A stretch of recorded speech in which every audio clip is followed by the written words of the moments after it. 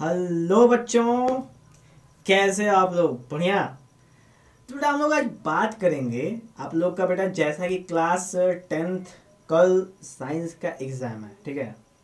तो बेटा, सबसे पहले आपको करना क्या है, ये जान लो, ठीक है? उसके बाद मैं ये ये वीडियो वाली क्लास आपके लिए शुरू करूँगा, ठीक है?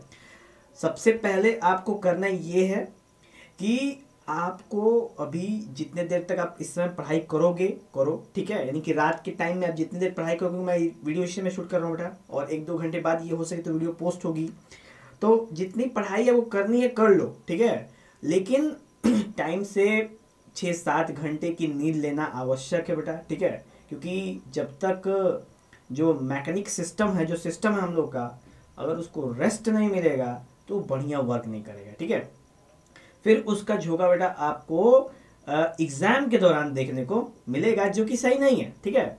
तो आप वहाँ पे इसके लिए रिस्क नहीं ले सकते। तो बेटा सीन क्या है? मोस्ट इम्पोर्टेंट सीन यही है कि आपको मोस्ट एंड मोस्ट इम्पोर्टेंटली इस बात पे फोकस करना है कि इस समय जितनी भी पढ़ाई हो सके उतनी ही करेंगे। बहुत ज़्यादा प्रेशर करने की कोशिश नहीं करेंगे आप लोग, ठीक है? नहीं करेंगे प्रेशर करने की कोशिश।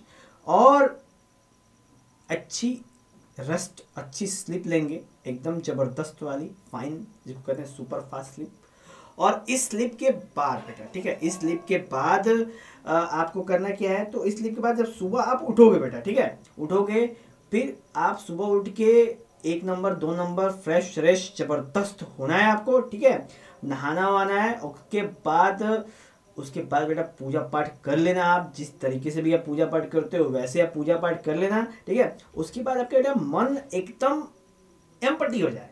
और सोचोगे यार कि मैंने पढ़ा तो कुछ है नहीं, आखिर पेपर कैसे दूँगा, ठीक है? तो आपको बेटा करना क्या है? आपको बेटा ये मेरी वीडियो खोलनी है। और एग्ज़ाम सेंटर तक पहुँचते पहुँचते आपका मैं बेटा फुल रिवीजन ठीक है? आप सामने देख लो चैप्टर वन से स्टार्टिंग कर रहा हूँ, ठीक है? फुल रिवीजन साइंस का कंप्लीट करवा दूँगा, ओके? और फिर बेटा इसके बाद मैं आपको फिगर के बारे में भी कुछ बता दूँगा। चलेगा? तो बेटा मैं फिगर के लिए सेपरेट रखूँगा एक वीडियो, और ये बेटा फुल रिवीजन वाली वीडियो, जिसमें हम इम्पोर्टेंट क्वेश्चंस को भी करेंगे और कुछ इंपॉर्टेंट पॉइंट्स भी आपको बताएँगे, ठीक है?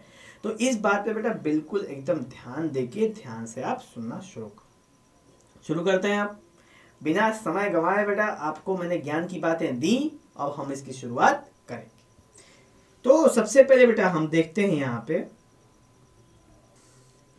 तो बेटा हम लोग अभी एनसीईआरटी के बेसिस पे, यानी एनसीईआरटी के चैप्टर्स को देखते हुए, उसी क्रम को फॉलो करते हुए अभी बेटा आपके लिए ये टेंथ का वीडियो बनाने जा रहे हैं, ठीक है? अभी देखो बेटा, सबसे पहले हम इम्पोर्टेंट क्वेश्चंस पे चर्चा करते हैं। सबसे पहले चैप्टर केमिकल रिएक्शन इक्वेशन है। तो उसमें हम आपके सामने क्वेश्चन हमने रखेंगे, ठीक है? और इन क्वेश्चंस के आंसर के बारे में डिस्कशन किया सबसे पहला क्वेश्चन बेटा why should a magnesium ribbon be clean before it burn in air तो सिंपल है। यहाँ पे जो आंसर लिखा है बेटा, आप शायद पढ़ सकते हो। लेकिन मैं अगर आपको बताऊँ तो उसको हम लोग मैग्नीशियम रिबन होती है, उस रिबन को हम रब क्यों करते हैं? तो बेटा रब इसलिए करते हैं उसको, ठीक है रब करने की आवश्यकता इसलिए पड़ती है क्योंकि उसके ऊपर एक ऑक्साइड की लेयर होती है, ठीक है? और उस ऑक्साइड की लेयर की वजह से वो जो मैग्नीशियम होता है बेटा, वो रिएक्ट नहीं करता है। किससे? एटमोसफेयर में, ठीक है? एयर से रिएक्ट नहीं करता है। जैसा कि मैग्नीशियम एक रिएक्टिव मेटल है और उसके ऊपर एक प्रिवेंटिव लेयर होने की वजह से वो रिएक्ट नहीं करता है, ठीक है? तो हम उसको रगड़ के हटा देते हैं प्रिवेंटिव लेयर फिर वो आसानी से एयर से क्या कर जाता है? रिएक्ट कर जाता है और वाइग्रसली बॉर्न करता है। ठीक है? तो ये था बेटा why should a magnesium be clean before it burn in air okay next बेटा write the balance equation of the following chemical reaction यानी केमिकल रिएक्शन के जो बैलेंस इक्वेशन आपको नोट करने हैं तो हाइड्रोजन और क्लोरीन जो मिलके बनता है एच बनता है, यानी हाइड्रोजन क्लोराइड बनता है, ठीक है? अब ऐसे नाम कर देगा, आपको बैलेंस करना है। तो एक बात हमेशा दिमाग में रखोगे बेटा, जो हाइड्रोजन है और जो क्लोरीन है, वो दोनों के दोनों नॉन मेटल हैं, ठीक है? दिमाग में रखिएगा। जो कि नॉन मेटल बेटा हमेशा मॉलिकुलर फॉर्म में मिलते हैं, ठीक है? और मेटल जितने भी होते हैं, वो सारे के सारे एटॉमिक फॉर्म में मिलते हैं। तो नॉन मेटल आपके सामने है हाइड्रोजन नॉन मेटल है क्लोरीन नॉन मेटल है। तो hydrogen H two chlorine Cl2 दोनों को जोड़ देते हैं तो बनता है बेटा HCl जिसको बोलते हैं हाइड्रोक्लोरिक एसिड और आप देख लो बेटा, यहाँ पे टू HCl मेंशन है। तो यहाँ पे टू है, क्योंकि हाइड्रोजन दो है और Cl दो है। और दोनों मिल के जो बना रहे हैं वो टू एच सी एल बना रहे हैं। यानी कि जो एच है कि है, उसके दो मॉलिक्यूल वहाँ पे बनने वाले हैं, ठीक है? नेक्स्ट बेटा इसी प्रकार बैरियम क्लोराइड जिसको हम बोलते हैं B A C L two ठीक है? और एल्युमिनियम सल्फेट जिसको बोलते हैं A L two S SO four thrice ठीक है बेटा? तो ये जब दोनों आपस में रिएक्ट करते हैं तो बनता है हमें बनता है क्या बेटा? बनता है हमको बैरियम सल्फेट ठीक है? मैं यहाँ पे बेटा थोड़ा सा पेन का यूज़ कर लेता हूँ। यहाँ पे बनता है क्या बेटा? बनता है आपका बैरियम लाइन होगी ना बेटा? पेन के पेन के हाँ ठीक तो ये कहाँ गया यार? हाँ हाँ देखो ये है आपका बेटा बैरियम क्लोराइड और ये है बेटा आपका एल्युमिनियम सल्फेट। अब बैरियम क्लोराइड का होता है बेटा B A C L two ठीक है? B A C L two और एल्युमिनियम सल्फेट का होता है बेटा यहाँ पे, आप देख सकते हो, यहाँ पे मेंशन है। ये है aluminium L two SO four thrice तो सी ने बेटा ना कि जो एल्युमिनियम होता है, ठीक है, जो एल्युमिनियम होता है बेटा, उसकी, उसका जो वैलेंसी होती है ना, वो थ्री प्लस की होती है। दिमाग में रखिएगा बेटा हमेशा, ठीक है? ऐसे ये, इसी तरह बनता है। और जो सल्फेट होती है, जो एसओ फोर होता है, यानी सल्फेट जो आयन होता है, उसकी वैलेंसी होती है बेटा टू माइनस की वैलेंसी होती है, ठीक है? और यहाँ पे सी ने बेटा जो बैरियम क्लोराइड है तो बैरियम की जो वैलेंसी होती है बेटा, वो होती है प्लस टू कितनी होती है? प्लस अप टू यहाँ से बेटा आप देख सकते हो, यहाँ पे बैरियम की वैलेंसी होती है प्लस टू और क्लोरीन की होती है बेटा वन तो आप देखो, एक बैरियम के संग दो क्लोरीन है, ठीक है? और एक एल्युमिनियम के संग, क्योंकि एल्युमिनियम का जो बेटा जो होता है एल्युमिनियम का जो एटॉम मतलब बैलेंसी होती है, वो तीन होती है और एसओ फोर का जो होता है बैलेंसी वो टू होती है। तो जैसा कि अगर आपको याद हो बेटा तो बचपन में बचपन में क्लास नाइन्थ में आप जब थे तो केमिकल केमिकल बॉन्डिंग जब आप करते थे तो क्या करते थे? ये एल हो गया, ठीक है? और यहाँ पे हो गया बेटा आपका एसओ फोर ठीक है? यहाँ पे हो गया बेटा आपका एसओ और ये हो गया बेटा फोर ठीक है? अब इसका एल्युमिनियम का जो बेटा वैलेंसी होती है, वो होती है थ्री और जो सल्फेट की वजह से होती है बेटा, वो होती है टू। ठीक? अब करते क्या थे हम? इसमें ऐसे एरो बना के क्रॉस कर देते थे। ठीक है? ऐसे कर देते बेटा। क्या कर देते थे? ऐसे कर देते थे। अब जो ही ऐसा हम करते थे ना बेटा, तब क्या होता था? एल्युमिनियम के पास टू पहुँच जाता था और एसओ फोर के पास थ्री।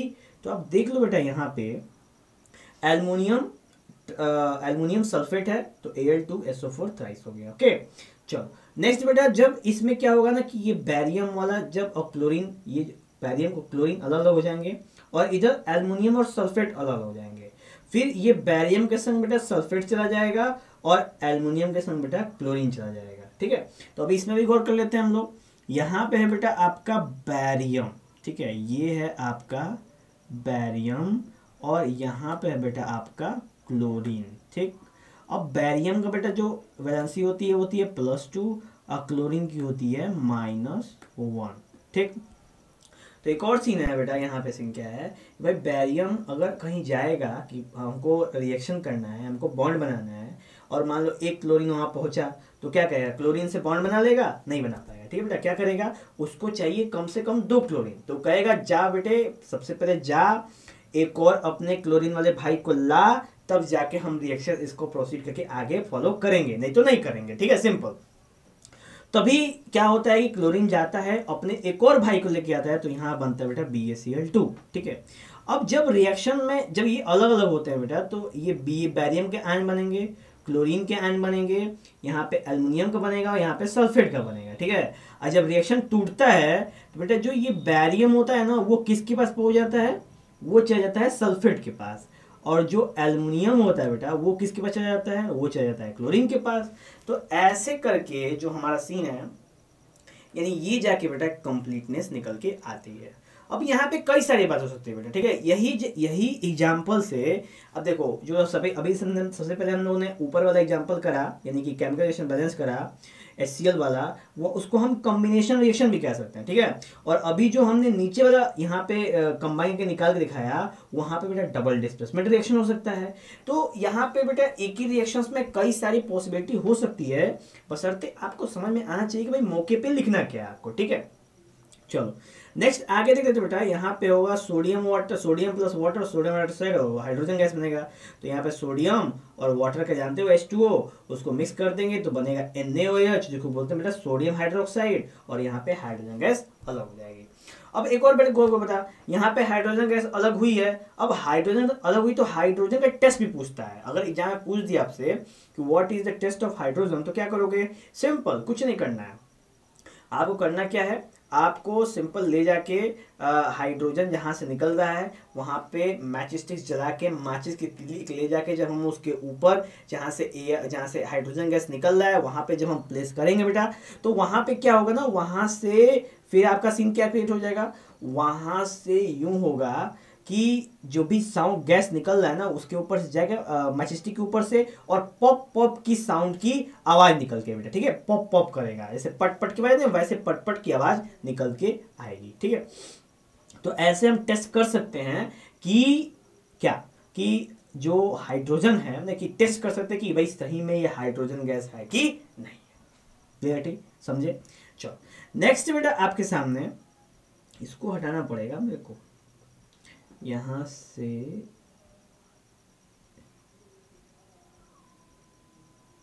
ये। ठीक है बेटा? चलो तो उसके बाद नेक्स्ट क्वेश्चन आता है बेटा right a balance equation with state symbol और फॉलोइंग रिएक्शन ठीक है? अब देखो इसमें बेटा बोला है कि बैलेंस रिएक्शन करके दिखाओ भाई। तो बेटा यहाँ पे हम इस क्वेश्चन को देख लेते हैं थोड़ा सा। भाई क्वेश्चन में क्या बोला है? आ, हाँ। यहाँ बेटा गौर करो तो सोल्यूशन ऑफ़ बैरियम क्लोराइड अब भाई बैरियम क्लोराइड क्या होता है? तो बैरियम का होता है बेटा बी ए और क्लोरीन का होता है सी एल और अभी हमने पढ़ा ना बैरियम का वैलेंसी दो होता है तो यहाँ बनेगा बेटा B A C L two simple आप देख लो बेटा, यहाँ पे बना B A C L two और हमने सोडियम सल्फेट को वाटर मिला दिया, यानी N A two S O four दोनों को मिलाया तो क्या बन गया बेटा? यहाँ बन गया B A S O four और एन एस सी एल दोनों अलग बन गया। बेटा गौर करो, अभी जो मैंने ऊपर क्वेश्चन बताया ना आपको वही सेम सीन यहाँ पे भी आपको देखने को मिलेगा। कोई ज़्यादा कोई इशू नहीं है। सेम सीन है।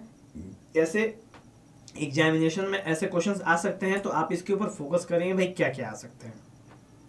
फोकस करने का सीन है कि आप इसको बैलेंसिंग के लिए बहुत ज़्यादा टेंशन नहीं लेना, ठीक है? आपके सामने अगर आ गया और मेन मौके पे आपको स्ट्राइक कर गया तो कर जाओ। नहीं कर गया तो उसको थोड़ा लेफ़्ट कर दो। आखिरी के लिए छोड़ देना। जब आखिरी मिनट आपके पास वक्त बचेगा तो उसके ऊपर अटेम्प्ट किया जाएगा। ठीक है? चलो। नेक्स्ट है सोडियम हाइड्रोजन सोल्यूशन क्या है? तो एन एच सोल्यूशन है। उसमें हमने जब एस सी एल मिला दिया बेटा तो क्या बनेगा? वो बन जाएगा भाई। तो जो ये जो एन ए है ना, वो चला जाएगा सी एल के पास। और जो ओ एच है ना, वो चला जाएगा एच के पास। तो एन एस सी एल बन के एन एस सी एल बन जाएगा तो उसको कॉमन सॉल्ट बोलते हैं हम लोग। और एच एच एच और ओ एच जुड़ेंगे तो वाटर बन जाएगा, उसको हम पानी बोलते हैं सिंपल ठीक है? चलो। नेक्स्ट बेटा हमारे सामने, कि ये अब देख लो ऊपर।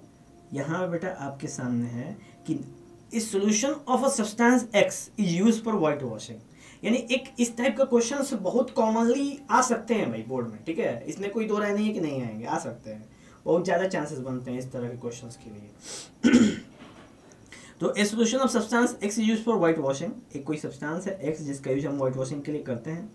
Name the substance X and write its formula उस सब्सटेंस एक्स का नाम लिखो भाई और उसका फॉर्मूला लिखो। दूसरा है write the reaction of the substance X with water और पानी के संग रिएक्शन लिख के दिखाओ कि उस भाई पानी संग रिएक्शन कैसा बनता है, ठीक है?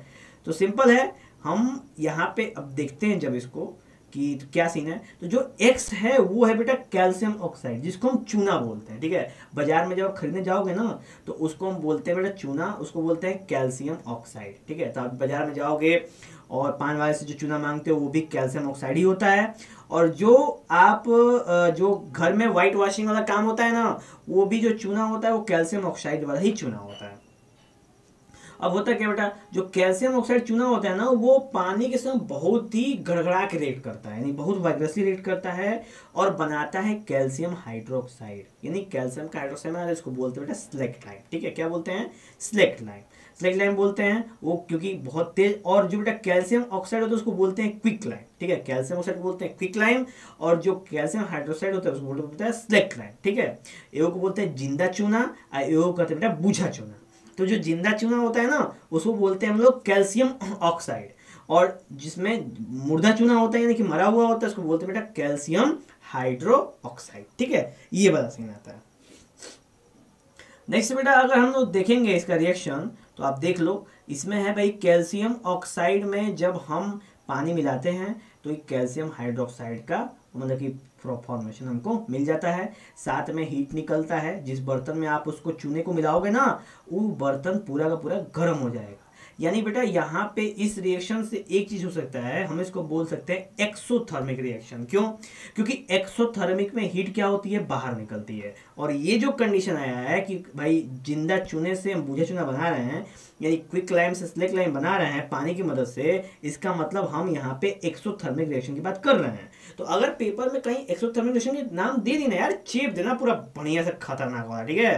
एकदम कोई जीत ना पाए हमारे सामने। हाँ ऐसा आंसर लिखा जाएगा। चलो, हम लोग उस पर चर्चा करते हैं। तो ये हो गया बेटा कैल्शियम ऑक्साइड प्लस पानी और ये बन जाएगा कैल्शियम हाइड्रो ऑक्साइड सिंपल चलो। नेक्स्ट बेटा what is the amount of gas collected in one of the test tube in activity 1.7 double of the amount collected in the other तो बेटा, ये जो सीन था, ये जो जो एग्जांपल है, वो जैसा कि एनसीईआरटी का इंटेक्स्ट है तो आप एनसीईआरटी के इंटेक्स्ट में 1.7 वाला उठा के देखना कि क्या है, क्योंकि हमने भी याद तो किए नहीं कि रट्टा मार के बैठे हम लोग। मेरे पास बेटा, इस समय तो एनसीईआरटी का इंटेक्स्ट होएगा नहीं, ठीक है? आप उसको देख लेना क्या है।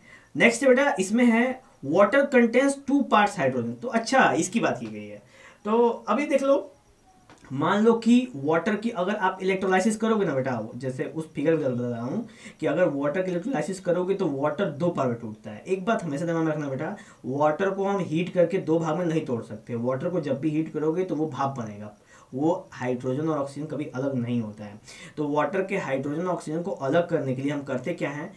उन दोनों को अलग करने के लिए हम इलेक्ट्रोलाइसिस प्रक्रिया का उपयोग करते हैं। अब इस प्रक्रिया में क्या होता है बेटा कि इलेक्ट्रिसिटी का प्रयोग करके पानी के मॉलिक्यूल को अलग अलग तोड़ा जाता है, जिसमें जो टूट के टू रेशियो वन के फॉर्म में अलग अलग हो जाता है बेटा।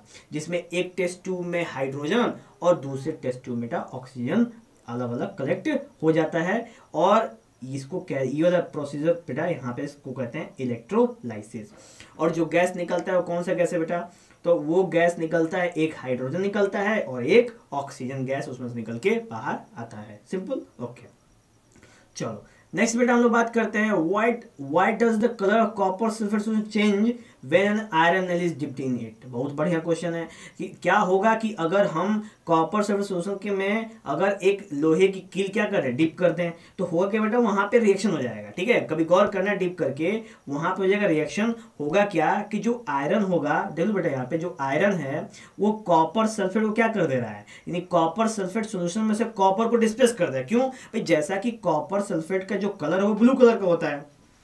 और जो ही आयरन उसके अंदर जाके मिलेगा बेटा तो आयरन कलर क्या हो जाएगा? आयरन कॉपर को क्या करेगा? डिस्प्लेस कर देगा, ठीक है बेटा? डिस्प्लेस करके और इसको बता देगा आयरन सल्फेट यानी पहले कॉपर सल्फेट था अब क्या बन जाएगा? आयरन सल्फेट और कॉपर बेटा वहाँ से सल्फेट में से अलग हो जाएगा और सोल्यूशन कलर चेंज हो जाएगा ग्रीन हो जाएगा. यानी ब्लू से क्या हो जाएगा बेटा? ग्रीन हो जाएगा, ठीक है? सिंपल चलो. नेक्स्ट है बेटा, आपके सामने क्वेश्चन पूछ सकते हैं बेटा इंपॉर्टेंट है, ठीक है? नेक्स्ट है, एक और एक्टिविटी आ गई. कि एक double digital reaction other than the one activity 1.10 यानी एक्टिविटी है, फिर भी हम लोग देख लेंगे। Sodium carbonate react with sodium chloride यानी कि अगर हम सोडियम कार्बोनेट को नमक के संग रिएक्ट कराएँ तो क्या बनेगा भाई? यहाँ पे बनेगा बेटा कैल्शियम ये गड़बड़ हो गया ना। Sodium carbonate sorry sodium carbonate react with calcium chloride रात में दिख भी नहीं रहा क्या? आँखें खराब हो रखी लग रहा है कि कोई नहीं कोई नहीं। हम लोग आपके लिए बेटा आँखें भी खराब करेंगे, ओके? तो यहाँ पे ध्यान देंगे बेटा हम लोग। हाँ। सोडियम कार्बोनेट बेटा कैल्शियम क्लोराइड के संग मिक्स होगा। भाई मिक्स होगा तो कैल्शियम कार्बोनेट बनेगा और सोडियम क्लोराइड, यानी कि सिंपल क्या है कि ये जो N S C N A two C O three बेटा, यहाँ पे C S C L two है। ये एन ए निकल के सी एल के संग जुड़ जाएगा और जो सी ओ थ्री है वो सी के संग जुड़ जाएगा। तो ऐसा होगा तो बनेगा कैल्शियम कार्बोनेट और दूसरा वाला हो जाता है सोडियम क्लोराइड। अब हम यहाँ पे बेटा इसको बोल सकते हैं डबल डिस्प्लेसमेंट क्यों? क्योंकि एक में से निकल के दूसरे में जुड़ रहा है, दूसरे में निकल के पहले में जुड़ रहा है तो इसको डबल डिस्प्लेसमेंट हम लोग सिंपली बोल सकते हैं, ठीक है? नेक्स्ट बेटा यहाँ पे है कि identify standard oxidise substance reduce यानी यहाँ पे ऑक्सीडेशन रिडक्शन की बात हो रही है। तो सिंपल आपको बात बताऊँ बेटा तो ऑक्सीडेशन का मतलब जिसमें ऑक्सीजन की एडिशन हो, ठीक है? और रिडक्शन का मतलब जिसमें हाइड्रोजन की एडिशन हो। ठीक है? तो इसको हम लोग ऑक्सीडेशन और रिडक्शन बोलते हैं बेटा। इसका एक एक उल्टा तो प्रोसेस भी है। लेकिन मैंने जहाँ भी बोला बेटा ना, आप कंफ्यूज हो जाओगे, ठीक है? तो मैंने सिंपल सोचना है कि आपको कि भैया जिसमें ऑक्सीजन ऐड होता हो, वही ऑक्सीडेशन है। और जिसमें हाइड्रोजन ऐड होता है, वही रिडक्शन है। एकदम दिमाग में रख लीजिए इसको। तो बेटा गौर करो यहाँ पे एन ए में ओ जुड़ गया तो एन ए टू ओ बन गया। तो भैया क्या हो रहा है सिंपल यहाँ पे हो रहा है बेटा ऑक्सीडेशन क्यों? क्योंकि सोडियम में ऑक्सीजन क्या हो रहा है? जुड़ जा रहा है। तो इसका सोडियम ऑक्साइड क्या हो गया बेटा? सोडियम का हो गया ऑक्सीडेशन ठीक है?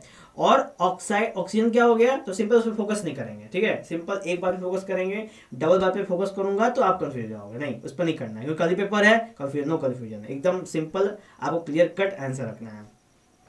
नेक्स्ट बेटा कॉपर ऑक्साइड प्लस हाइड्रोजन क्या हो जाएगा भाई? तो यहाँ से ऑक्सीजन हट जाएगा, वो वो हाइड्रोजन चला जाएगा। यानी यहाँ से बेटा कि हाइड्रोजन ने ऑक्सीजन को लेके भाग गया, ठीक है? हाँ। तो ऐसा क्या भाई? कॉपर ऑक्साइड से, यानी कि कॉपर ऑक्साइड से ऑक्सीजन अलग हो गया बेटा, ठीक है? तो ये था दूसरा प्रोसीजर क्या था भाई? पहला था कि ऑक्सीजन जुड़ने से ऑक्सीडेशन होगा, ठीक है? और हाइड्रोजन जुड़ने से क्या होगा बेटा? रिडक्शन होगा। अब क्या हो जाता है कि हाइड्रोजन निकलने से क्या हो जाएगा? ये हो जाएगा ऑक्सीडेशन ठीक है? और ऑक्सीजन निकलने से क्या हो जाएगा बेटा? वहाँ पर हो जाएगा रिडक्शन सिंपल ठीक है?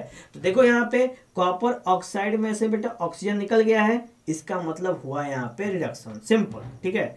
और हाइड्रोजन में ऑक्सीजन जुड़ गया है, इसका मतलब बेटा यहाँ पे हो गया हाइड्रोजन का ऑक्सीडेशन सिंपल थोड़ा सा, मैंने मैंने कहा था कि इसको जानोगे तो थोड़ा सा दिक्कतें होंगी, ठीक है?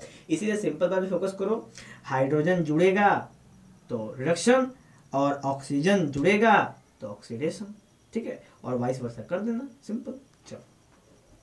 नेक्स्ट बेटा आपके लिए कि which of the statement about the reaction below are correct कौन कौन से स्टेटमेंट हैं जो करेक्ट हैं, ठीक है? तो सिंपल है कि सॉरी इनकरेक्ट है। कौन कौन से इनकरेक्ट हैं? तो यहाँ पे लेड ऑक्साइड दिया है कार्बन दिया है लेड दे दिया है कार्बन ऑक्साइड दे दिया है। अब इसमें क्या है कि ए और बी बिल्कुल करेक्ट है। क्या है भाई? लेड इज़ गेटिंग रेड्यूस यानी लेड क्या हो रहा है बेटा? रेड्यूस हो रहा है, ठीक है? और इसमें ऑक्सीजन है, यहाँ पे ऑक्सीजन हट जा रहा है तो रेड्यूस हो गया। और carbon dioxide carbon dioxide is getting oxidise यानी सी ऑक्सीडाइज हो रहा है, ठीक है?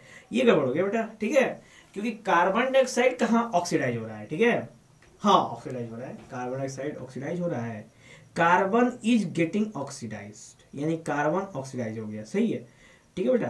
तो इसमें क्या सीन है? नेक्स्ट है बेटा नेक्स्ट है lead oxide is getting reduce lead oxide reduce हो जाता है, ये भी ठीक है। इसमें बेटा हम यहाँ पे मेंशन कर सकते हैं, हम यहाँ पे देने के हिसाब से, कि यहाँ बेटा चारों पॉइंट बिल्कुल सही है, ठीक है? गड़बड़ नहीं है। तो कैसे कैसे देख लेते हैं हम लोग चारों पॉइंट? तो लेड इज़ गेटिंग रिड्यूस तो ये लेड देख रहे हो यहाँ पे ना बेटा? यहाँ पे लेड देख रहे हो? देखो यहाँ पे lead oxide is getting reduce यानी जो लेड ऑक्साइड है वो रिड्यूस हो गया क्या बन गया भैया? लेड बन गया। ठीक ये तो सही है बेटी कोई दिक्कत तो है नहीं। नेक्स्ट है कार्बन इज़ गेटिंग ऑक्साइड तो यहाँ पे कार्बन है ये ऑक्सीजन जोड़ के कार्बन डाइऑक्साइड बन गया तो भी सही है। अब उसमें carbon dioxide is getting oxidise यानी कार्बन डाइऑक्साइड ऑक्सीडाइज हुआ था। नहीं थी गड़बड़ हो गया ना? नहीं तो सही कौन सा बेटा। सही है, carbon is getting oxidise carbon oxygen जुड़ गया, और दूसरा है lead oxide is getting reduce यानी रिड्यूस हाँ तो सी और डी वाला, लो, ये कौन ऑप्शन ही नहीं है इसमें तो सी और डी का बेटा, ठीक है? तो कोई नहीं, हम इस पे फोकस करेंगे बेटा सी और डी पे, इसमें हो गया प्रॉब्लम तो हम बात करेंगे सी और D is the correct option ठीक है? क्योंकि इसके अंदर क्या हो रहा है भाई? कार्बन ऑक्सीडाइज हो जा रहा है, ठीक है? देख लो यहाँ पे सफ़ा सफ़ा कार्बन से ऑक्सीजन जुड़ रहा है तो कार्बन ऑक्सीडाइज हो गया। और लेड ऑक्साइड रिड्यूस हो गया, क्योंकि तो लेड ऑक्साइड था, अब बन गया लेड नहीं रिड्यूस हो गया, ठीक है? सिंपल कोई बात नहीं। चलो नेक्स्ट बेटा हम लोग बात करेंगे F E two O three plus A L A L two O three plus two F E हो गया। यहाँ पे क्या हो गया भाई? तो यहाँ पे F E two O three और ए एल तो ए एल टू यानी कि ए एल ने एफ़ यू क्या कर दिया? डिस्प्लेस कर दिया। तो बेटा यहाँ पे हो गया आपका डिस्प्लेसमेंट रिएक्शन ठीक है? सिंपल ए एल ने एफ़ यू कर दिया तो डिस्प्लेसमेंट रिएक्शन चलो। नेक्स्ट है what happens when dilute hydrochloric acid is added to iron filing क्या होगा कि अगर डाइल्यूट एच को आयरन फिलिंग में डाल दिया तो? तो होगा क्या बेटा? देखते हैं। तो ऐसा होगा कि आयरन और एच मिलके एफ़ टू बनाएँगे और हाइड्रोजन गैस निकल जाएगा। तो ये वाला ऑप्शन है hydrogen gas and iron chloride are produce simple ठीक है? आप इसको टिक लगा सकते हो आंसर में। नेक्स्ट बेटा what is balance chemical equation तो भैया सिंपल है बैलेंस केमिकल इक्वेशन क्या होता है? ऐसा इक्वेशन जिसके अंदर हम सिंबॉलिक रिप्रेजेंटेशन करके किसी भी तरह के केमिकल को रिप्रेजेंट कर सकते हैं, उसको केमिकल इक्वेशन कहते हैं। बैलेंस कंडीशन तब है जब रिएक्टेंट और प्रोडक्ट दोनों के दोनों क्या शो करें? दोनों दोनों बिल्कुल बैलेंस हो तो उसको हम बोलते हैं बेटा बैलेंस केमिकल इक्वेशन उदाहरण के तौर पर मैं आपको दिखा देता हूँ बेटा। ऊपर देख लो एक रिएक्शन है, यहाँ पे आयरन है एफ़ एक है, ये रिएक्टेंट है पूरा लेफ़्ट हैंड साइड को रिएक्टेंट कहते हैं और राइट हैंड साइड को प्रोडक्ट कहते हैं।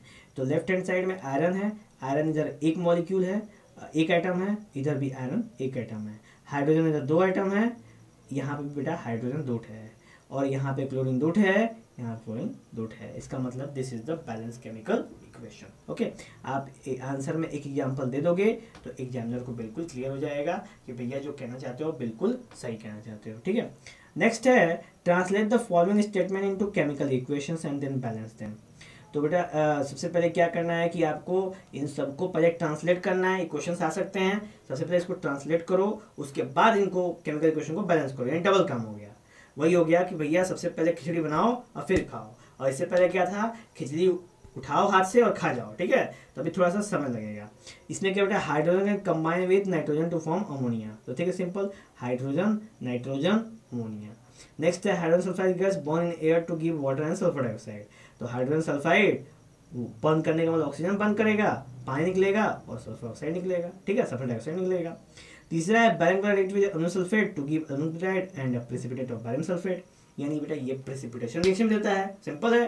कई जगह रिएक्शन यूज़ करता है। अगर आपसे बोले पीपीटी का फॉर्मेशन कैसे होगा तो आप ये सी ऑप्शन चेप देना। सिंपल क्या है भाई? Barium chloride aluminium aluminium sulphate और ये क्या हो जाएगा? ये हो जाएगा एल्युमिनियम एल्युमिनियम क्लोराइड और ये हो जाएगा बेटा बैरियम सल्फेट सिंपल इस, इसमें डबल डिस्प्लेसमेंट हो गया और आपका पीपीटी का फॉर्मेशन भी हो गया। दोनों सीन हो गया। नेक्स्ट है potassium reactive metal to water to give potassium hydroxide and hydrogen gas तो पोटेशियम है, पानी है रिएक्ट करके केओच बना दिया और हाइड्रोजन गैस बेटा अलग कर दिया। एक और सीन मैटर मैटर है कि इसका बोथ हैंड साइड क्या है बेटा? बैलेंस है और आपको एग्ज़ाम में भी बैलेंस करना है, ठीक है? लेकिन मैं बता दूँ बेटा एक बात कि अगर कभी ना जो जल्दी जल्दी के चक्कर में अगर बैलेंस नहीं हुआ तो बेटा ज़्यादा टेंशन मत लेना थोड़ा सा आप लास्ट में जो आपके पास आधे घंटे, क्योंकि आपको पेपर ढाई घंटे में करना है ना तो ना मतलब बेटा टारगेट आपको पेपर का ढाई घंटे में ही बनाना है, ठीक है? आखिरी के थर्टी मिनट में ये सारे बचे हुए क्वेश्चन क्या करना आप अटेम्प्ट कर देना, ठीक है? देख देख के, ध्यान ध्यान से, चलो। नेक्स्ट बेटा, इसको, ये जो आपका क्वेश्चन है balance the following chemical equation इसको बैलेंस बैलेंस करना पड़ेगा तो इसके लिए बेटा आपको कॉपी और कलम चाहिए, आप कॉपी कलम उठाओ एक एक बैलेंस करो, और फिर कोई डाउट हो तो आप इसमें अंदर मैच कर लो, ठीक है? चलो। नेक्स्ट बेटा, ये भी सेम वही बैलेंसिंग केमिकल इक्वेशन आपको ये सब सीखना पड़ेगा, क्योंकि एक भाई एक क्लास कर लो इसके लिए, आप थोड़ा सीख लो इसको बढ़िया से, ताकि आपको कोई भी दिक्कतों का सामना ना करना पड़े, ठीक है? हाँ सही रहेगा वैसे।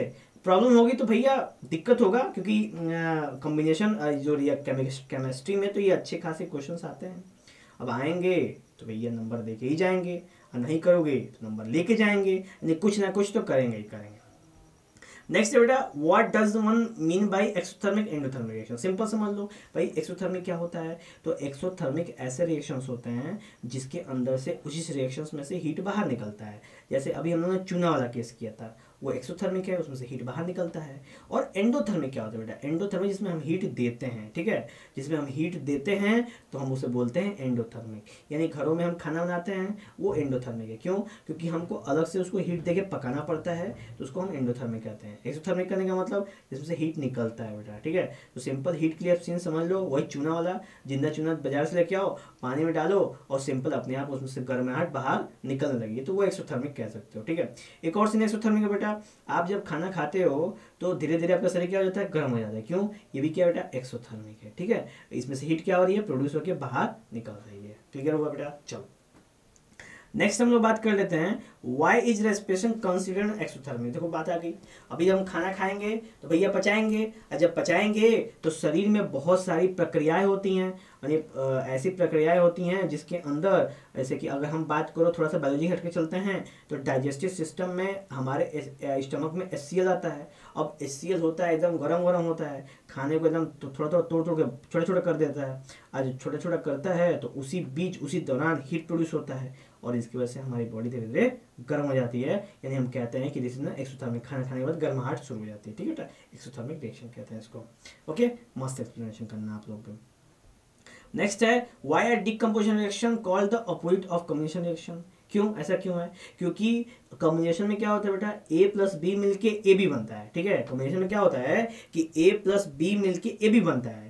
लेकिन डिकम्पोजिशन बेटा उल्टा हो जाता है। ये क्या होता है? ए बी टूट के ए प्लस बी बन जाता है। देख लो आप यहाँ पे नीचे। सबसे पहले कॉम्बिनेशन क्या होता है? पानी और ऑक्सीजन मिलकर वाटर बनाते हैं। और उल्टा में डिकम्पोजिशन में भाई पानी टूट के हाइड्रोजन और ऑक्सीजन बनाते हैं। सिंपल ठीक है? चलो।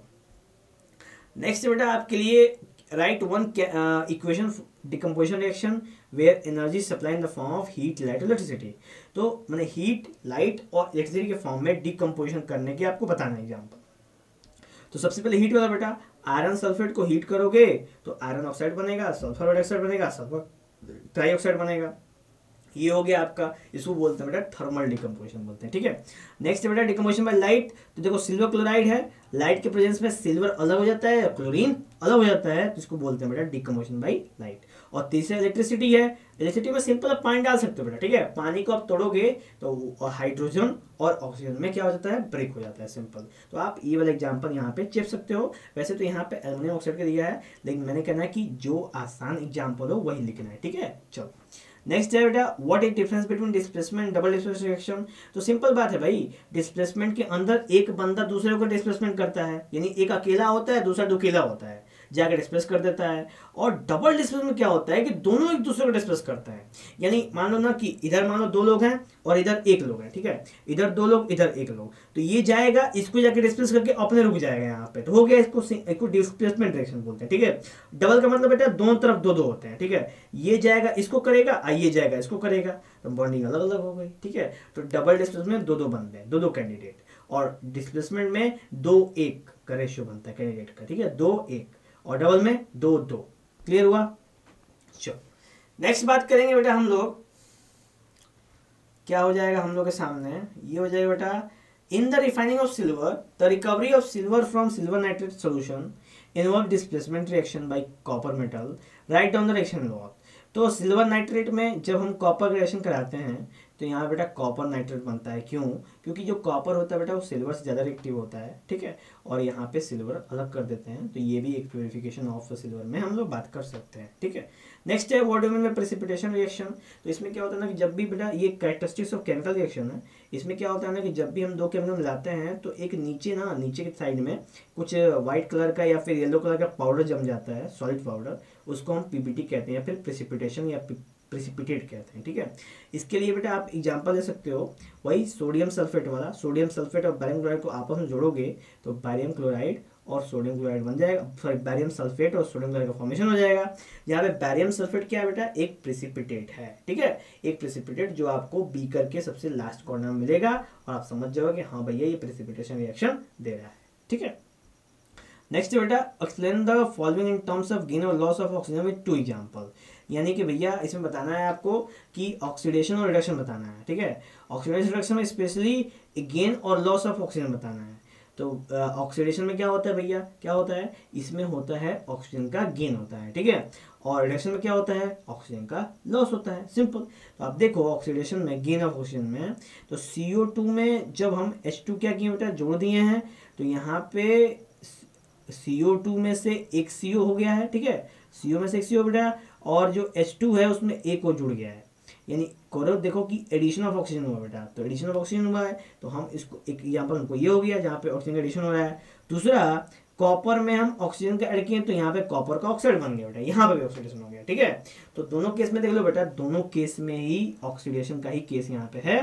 ठीक है? जहाँ पे एडिशन ऑफ़ ऑक्सीजन हुआ है, ठीक है? लेकिन एडिशन ऑफ़ ऑक्सीजन से एक और चीज़ गौर कर सकता है जब यहाँ पे एडिशन हुआ है ना तो इधर उधर ऐसा क्या हुआ है? लॉस हुआ है भैया। देख लो, यहाँ पे टू तो क्या बन गया? सीओ बन गया और यहाँ पे एस तो क्या बन गया? एस बन गया। यानी एक जगह से लॉस हुआ है। ओके चलो। नेक्स्ट बेटा reduction is the loss of oxygen अब रिडक्शन होगा लॉस ऑफ़ ऑक्सीजन का तो सी ओ टू में से एक ओ निकल गया, भाई देखो आ गया सी ओ हो गया लॉस में लॉस वाले केस में। और कॉपर ऑक्साइड में से, भैया, जब ऑक्सीजन निकलेगा तो ये कॉपर बन जाएगा तो यहाँ पे भी लॉस हो गया। यानी सिंपल ऑक्सीजन के रिमूवल को हम लोग रिडक्शन कह सकते हैं ऑक्सीजन के एडिशन को हम लोग ऑक्सीडेशन कह सकते हैं, ठीक है?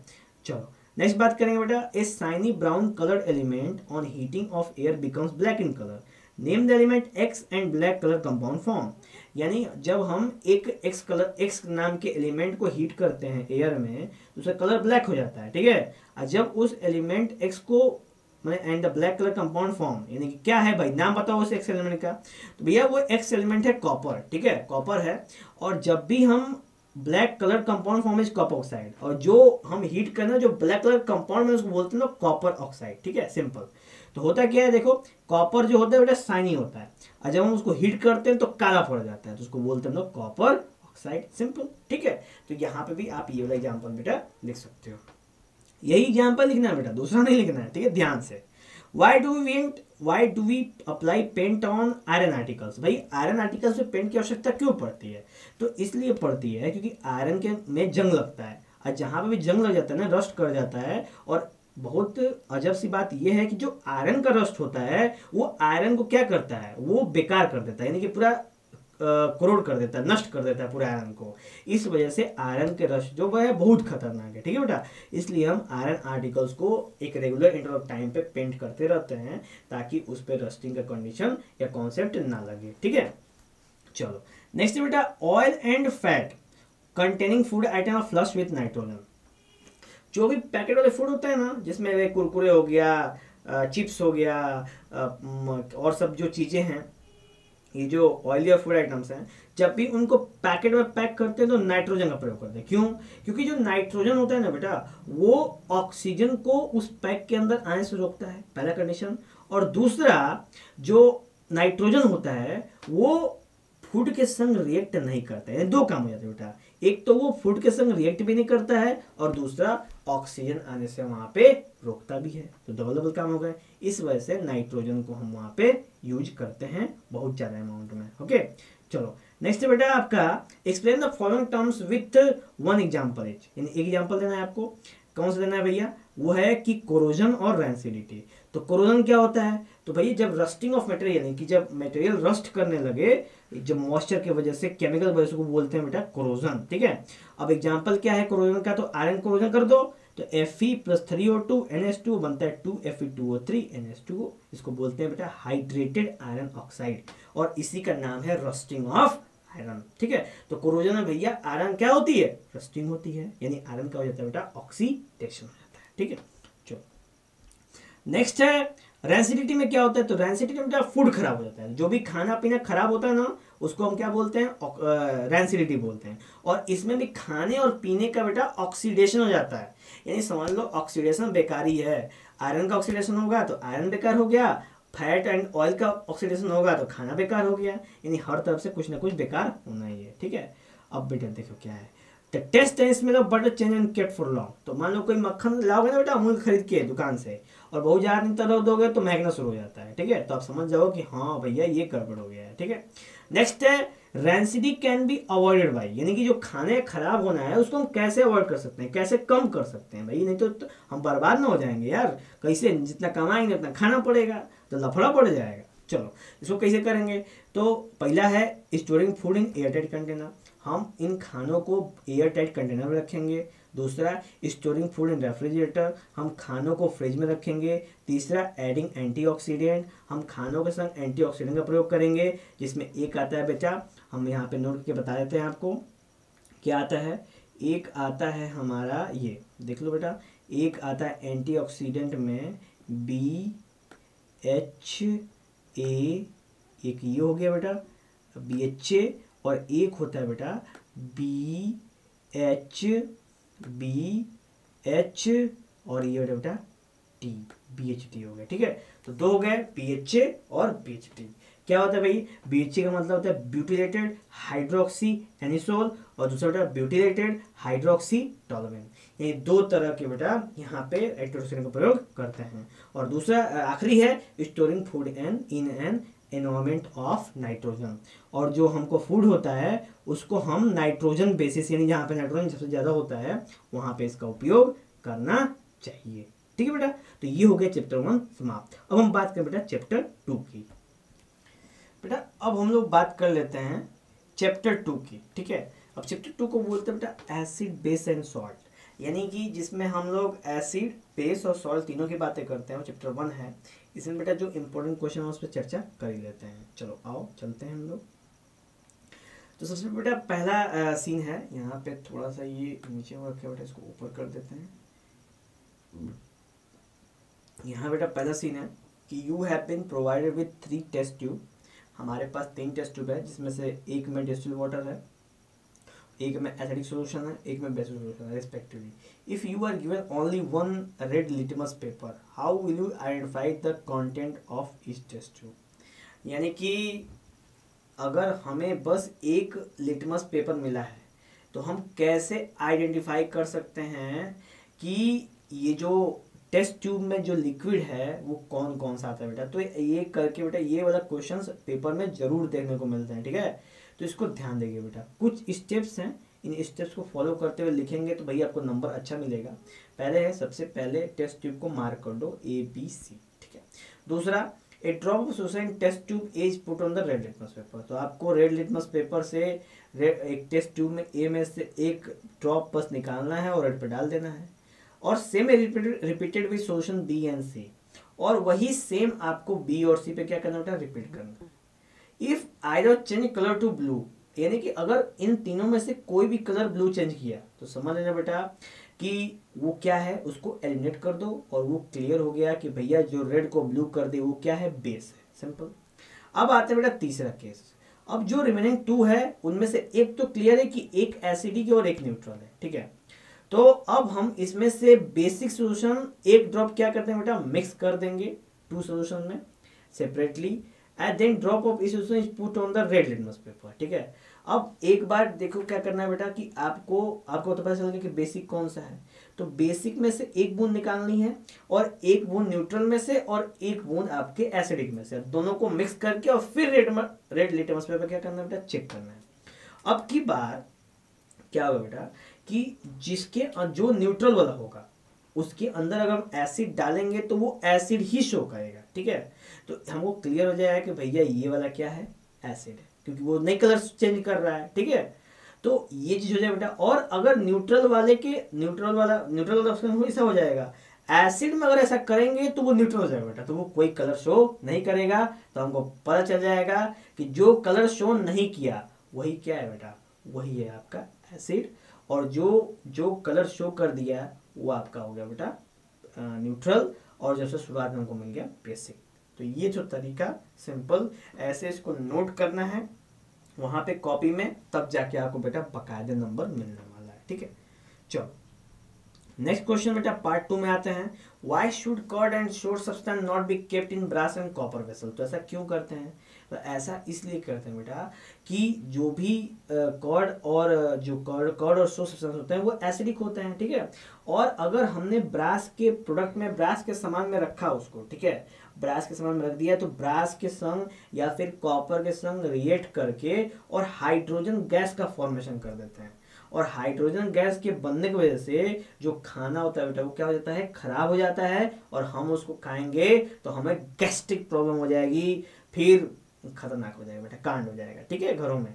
इसलिए हम सोर्स कॉर्ड और सोर्स सब्सटेंस को ब्रास और कॉपर के वेसल्स में नहीं रखते हैं, ठीक है? नेक्स्ट बेटा which gas is usually liberated when acid react with metal जब भी एसिड मेटल संग रिएक्ट होता है तो कौन सा गैस निकलता है? तो दिमाग में रखेंगे बेटा, हमेशा हाइड्रोजन गैस निकलता है, ठीक है? और कैसे टेस्ट करेंगे? तो एक, क्या कहते हैं मैच स्टिक ले जाएँगे और वहाँ पे पॉप पॉप साउंड लगा के हम लोग चेक कर सकते हैं। सिंपल बेटा क्लियर हो जाएगा कि हाँ यही क्या है? यही है हाइड्रोजन गैस ओके चलो। नेक्स्ट बेटा, हमारे सामने metal compound A react with dilute HCl to produce effervescence the gas evolve extinguishes और burning candle write a balance chemical equation यानी गौर करना होता है, जो मेटल ए है ना, वो डाइल्यूट एसिड से रिएक्ट करके एक इफरवेसेंस यानी कि छन्न से जो टूटी तरह सपना, यानी इस टाइप का बेटा छन्न से आवाज़ निकलता है। और वो जब, वो जो गैस हम कैंडल से पास करते हैं तो कैंडल क्या होती है बेटा, बुझ जाती है। तो आगे सीन क्या है? तो ऐसा इसलिए है कि हम कैल्शियम कार्बोनेट, ठीक है बेटा? कैल्शियम कार्बोनेट को को हम एच के क्या करते हैं? रिएक्ट करते हैं, ठीक है? और जब ऐसा करते हैं तो कैल्शियम क्लोराइड बनता है, कार्बन डाइऑक्साइड गैस बनती है और H2O वहाँ पे आपका निकल के आता है। और फिर जब हम H2O को CO2 को जब पास करते हैं बर्निंग कैंडल से, तब जाके मोमबत्ती क्या जाती पूरी तरह से पूछ जाती है। समझ में आया? क्लियर बेटा नेक्स्ट क्वेश्चन तो नेक्स्ट है बेटा हमारा पार्ट थ्री में है नेक्स्ट है। Why do S C L H N O three etcetera show acidic character in aqueous solution with solution of compounds like alcohol glucose H N O glucose do not show acidic character ठीक है बेटा? तो जो S C L है, जो H N O three है, वो acidic character show करते हैं। ठीक है? और एक्वा सोल्यूशन में, जबकि एल्कोहल और ग्लूकोज ऐसा नहीं करते हैं, ऐसा क्यों? तो सीन है बेटा कि जब भी हम एच और एच को हम उसके अंदर प्लेस करते हैं, यानी कि वाटर में जब मिक्स करते हैं तो जो हाइड्रोक्लोरिक एसिड होते हैं, चाहे कोई भी जो एसिड्स होते हैं बेटा, वो हाइड्रोनियम आयन रिलीज़ करते हैं, ठीक है? वाटर में वो हाइड्रोनियम आयन रिलीज़ कर देते हैं। जबकि जब हम ग्लूकोज और अल्कोहल को ऐसा करते हैं, ठीक है तो वो वाटर में हाइड्रोनियम आयंस या हाइड्रोजन आयंस नहीं कर पाते हैं, ठीक है? इसीलिए तो जितने भी एसिड होते हैं, उनका जब हम एक्वा सोल्यूशन बनाते हैं बेटा, ठीक है? उनका जब एक्वा सोल्यूशन बनाते हैं तो होता क्या है कि वो सब बहुत अच्छा ही कंडक्टिविटी करते हैं, यानी कि इलेक्ट्रिसिटी कंडक्ट अच्छा करते हैं। लेकिन जब हम बात कर लेते हैं इन तरह की सब्सटेंस की, जैसे अल्कोहल ग्लूकोज की बात करें तो वो हाइड्रोजन छोड़ते ही नहीं है एक्स्ट्रा हाइड्रोजन होता ही नहीं उनके पास। इस वजह से वो एसिडिक करेक्टर शो नहीं करते हैं और HCl H N O three acidic character show करते हैं बेटा, ठीक है? चलो नेक्स्ट हम लोग बात करते हैं बेटा वाई डज एक सेकंड कहांगे कर हाँ why does an aqueous acid conduct electricity मैंने अभी बात की कि भैया, जब भी एसिड को हम पानी में घोलते हैं ना तो वो आयंस छोड़ते हैं हाइड्रोजन के फॉर्म में। और जो कि इलेक्ट्रिसिटी कंडक्ट करते हैं, इस वजह से साइंस से कंडक्ट करते हैं। सिंपल नेक्स्ट है बेटा आपके सामने। नेक्स्ट बेटा हमारे पास why does dry H C L gas gas not change the colour of the dry litmus paper तो क्वेश्चन जनरली पूछा जाता है। कि यार, जब जो ड्राई गैस होती है मतलब ड्राई गैस होती है एच की ड्राई गैस होगी, अगर हम उसको ड्राई लिटमस पेपर फ्लो कराएँ, यानी पास कराएँ तो क्या कोई लिटमस पेपर में चेंज होगा? तो इसका आंसर है बेटा, नहीं चेंज होगा। क्यों? क्योंकि अगर ड्राई एच है मतलब उसके अंदर कोई भी वाटर के मॉलिक्यूल नहीं है, और लिटमस पेपर भी ड्राई है, उसमें वाटर का मॉलिक्यूल नहीं है तो लिटमस पेपर कोई भी कलर शो नहीं करेगा, क्योंकि उसके ऊपर हाइड्रोनियम आयन नहीं बनते हैं बेटा, ठीक है? इस वजह से जो ड्राई एस है, वो कलर चेंज नहीं करेगा लिटमस पेपर का, ठीक है? इसके बाद बेटा नेक्स्ट है नेक्स्ट है बेटा हम लोग का while diluting an acid why is it recommended at the acid should be added to water water not water to the acid यानी जब भी हम डाइल्यूशन करते हैं तो ऐसा क्यों रिकमेंड किया जाता है बेटा कि एसिड में पानी मतलब कि एसिड में पानी नहीं डालना चाहिए, जबकि पानी में एसिड डालना चाहिए। तो बेटा इसके पीछे बहुत ही ज़बरदस्त लॉजिक है, क्या है कि जस्ट सपोज़ कि बेटा कि एक मतलब एक बीकर है, जिसमें भर के एसिड है, ठीक है? और हमें पता है कि एसिड और पानी का रिएक्शन बहुत ही स्पार्कलिंग होता है, तगड़ा होता है। मतलब कि पूरा छटपटाहट हो जाती है, पूरा मतलब वेगरसली रिएक्शन होता है बेटा, ठीक है? तो अगर हम पानी की एक बूंद डालेंगे एसिड में ना तो क्या होगा? वो पानी बिल्कुल स्प्लिट कर देगा, छिटवा देगा बेटा बम की तरफ़ फोड़ देगा उसको, पानी को। तो जिसकी वजह से वहाँ पे डैमेज हो सकता है। क्यों? क्योंकि पानी के संग जो एसिड रहता है बेटा एक्सोथर्मिक देता है, ठीक है? एक्सोथर्मिक मतलब हीट बाहर निकालता है, ठीक है? तो जब ऐसा करेंगे तो जो एसिड प्रेजेंट होगा, वो एटमॉस्फेयर में स्प्लैश हो जाएगा। ठीक है बेटा? यानी कि जो ही एक्सोथर्मिक करेगा, पूरे एटमॉस्फेयर में छिटा जाएगा वो एसिड और हमें बहुत ज़्यादा हानिकारक कर सकता है, अगर हम वहाँ पे मौजूद हों तो। ठीक है? तो इस वजह से हम करते क्या बेटा, कि हम पानी के अंदर एसिड डालते हैं, ठीक है? जिसके वो भी डिप डिप करके, बहुत ही स्लाइटर वो वो जो रॉड शीशे की रॉड होती बेटा, उस उस रॉड का प्रयोग करते हैं हम लोग। और उस रॉड पे बूंद बूंद डालते हैं, ताकि धीरे धीरे पानी में एसिड डाल क्या हो मिक्स हो और वो जो एक्सोथर्मिक रिएक्शन है, वो काफ़ी कम हो, काफ़ी कम हीट प्रोड्यूस हो, ताकि ये पूरा का पूरा रिएक्शन बेटा इजीली कंडक्ट हो सके और हमें डाइल्यूशन आफ्टर एसिड मिल सके, ठीक है? नेक्स्ट बेटा how is the concentration of hydronium ion affect with the solution of acid is diluted ठीक है? तो जब भी हम एसिड को डाइल्यूट करते हैं तो जो हाइड्रोनियम आयन होता है बेटा, वॉल्यूम का क्या होता है? डिक्रीज हो जाता है, जिसके वजह से जो एसिड का जो स्ट्रेंथ होता है बेटा ना, वो क्या हो जाता है? डिक्रीज हो जाता है। ज़ाहिर सी बात है, हाइड्रोनियम आयन डिक्रीज होगा, क्योंकि हाइड्रोनियम आयन की वजह से ही तो एसिड की क्षमता है, एसिड का पावर है, और हाइड्रोनियम आयन ही जब कमज़ोर हो जाएगा बेटा, कम हो जाएगा तो क्या एसिड पहले की तरह, यानी कि पुराना एसिड जो है, उसकी पावर उतनी रह जाएगी? नहीं रह जाएगी। एसिड की स्ट्रेंथ क्या हो जाएगा डिक्रीज हो जाएगी। ठीक है? नेक्स्ट है कि how is the concentrate of hydroxide and affected when excess base is dissolve in a solution of hydroxide यानी कि जब हम हाइड्रोक्साइड आयन क्या होगा बेटा? तो जब हम बहुत ज़्यादा हाइड्रोक्साइड सोडियम हाइड्रोक्साइड डिजोल्व कर देंगे पानी में तो भैया हाइड्रोक्साइड आयन क्या हो जाएगा? बढ़ जाएगा। तो ज़ाहिर सी बात है कि हाइड्रोक्साइड आयन बढ़ने की वजह से वो उसकी बेसिसिटी वैल्यू क्या हो जाएगी बेटा? बढ़ जाएगी। यानी कि वो कहेंगे कि भैया उसके अंदर हाइड्रोक्साइड आयन क्या हो गया? बहुत ज़्यादा बढ़ गया। क्यों? क्योंकि हमने उसके अंदर बेस क्या कर दिया है? मिक्स कर दिया है। तो भैया आयन तो क्या होगा? बढ़ेगा ही बढ़ेगा। इसमें कोई दो राय तो है नहीं। ठीक है? नेक्स्ट है कि यू हैव टू सोल्यूशन ठीक है? हमारे पास दो सोल्यूशन है। एक ए है, एक बी है। The P solution A is six A का सोल्यूशन सिक्स है और बी का एट है। Which solution is more hydrogen ion concentration यानी इन दोनों में से किसके पास ज़्यादा हाइड्रोजन होगा? तो बेटा जिसका सोल्यूशन सिक्स है ना, उसके पास ज़्यादा हाइड्रोजन होगा, ठीक है? उसकी एसिडिटी एसिडिक जो वैल्यू है, वो ज़्यादा हो, ठीक है? और जिसका एट होगा, उसके अंदर हाइड्रोजन आयन कम होगा और उसकी एसिडिक वैल्यू क्या होगी बेटा? कम होगी, ठीक है? क्योंकि सेवन से जितने भी नीचे होते हैं बेटा ना, वो सारे के सारे एसिडिक होते हैं और सेवन से जितने भी ऊपर होते हैं, सारे के सारे बेस होते हैं। इस वजह से हम सेवन को न्यूट्रल पीएच वैल्यू मानते हैं, ठीक है? चलो नेक्स्ट बेटा हम बात करते हैं what does the concentration of H plus ion have on the nature of the solution यानी कि H प्लस आयन का क्या इफ़ेक्ट होगा? तो अगर अगर हम बात करें कि किसी भी सोल्यूशन में अगर H प्लस आयन बहुत ज़्यादा इंक्रीज हो जाता है तो हम उस सोल्यूशन को बोलेंगे बेसिक और किसी सोल्यूशन में अगर O H minus ion increase हो जाता है तो उसको बोलेंगे हम लोग बेसिक सोल्यूशन ठीक है बेटा? तो H प्लस आयन बढ़ा तो acidic solution O H minus ion बढ़ा तो basic solution simple do basic solution also H plus ions तो ऐसा क्यों? तो बेटा, जो बेसिक सोल्यूशन होते हैं, उनके पास भी एच प्लस आयन्स होते हैं, लेकिन उनकी जो नंबरिंग होती है, वो काफ़ी कम होती है, बहुत कम होती है, ठीक है? यानी ओ एच माइनस आयन के मुकाबले एच प्लस आयन की जो वैल्यू होती है, वो काफ़ी कम होती है, इस वजह से हम कह सकते हैं कि बेसिक में भी एच प्लस आयन्स होते हैं, ठीक है? नेक्स्ट बेटा under what soil condition do you think farmer treat the soil of the field with quick lime slack lime और चौक तो सीन ये बेटा कि जब भी जब भी इम प्रॉपर कल्टिवेशन होती है, यानी कि खेतों के संग दुर्व्यवहार होता है, खेती करने में तो जो खेत होते हैं, उनकी जो मिट्टी होती है धीरे धीरे एसिडिटिक होने लगती है, ठीक है?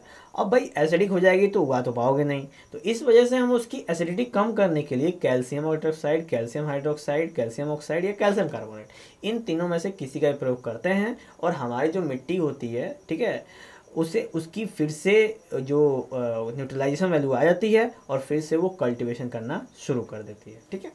नेक्स्ट बेटा है what is the common name of compound C O C L two यानी C O C L two का कॉमन नेम क्या है? यानी कि कंपाउंड कॉमन नेम क्या है? उसको बोलते हैं बेटा ब्लीचिंग पाउडर ठीक है? और उसका आई नेम कैल्शियम ऑक्सीक्लोराइड ठीक है? ये हो गया I name the substance which on treatment chlorine yield bleaching powder यानी कौन सब्सटेंस है जिसको हम क्लोरीन के संग ट्रीट करेंगे तो ब्लीचिंग पाउडर बन जाएगा। वो है बेटा कैल्शियम हाइड्रोक्साइड यानी कैल्शियम हाइड्रोक्साइड को ट्रीट करोगे ना क्लोरीन के संग तो क्या बन जाएगा? वहाँ पे बेटा आपको ब्लीचिंग पाउडर दे देगा। Name the sodium compound which use for softening hard water बेटा। कौन सा जो कंपाउंड है, वो हार्ड वाटर को सॉफ्टन करने में काम आता है? तो वो है आपका वॉशिंग सोडा वॉशिंग सोडा को आप मिला दोगे ना तो हार्ड वाटर क्या बन जाएगा? सॉफ्ट वाटर बन जाएगा। फॉर्मूला क्या है? N two C O three ten S two O sodium carbonate decahydrate बोलते हैं, ठीक है? नेक्स्ट बेटा हमारे सामने what will happen if solution sodium hydrogen carbonate is heated यानी कि सोडियम हाइड्रोजन कार्बन को अगर हीट करोगे तो क्या होगा? तो जब भी बेटा आप हीट करोगे ना सोडियम हाइड्रोजन तो वहाँ पे सोडियम कार्बोनेट बन जाएगा। ठीक है? सोडियम कार्बोनेट को हाइड्रोजन कार्बन को हीट करोगे तो वो बन जाएगा सोडियम कार्बोनेट वाटर का वाटर और कार्बन डाइऑक्साइड बेटा बाहर आ जाएगा। ठीक है? तो ये सिंपल हो जाता है मतलब कि डिकम्पोजिशन हो जाता है। सिंपली आप समझो तो डिकम्पोजिशन रिएक्शन हो जाता है वहाँ पे। Write an equation to show the reaction between plaster of Paris and water यानी पीओपी और वाटर के बीच में रिएक्शन क्या है भाई? तो पीओपी में जब भी आप वाटर मिलाओगे ना तो वो पीओपी हार्ड हो जाएगा, ठीक है? हार्ड बहुत हार्ड हो जाएगा, ठीक है? जैसे चाइना ब्रोसलेट बनता है, या फिर जो हम जैसे कि फ्रैक्चर वैक्चर हो जाता है तो उसको चिपकवाते हैं। तो होता है क्या बेटा पीओपी में जब आप पानी मिला दोगे ना तो वो बन जाएगा जिप्सम क्या बन जाएगा? जिप्सम तो बेटा, जो पीओपी का फॉर्मूला होता है कैल्शियम सल्फेट हेमीहाइड्रेट यानी one by two S two O यानी आधा पानी होता है, और इसमें डेढ़ पानी मिला देते हैं तो बनता है C S O four two S two O जिसको हम जिसको हम बोलते हैं बेटा जिप्सम ठीक है? और ये हो गया बेटा जिप्सम इंपॉर्टेंट इसमें भी हम लोग दिमाग में रखेंगे। प्लस इंपॉर्टेंट यूजेज पूछता है बेटा अक्सर कि इंपॉर्टेंट यूजेज क्या है, ठीक है? कि भैया जिप्सम के क्या यूजेज हैं ब्लीचिंग पाउडर के क्या यूजेज हैं एस के क्या यूजेज हैं, इन सब के यूजेज आपको दिमाग में रखने हैं, पढ़ लेना, बहुत ज़बरदस्त है। मैं एक आधे बता देता हूँ बेटा एस का यूज़ करते हैं हम लोग इंडस्ट्रीज़ में। बहुत कॉमन आंसर है बेटा, ठीक है? अगर आपको इस तरह का क्वेश्चन अगर पूछ दे कि इनके इनके यूज़ क्या है केमिकल का कुछ बुझा ना रहा हो ना सिंपल बोलो, इसका यूज़ टेक्सटाइल इंडस्ट्री में होता है, इसका यूज़ फैक्ट्रीज में होता है, इसका यूज़ इंडस्ट्रीज़ में होता है, ठीक है? ऐसे चेप दोगे एकदम आँख बंद करके आपको सही होना ही होना है, ठीक है? अगर समझ में है तो ऐसा करना है। ना कि हर जगह चिपते रहना इसी को, गड़बड़ हो जाएगा, ठीक है? मैंने बोला कि आपको हेल्प कर दो इस चीज़ के लिए। नेक्स्ट क्या है बेटा?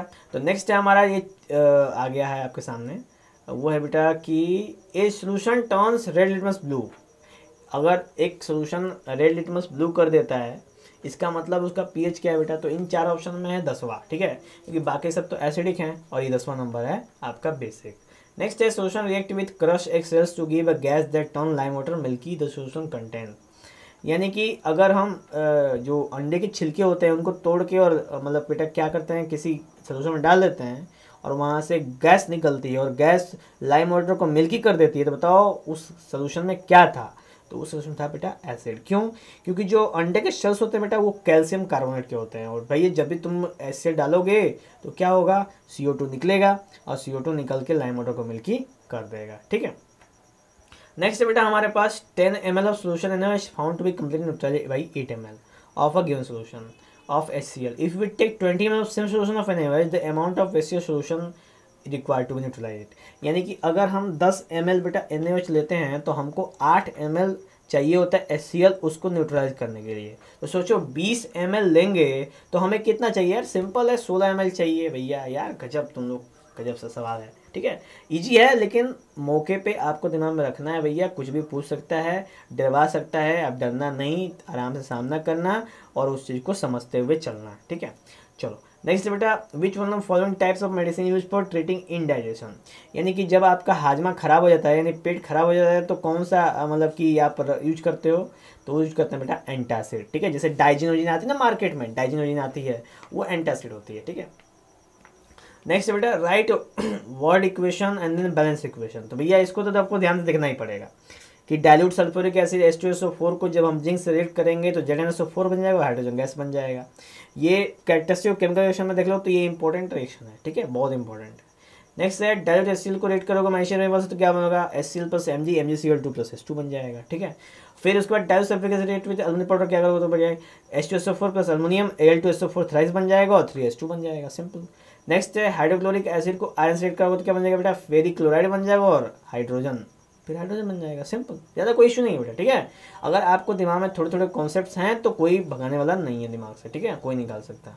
नेक्स्ट है compound such as alcohol glucose also contain hydrogen but not categorize as acid describe an activity to prove it तो सिंपल एक्टिविटी है, आपको सिंपल करना कुछ नहीं है बेटा। एक एक ऑब्जर्वेशन करना है तो सिंपल एक क्वेश्चन का आंसर बताना है कि भैया देखो एल्कोहल में भी हाइड्रोजन होता है ग्लूकोज में भी हाइड्रोजन होता है। लेकिन जब भी हम उसको सोशन बनाते हैं ना तो उसके हाइड्रोजन आयोनाइज नहीं होता है। दिमाग में रखना बेटा।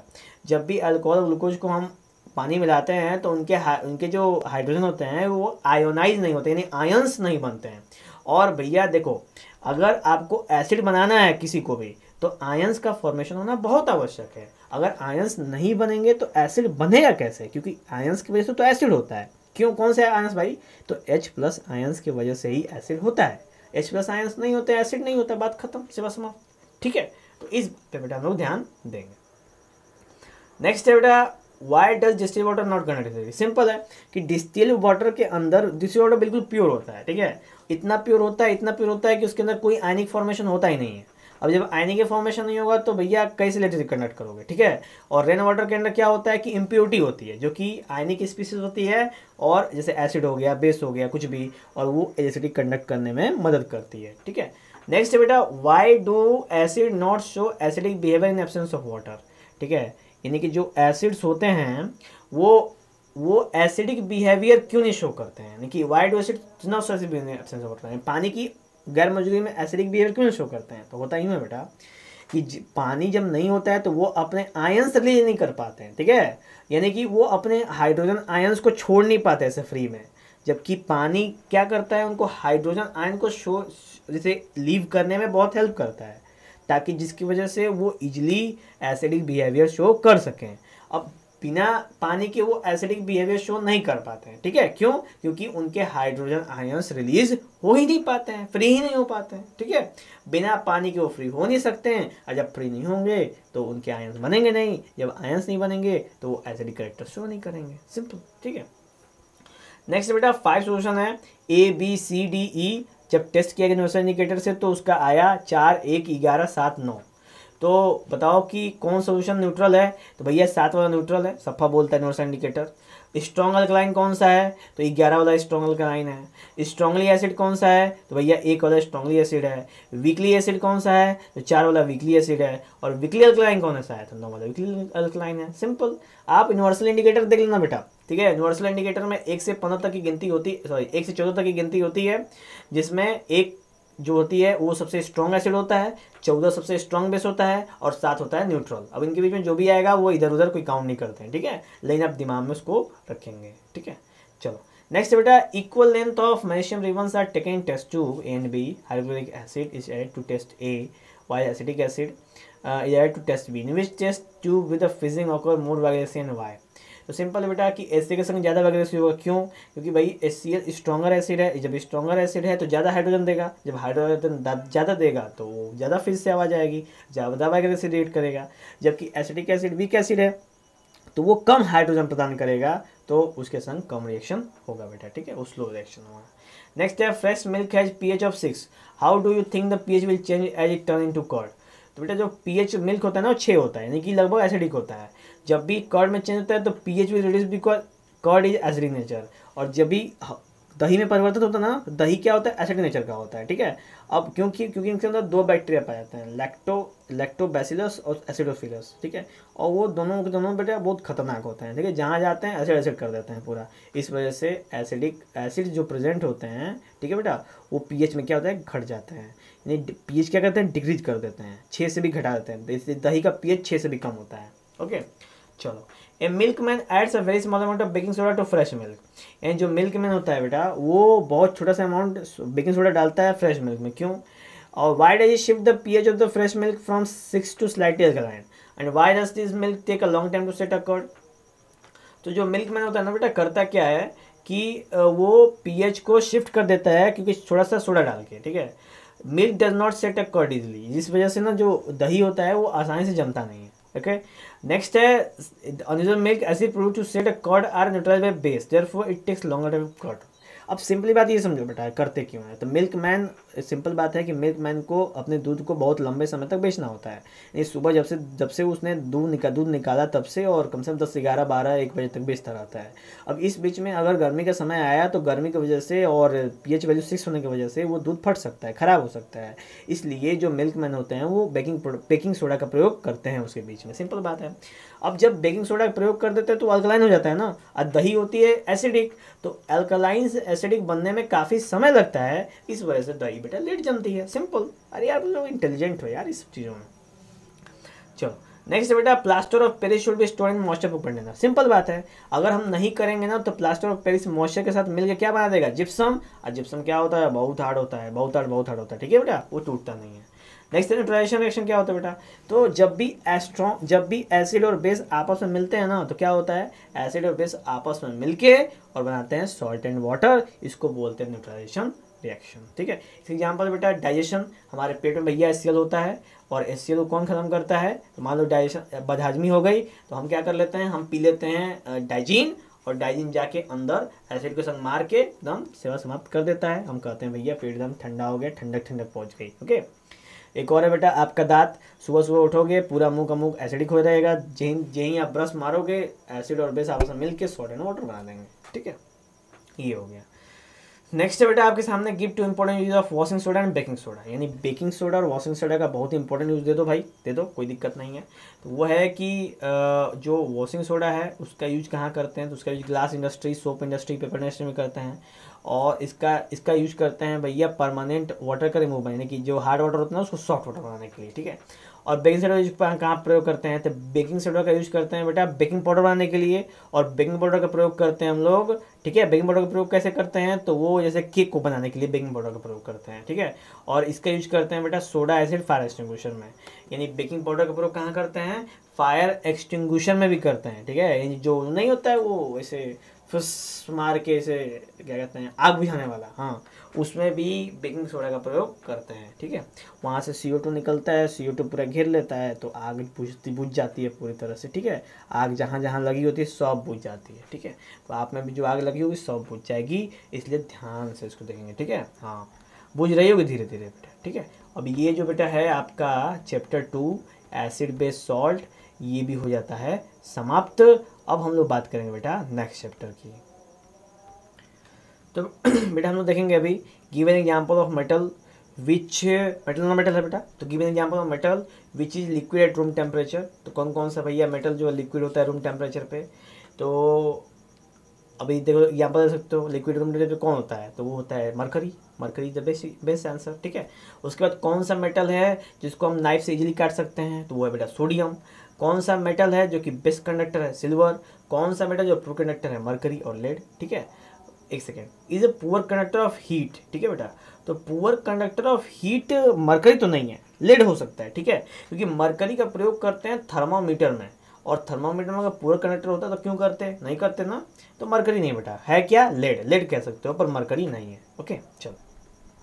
नेक्स्ट है explain the meaning of malleable and ductile तो बेटा सिंपल है. मैलिएबल का मतलब मेटल की वो प्रॉपर्टी जिससे हम मेटल को एक पतली सी चादर चदरी बना सकते हैं, उसको मेलेबिलिटी कहते हैं, और डक्टिलिटी प्रॉपर्टी है जिससे हम किसी भी मेटल को हम वायर में ढाल सकते हैं, जो वायर्स जो लगे होते हैं, बिजली कनेक्शन उसमें ढाल सकते हैं, उसको बोलते हैं बेटा डक्टिलिटी ठीक है? नेक्स्ट है बेटा एग्ज़ाम्पल एक चीज़ है बेटा, इसमें एग्ज़ाम्पल सबका मेंशन करेंगे, क्योंकि एग्ज़ाम्पल पे ही नंबर मिलेगा एग्ज़ाम्पल छोड़ेंगे नहीं, एकदम लग जाएँगे, ठीक है? नेक्स्ट है why sodium is kept immerse in kerosene oil यानी कि जो सोडियम होता है उसको केरोसिन ऑयल के अंडर क्यों रखते हैं। तो सिंपल बात है, अगर हम बाहर रखेंगे तो वो ऑक्सीजन से रिएक्ट करेगा, रिएक्ट करके ब्लास्ट हो जाएगा। इस वजह से हम उसको केरोसिन अंडर, केरोसिन ऑयल के अंडर रखते हैं ताकि वो एयर से रिएक्ट ना करे। ठीक है? नेक्स्ट बेटा राइट इक्वेशन ऑफ़ रिएक्शन तो आयरन को जब हम स्टीम से रिएक्ट कराते हैं तो आयरन ऑक्साइड बनता है और हाइड्रोजन गैस बनता है। ठीक है? आप हाइड्रोजन गैस की टेस्टिंग कर सकते हो। नेक्स्ट है कैल्शियम का और पोटेशियम का रिएक्शन कराते हैं हम लोग, कैल्शियम एंड पोटेशियम वाटर तो कैल्शियम हो या फिर पोटेशियम बेटा, वो बनता है कैल्शियम का हाइड्रोक्साइड एंड पोटेशियम का हाइड्रोक्साइड और हाइड्रोजन गैस और हीट निकल जाती है, ठीक है? तो आप हाइड्रोजन गैस का टेस्टिंग जानते हो पॉपअप साउंड देगा सिंपल नेक्स्ट बेटा कि सैंपल ऑफ़ फोर मेटल्स है ए बी सी डी और taken out of solution four C S O four Zn S O four A Zn three यहाँ पे चार ये है। यहाँ पे सामने सामने इनके ए बी सी डी की प्रॉपर्टी लिखी हुई है, जहाँ पे आर का मतलब नो रिएक्शन और डिस का मतलब बेटा डिस्प्लेसमेंट रिएक्शन ठीक है? तो ये कैसे कैसे देंगे? Which is the most reactive metal तो यानी इन चारों में से सबसे ज़्यादा रिएक्टिव मेटल कौन है भैया? तो सबसे ज़्यादा रिएक्टिव मेटल आप देख लो कि सबसे ज़्यादा रिएक्टिव मेटल है, ये तो एक चीज़ है ना। इन सब में तो सीन है बेटा, क्या सीन है? कि भैया सबकी रिएक्टिविटी सीरीज़ पे डिपेंड करेगा। कि रिएक्टिविटी सीरीज़ पता है ना, कि रिएक्टिव सीरीज़ एक ऐसी सीरीज़ होती है जिसमें मेटल्स लिखे होते हैं। मेटल्स जितने भी होते हैं उनके बारे में होता है। उसमें बताता है कि कौन से मेटल के पास कितनी क्षमता है और वो किसको किसको अपने आगे वाले मेटल्स को क्या कर सकता है डिस्प्लेस कर सकता है। तो इस वजह से हमें यहाँ पे जानना पड़ेगा। तो देख लो बेटा, यहाँ पे आपके सामने यहाँ पे रिएक्टिविटी सीरीज़ है, जिसमें जिंक सबसे ऊपर, उसका ब्रॉन है फेरस है अलमिनियम है कॉपर है कार्बन है एजी है डी है। ये तो बिल्कुल अलग अलग है बेटा, ठीक है? जिसमें हाँ ये जो बेटा, ये ना बी ए सी डी ये ये जो यहाँ पे अभी ऊपर मेंशन है ना, जो क्या नेम है, वो है बी ए सी डी ठीक है? बी ए सी डी तो इस, हम कहें कि ये कैसे हो सकते हैं, ठीक है? क्योंकि इसमें सबसे ऊपर बेटा पोटेशियम सोडियम आता है। तो यहाँ पे बेटा सबसे नंबर पे ऊपर पे बी आएगा, ठीक है? बी इज़ मोर रिएक्टिव फिर उसके बाद ए आएगा ए जो उसके बाद रिएक्टिव फिर सी आएगा, फिर डी आएगा। जहाँ पे बी क्या है बेटा? बी है F E S O four और Z N S O four ठीक है? उसके बाद बेटा आपके पास, नहीं, इसमें भी रिएक्शन है बेटा। नो रिएक्शन नो रिएक्शन दे रहा है ना? बी बी और ए में क्या दे रहा है? तो बी में डिस्प्लेसमेंट दे रहा है बेटा। B is more active than iron भाई आयरन ज़्यादा एक्टिव है। कौन? बी इसलिए सबसे ऊपर रखा गया है उसको। उस पर आयरन आता है, ठीक है?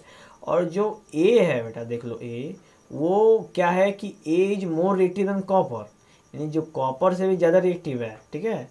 तो इसलिए कॉपर ज़्यादा रिएक्टिव तो भाई आयरन के नीचे आ गया, ठीक है? और कॉपर से ऊपर आ गया जो ए उसके बाद बेटा सी में कि C is less reactive than iron तो जो सी है वो आयरन से कम रिएक्टिव है और C is less reactive than copper copper से भी कम रिएक्टिव है, ठीक है? तो वो तो भैया कॉपर से नीचे चला आया। और आखिरी में आता है बेटा कि C is less reactive than zinc जो सी है वो जिंक से भी कम रिएक्शन है और जो सी है वो मोर रिएक्टिव देन सिल्वर तो सिल्वर से ऊपर आ गया। देख लो यहाँ पे सिल्वर से ऊपर आ गया, ठीक है? तो ऐसे पता चला तो सिंपल बेटा, आपके सामने है, ठीक है? नेक्स्ट है B is the most active metal clear हुआ कि बी सबसे ज़्यादा एक्टिव मेटल है। बी को जब हम सोल्यूशन ऑफ़ कॉपर सब में ऐड करेंगे तो वो कॉपर को डिस्प्लेस कर देगा और ब्लू कलर चेंज हो जाएगी, ठीक है? कलर चेंज हो जाएगा, बिल्कुल। और कॉपर सल्फेट बेटा यहाँ से डिस्चार्ज हो जाएगा सिंपल नेक्स्ट है अरेंजमेंट क्या है कि बी ज़्यादा स्ट्रॉन्ग है ए से, फिर सी से, फिर डी से। तो सब लाइन्स हैं, जिसमें सबसे बी सबसे ज़्यादा स्ट्रॉन्ग है ओके ऐसे क्वेश्चन एक आध पूछे जा सकते हैं आपको बोर्ड के पेपर में। सिंपल है which gas is produce when direct hydrochloric is acid to reactive metal यानी कि जब भी हम रेक्टिव मेटल में डायरेक्ट एसिड डालेंगे तो कौन सा गैस प्रोड्यूस होगा? तो आँख बन के बताएँगे बेटा कि हाइड्रोजन गैस है, ठीक है? हाइड्रोजन गैस के अलावा कोई दूसरा गैस रिएक्ट इवॉल्व नहीं हो सकता जब भी डायल्यूट एसिड में हम लोग उसका प्रयोग करते हैं, ठीक है? चलो, बहुत सारे मच्छर बेटा यहाँ पर नेक्स्ट है what would you observe when zinc is added to solution of iron sulphate यानी आयरन सल्फेट में अगर जिंक डाल देंगे तो क्या होगा? तो होगा कुछ नहीं बेटा, होगा डिस्प्लेसमेंट रिएक्शन ठीक है? होगा क्या कि भैया जिंक जो आयरन से ज़्यादा रिएक्टिव है तो जिंक क्या करेगा? आयरन को डिस्प्लेस कर देगा और डिस्प्लेसमेंट रिएक्शन हो जाएगा। तो जिंक सल्फेट बन जाएगा और आयरन अलग हो जाएगी, ठीक है? नेक्स्ट बेटा कि इलेक्ट्रॉन डॉट स्ट्रक्चर बनाना है आपको। सोडियम का, ऑक्सीजन का, मैग्नीशियम का कर लेना, बहुत इंपॉर्टेंट है। पेपर में आता है, हम लोग इस पर बाकायदा चर्चा की है इलेक्ट्रॉन डॉट स्ट्रक्चर पे, इसको बनाना है, ठीक है? अब बनाने के लिए बेटा आपको एटॉमिक नंबर याद होना चाहिए कि कितना कितना एटॉमिक नंबर है। तो सोडियम का टू एट वन है ऑक्सीजन का टू सिक्स मैग्नीशियम का टू एट टू यानी बारह, आठ और ग्यारह, ठीक है? तो बना लेना आपको, बहुत ईजी है, ठीक है? नेक्स्ट है बेटा और इनकी वैलेंसी पता है ना सोडियम वैलेंसी वन होती है ऑक्सीजन की माइनस टू और मैग्नीशियम की प्लस टू सिंपल नेक्स्ट है वाई डू आयनिक कंपाउंड है हाई मेल्टिंग पॉइंट भैया आयनिक कंपाउंड की मेल्टिंग पॉइंट हाई क्यों होती है? बहुत अच्छा क्वेश्चन है, ये क्वेश्चन पूछा जा सकता है बेटा तो आयनिक कंपाउंड की मेल्टिंग पॉइंट हाई इसलिए होती है, क्योंकि वो सारे के सारे आयनिक बॉन्ड बनाते हैं, ठीक है? अब आयनिक बॉन्ड जितने भी होते हैं, वो सारे के सारे बेटा इलेक्ट्रोस्टैटिक बॉन्ड होते हैं। इलेक्ट्रोस्टैटिक का मतलब कि आयनिक आयन से वो अटैच होते हैं, जो कि बहुत स्ट्रॉन्ग होते हैं। उनको तोड़ने के लिए बहुत ज़्यादा एनर्जी की आवश्यकता पड़ती है, इसलिए इनकी मेल्टिंग पॉइंट हाई होती है, ठीक है? सिंपल नेक्स्ट है बेटा डिफाइन द फॉलोइंग टर्म तो भाई टर्म को डिफाइन कर दो, जिसमें मिनरल और गैंग आ गए। तो कुछ बातें इसके भी डिस्कशन कर लेते हैं। अगर और में भी अगर ये क्वेश्चन के आंसर आ गए तो सोने पे सुभागा हो जाएगा आपके लिए। नेक्स्ट है मिनरल तो मिनरल क्या है? तो most of the element occur in nature यानी कि जो भी एलिमेंट नेचर में ऑकर करते हैं ना, उसको हम मिनरल कहते हैं। और क्या है? तो जिन मिनरल में से हम, जिन मिनरल्स में से वो मेटल्स निकालते हैं उनको ओर्स कहते हैं, ठीक है? और गेंग क्या है? तो जो, वो मिनरल्स को निकालने के बाद और में से जो भी कचरा बच गया है, उसको बोलते हैं बेटा हम लोग गैंग। सिंपल ठीक है? डेफिनेशन है इनका। Name two metal which are found in free state तो भैया गोल्ड है सिल्वर है प्लेटिनम है, बहुत सारे फ्री स्टेट पाए जाते हैं। नेक्स्ट है write chemical process use for obtaining metal from its oxide यानी मेटल से ऑक्साइड को अलग करने के लिए क्या प्रोसेस है? तो इस पर बहुत ज़्यादा फोकस मत करो, ठीक है? आसान आसान चीज़ों पर फोकस करेंगे, क्योंकि ये वैसे भी सिलेबस में है नहीं, ठीक है बेटा? चलो। नेक्स्ट है, ये भी मेटेलिक ऑक्साइड है एक्सट्रैक्शन ऑफ़ मेटल की बात करेगा, ठीक है? एक्सट्रैक्शन ऑफ़ मेटल नहीं पढ़ना हाँ नेक्स्ट बेटा which metals do not corrode easily कौन सा मेटल वो इजिली करोड नहीं कर सकता? तो कौन सा मेटल है? तो जो gold plated high resistance to corrosion जितने भी गोल्ड होते हैं ना, वो क्रोजन नहीं करते हैं जल्दी। बहुत लेट क्रोजन करते हैं। क्रोजन होता है ऑक्सीडेशन का होता है उनका क्रोजन लेकिन बहुत माइनर होता है, ठीक है? इस वजह से गोल्ड के ऑर्नामेंट बहुत ही महँगे आते हैं, ठीक है बेटा? क्रोजम बहुत कम होता है। नेक्स्ट है अलॉय अलॉय क्या होता है भैया? अलॉय है होमोजेनस मिक्सचर यानी दो दो या दो से अधिक एलिमेंट का मिक्सचर कर देते हैं हम, उसको अलॉय कहते हैं। अब अलॉय होने से एक नए तरह के मटेरियल के फॉर्मेशन होती है, ठीक है? जैसे कि स्टील स्टील एक अलॉय है। ब्रास हो गया बेटा ब्रॉन्ज हो गया आपका अमलगम हो गया, जो मरकरी का अलॉय होता है। उसके बाद आपका शोल्डर शोल्डर हो गया बेटा शोल्डर जो फ्लक्स होता है, वायर होती है, शोल्डिंग वायर, जो अभी अक्सर बच्चे एक्सपेरिमेंट करते हैं शोल्डर शोल्डर ना, उसमें जो रांगा होता है बेटा, वो भी एक तरह का अलॉय होता है लीड टीन अलॉय होता है, ठीक है? चलो नेक्स्ट बेटा which the following pair will give displacement reaction तो A G N solution with copper metal यानी कॉपर क्या करेगा सिल्वर को रिप्लेस कर देगा, इस वजह से यहाँ बेटा डिस्प्लेसमेंट रिएक्शन मिल जाएगा। Next which following method is suitable for preventing iron frying pan from rusting तो हम आयरन के पैन के ऊपर क्या करते हैं हम लोग? ठीक है? आयरन के पैन के ऊपर हम लोग यहाँ पे बेटा, जो फ्राइंग पैन होता है ना, उसमें आयरन फ्राइंग पैन पे हम जिंक की कोटिंग करते हैं, ठीक है? और जिंक की कोटिंग करने से उस पर रस्ट नहीं लगता है आयरन के फ्राइंग पैन पे, ठीक है? तो अक्सर आप मार्केट में जो भी फ्राइंग पैन देखोगे आप, उसके ऊपर जैसे क्या होता है ना कि वो ग्रीस व्रीस चिपकता नहीं, क्यों? क्योंकि उसके ऊपर ना ऑयल ऑयल नहीं चिपकता, उसको बोलते हैं नॉन स्टिक बोलते हैं, ठीक है? क्यों बोलते हैं नॉन स्टिक क्योंकि उस पर उसके ऊपर जिंक की कोटिंग होती है और जिंक की कोटिंग होने की वजह से उस पर कोई भी ऑयल स्टिक नहीं करता, ठीक है? इसलिए उसको नॉन स्टिक बोला जाता है। नेक्स्ट बेटा आपके सामने है an element reacts with oxygen to give compound with high melting point यानी कि कौन सा एलिमेंट है जो ऑक्सीजन से रेट करके हाई मेल्टिंग पॉइंट कंपाउंड देगा? तो वो है बेटा कैल्शियम ठीक है? कैल्शियम जब भी रेट करता है आपको कंपाउंड तो उसका जो मेल्टिंग पॉइंट होता है, बहुत हाई होता है, ठीक है? वाटर के नेक्स्ट है आपका the food can are coated with tins and not with zinc because तो जो जिंक होते हैं बेटा, वो बहुत ज़्यादा कॉस्टली है।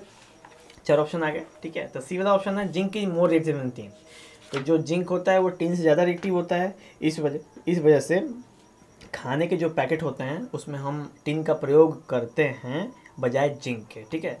तो सबसे मेन इम्पोर्टेंट वही है, अगर खाने में हम लोग जिंक का प्रयोग करेंगे तो जिंक के संग रिएक्ट कर जाएगा खाना, और वो खाना स्पॉल हो सकता है, इसलिए टिन का प्रयोग करते हैं, ठीक है?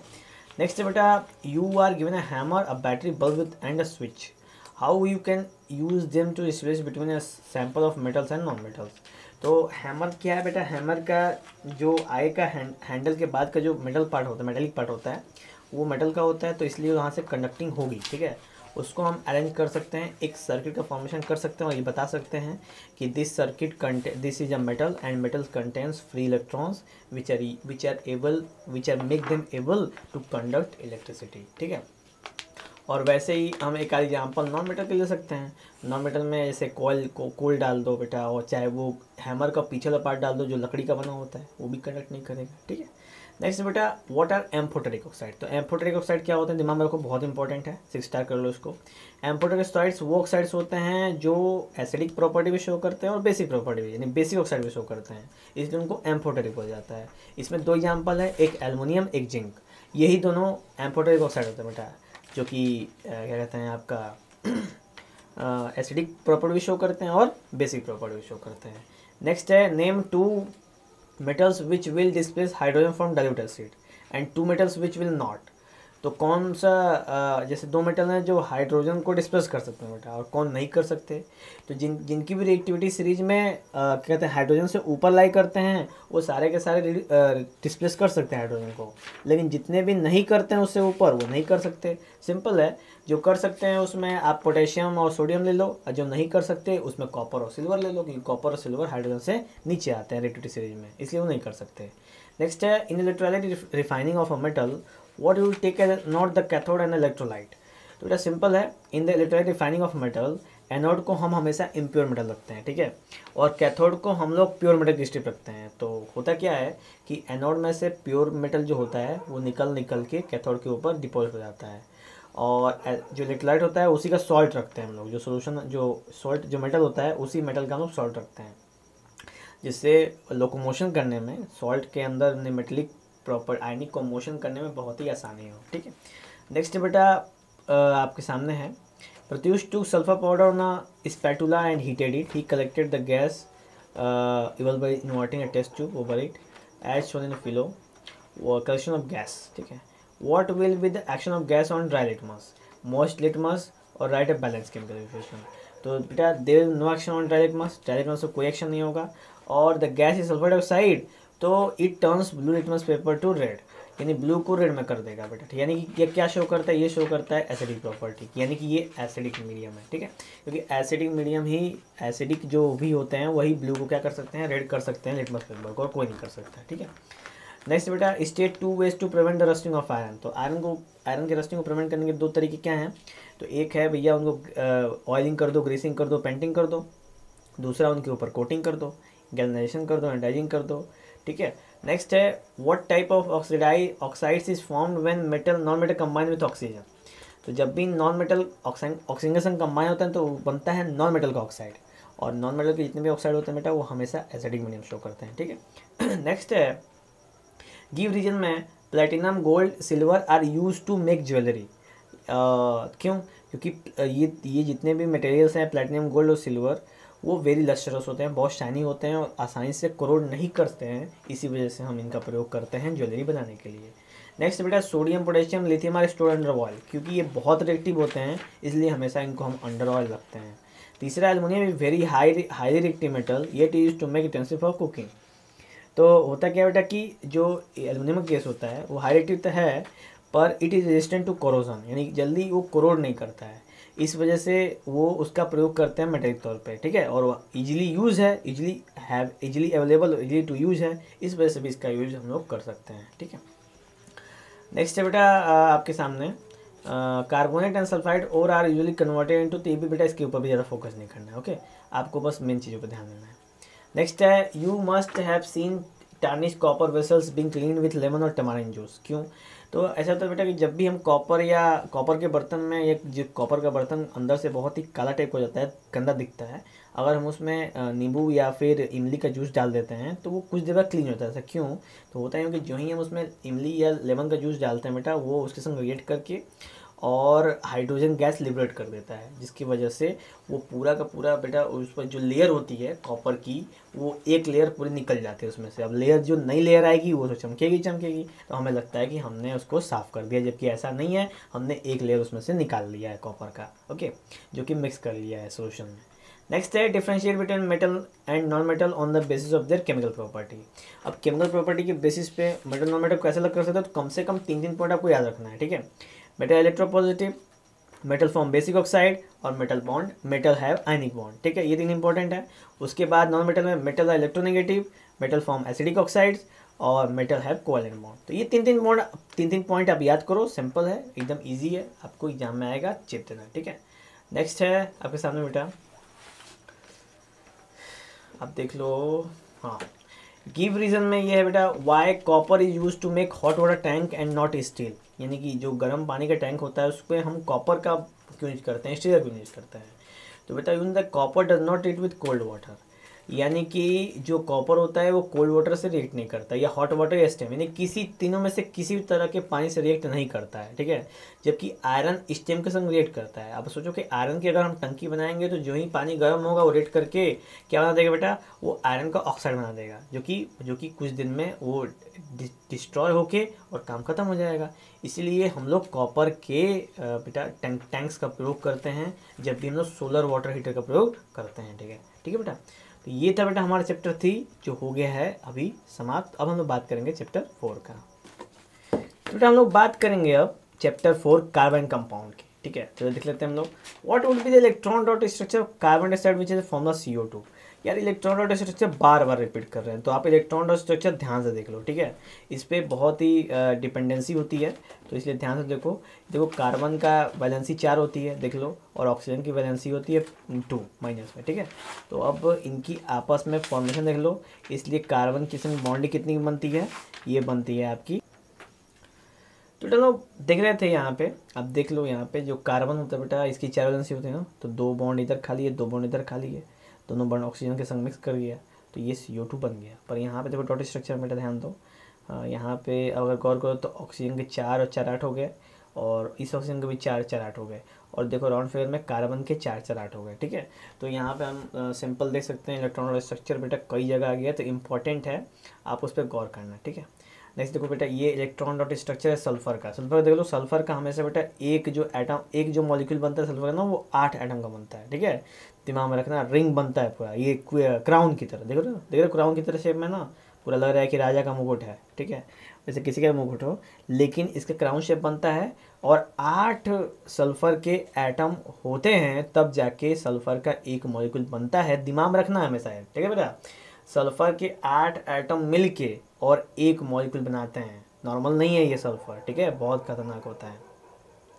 नेक्स्ट बेटा how many structure isomer can draw from pentane तो पेंटेन से तीन आ सकते हैं हम स्ट्रक्चर आइसोमर ठीक है? एक है आपका पेंटेन नॉर्मल वाला, एक है आपका आइसोपेंटेन और ये वाला बेटा है आपका नियो पेंटेन ठीक है? ये तीन स्ट्रक्चर हम बना सकते हैं।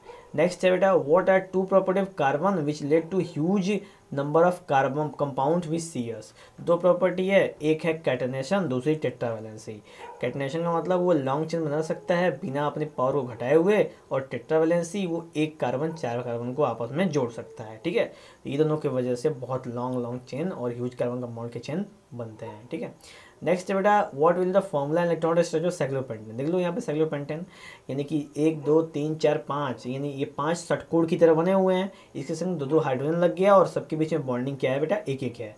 अगर गौर करो तो सारे कार्बन के जो चैन बनते हैं, उसमें आपके चार चार ही बनेंगे। यानी कि चार चार ही लेंथ है। एक, दो, तीन, चार। उससे अधिक नहीं है, ठीक है? ध्यान देना। Draw the structure of following compound ये ऐसे क्वेश्चन आएँगे। स्ट्रक्चर बनाने के लिए क्वेश्चन आएँगे आपको। तो स्ट्रक्चर के दिमाग में रखना और नेमिंग नेमिंग भी दिमाग में रखना। उनका आई नेमिंग इंपॉर्टेंट है। नॉर्मल नेमिंग अगर नहीं भी याद रखोगे तो कोई दिक्कत नहीं है, पर आई याद रखना। नेक्स्ट बता ethanoic acid C S three C double O H को इथनोइक एसिड कहते हैं। Bromopentane C five H eleven B R को ब्रोमोपेंटेन कहते हैं। बिटनॉन बिटनॉन को C S three C O C two H five कहते हैं। और साइड में देख लो कैसे इसका फॉर्मेशन है बेटा। एक बार तक मान लो कि जो जो भी कीटोन ग्रुप होता है ना, वो हमेशा बीच में जुड़ता है। क्यों? क्योंकि उसके पास दो साइड में ब्रांच खुले होते हैं जोड़ने के लिए। जबकि दूसरे जितने भी होते हैं अल्डिहाइड अल्कोहल कार्बोक्सलिक इनका बस एक ही ब्रांच खुला होता है अटैचमेंट करने के लिए, ठीक है? इसलिए ये एक तरफ़ जुड़ते हैं और बाकी कीटोन दोनों तरफ़ जुड़ते हैं ओके जल बेटा हेक्सैनल है ये C five H eleven C H O next है draw the possible structure of isomer bromopentane bromopentane के भी तीन आइसोमर आप देख सकते हो यहाँ पे। एक है नॉर्मल ब्रोमोपेंटेन एक है आइसो ब्रोमोपेंटेन और एक है बेटा नियो नहीं, ये भी नॉर्मल है ठीक है, खाली पोजीशन चेंज हुआ बेटा, ठीक है? यहाँ पे ब्रोमिन का पोजीशन देख लो। यहाँ पे ब्रोमिन यहाँ पे है, फिर कुछ देर में उसको शिफ्ट करके वो बीच में डाल देंगे सब, ठीक है? तो ये भी अलग अलग स्ट्रक्चर है। How would you name the following compound अब नेमिंग करना है। तो ये एक, दो, ये बेटा ब्रोमोइथेन ये जाए बेटा मिथेनल या इसको बोलते हैं बेटा फॉर्मल्डिहाइड ठीक है? और ये बोलते हैं हेक्साइन ठीक है? देखो ट्वेल्व बॉन्ड है तो हेक्साइन बोलेंगे। नेक्स्ट है why is the conversion of ethanol ethanol to ethanolic acid in oxidation reaction ऐसा क्यों होता है? क्योंकि जब भी हम इथेनॉल में ऑक्सीजन ऐड करते हैं ना तो इथेनॉलिक एसिड का फॉर्मेशन होता है। यानी कि हम अल्कोहल में ऑक्सीजन ऐड करते हैं तो ऑक्सीडेशन करते हैं, तब जाके इथेनॉलिक एसिड का फॉर्मेशन होता है। ठीक है? वो भी हमको स्ट्रॉन्ग ऑक्सीडाइजिंग करना होता है, क्योंकि ये पूरा प्रोसेस वाइज है, ठीक है? सबसे पहले इथेनॉल कन्वर्ट होता है इथेनॉल में, और फिर इथेनॉल कन्वर्ट होता है बेटा इथेनॉइक एसिड में। लेकिन जब हम स्ट्रॉन्ग ऑक्सीडाइजिंग एजेंट का प्रयोग करते हैं तो हम डायरेक्ट इथेनॉल से इथेनॉइक एसिड में कन्वर्ट कर सकते हैं। इसीलिए conversion of ethanol to ethanoic acid is known add oxidation reaction ठीक है? चलो नेक्स्ट बेटा आपके सामने a mixture of oxygen ethyne is bond for welding तो भाई वेल्डिंग वाला केस है। तो इथाइन का प्रयोग करते हैं ना, जैसे एसिटिलिंग गैस का प्रयोग करते हैं। हमने एक एग्ज़ाम्पल में भी, अब जैसे हमारे वीडियो में बेटा आप शॉर्ट्स में देख सकते हो कि एग्ज़ाम्पल भी दिया हम लोगों ने, और लॉन्ग में भी एक वीडियो है शायद एसिटिलिंग का। एसिटिलिंग टॉर्च बनाया था, जिसमें वो जो वेल्डिंग करते हैं वो गैस वेल्डिंग जो करते हैं बेटा, वो एसिटिलिंग गैस पहले एक चैम्बर बनाते हैं सब, ठीक है? उसके बाद क्या करते हैं, उसमें ऑक्सीजन की पाइप घुसेड़ देते हैं और ऑक्सीजन और जो एसिटिलिंग गैस दोनों का आपस में जब मिल जाता है बेटा तो जो फ्लेम होता है ना, वो येलो फ्लेम से सीधा ब्लू फ्लेम हो जाता है और उस फ्लेम से हम किसी तरह की वेल्डिंग कर सकते हैं, ठीक है? तो उसमें ऑक्सीजन की ज़रूरत इसलिए पड़ती है ताकि जो जो सेचुरेटेड अनसेचुरेटेड हाइड्रोकार्बन है, वो क्या हो जाए सेचुरेटेड हो जाए और पूरा फुल पोटेंशियल के साथ क्या हो बेटा? बर्न हो ठीक है? इस वजह से हम ऑक्सीजन का प्रयोग वहाँ पे करते हैं और फिर हम उसका किसी तरीके से भी कर सकते हैं, ठीक है? वो गैस वेल्डिंग के लिए कर सकते हैं कटर मशीन के तौर पे कर सकते हैं, ठीक है? नेक्स्ट बेटा how would you distinguish between experimental between alcohol and carboxylic acid कैसे टेस्ट कर सकते भाई कार्बोक्सिलिक एसिड कैसे और अल्कोहल को? तो है सोडियम बाइकार्बोनेट टेस्ट ठीक है? अगर हम सोडियम बाइकार्बोनेट टेस्ट करें, ठीक है? तो होगा क्या कि एन को अगर हम डाल दें तो ब्रिस्क इफर्वेसेंस के साथ क्या होगा बेटा? इवोल्यूशन होगा CO2 का, जिस, जो शो करेगा कि ये है कार्बोक्सिलिक एसिड ठीक है? जबकि अल्कोहल के संग ये रिएक्शन नहीं करेगा, ठीक है? अल्कोहल के संग सोडियम हाइड्रोजन कार्बन रिएक्शन नहीं करेगा, लेकिन कार्बोक्सिलिक एसिड रिएक्शन करेगा बेटा, ठीक है? इस वजह से हम सोडियम बाइकार्बोनेट टेस्ट वहाँ पे कर सकते हैं ओके चलो। नेक्स्ट बेटा नेक्स्ट एक लिटमस टेस्ट भी कर सकते हो यार। एक एल्कोहल में आप लिटमस डालोगे कोई असर नहीं होगा। और कार्बोक्स में डालोगे ब्लू ब्लू लिटमस आपका रेड हो जाएगा। तो ये भी टेस्ट है। नेक्स्ट बेटा ऑक्सीडाइजिंग एजेंट क्या है? तो ऑक्सीडाइजिंग एजेंट वो एजेंट होते हैं ना, जो ऑक्सीडेशन करवाते हैं, ठीक है? ऑक्सीडेशन जैसे एल एजेंट वाले क्या करवाते हैं? एलआईसी करवाते हैं। वैसे ही ऑक्सीडाइजिंग एजेंट वाले ऑक्सीडेशन करवाते हैं, जिसमें दो बहुत इंपॉर्टेंट ऑक्सीडाइजिंग एजेंट हैं। एक है पोटेशियम डाइक्रोमेट और दूसरा है पोटेशियम पर मैग्नेट। दोनों को दिमाग में रखना के फोर और K two C R two O seven जिसको आपको मेंशन यहाँ पे देख सकते हो, ठीक है? नेक्स्ट है would you be able to check if water is hard by using detergent no no, हम नहीं चेक कर सकते ठीक है? ठीक है because no is come formation place में detergent added to hard water यानी जब भी हम डिटर्जेंट हार्ड वाटर डालेंगे ना वो हार्ड वाटर में भी डिटर्जेंट काम कर जाता है ठीक है? वो इसकम नहीं प्रोड्यूस करता साबुन करता है ऐसा। तो हम डिटर्जेंट के संग ये चेक नहीं कर सकते हाँ साबुन के संग चेक कर सकते हो कि भैया इसकम बना रहा है कि नहीं बना रहा है ठीक है? क्योंकि जो डिटर्जेंट होता है वो किसी पानी में एक नंबर धुलाई वुलाई करता है ओके नेक्स्ट है बेटा people use variety of method wash cloth usually after adding the soap, they beat the clothes on a stone and beat the paddle scrubber with the stated in a washing machine. Why agitation is to get clean clothes?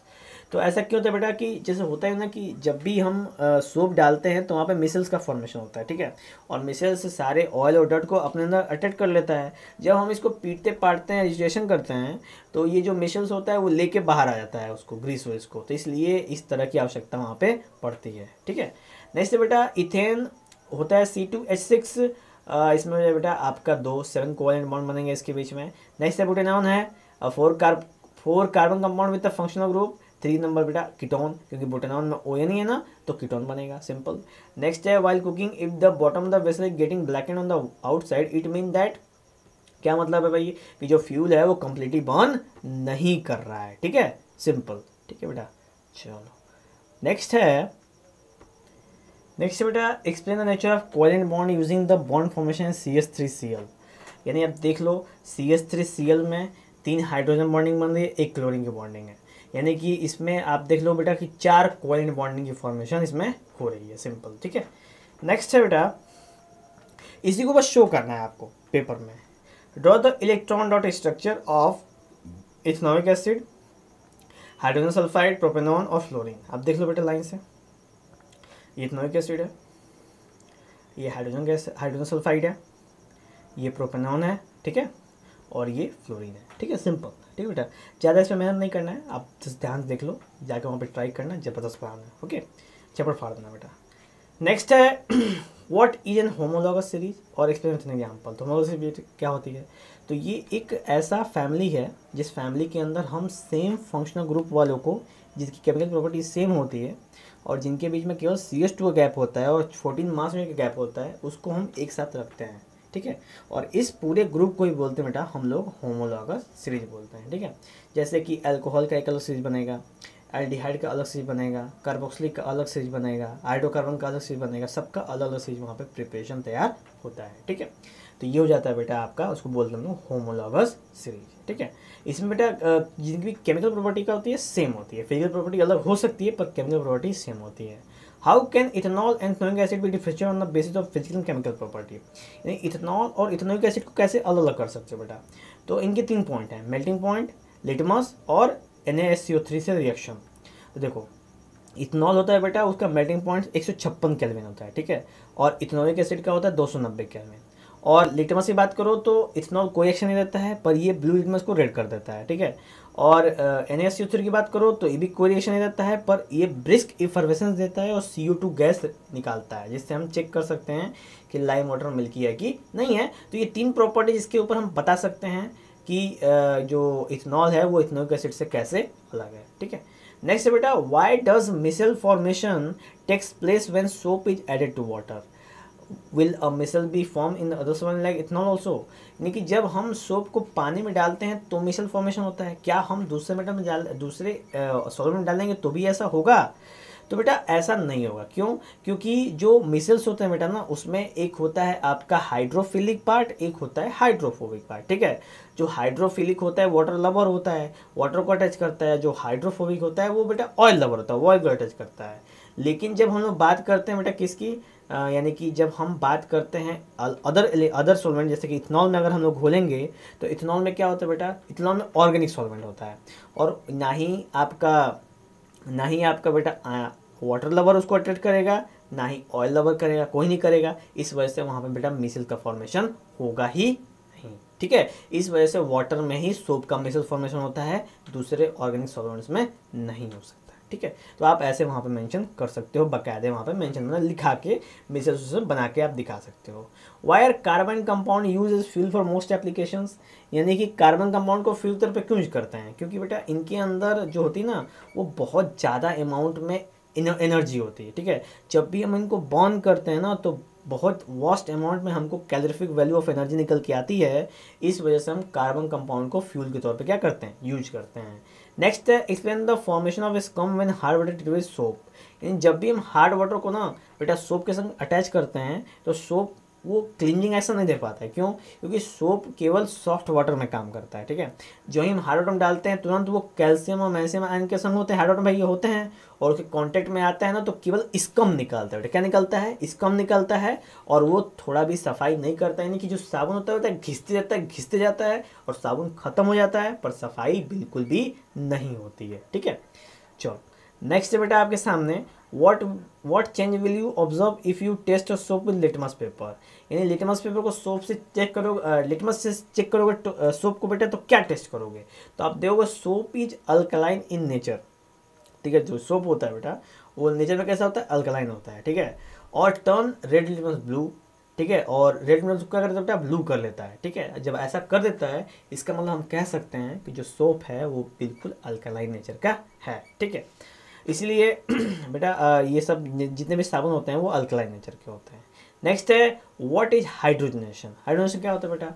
और इसका industrial application क्या है? तो hydrogenation क्या होता है? जब भी हम अनसेचुरेटेड हाइड्रोकार्बन बेटा हाइड्रोजन एडिशन करते हैं, यानी ऐड करते हैं तो हम उसे बोलते हैं हाइड्रोजनेशन ठीक है?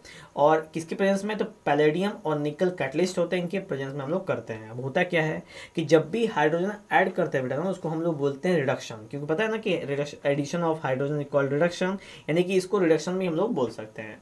अब इंडस्ट्रियल पे क्या यूज़ है? तो इंडस्ट्रियली ना, बेटा, यहीं से वनस्पति घी, यानी जो डालडा घी होता है, वो इसी तरीके से बनाया जाता है इंडस्ट्री में। इस वजह से इंडस्ट्रियल पर्पज़ के लिए बहुत ज़्यादा इंपॉर्टेंट है। ओके चलो।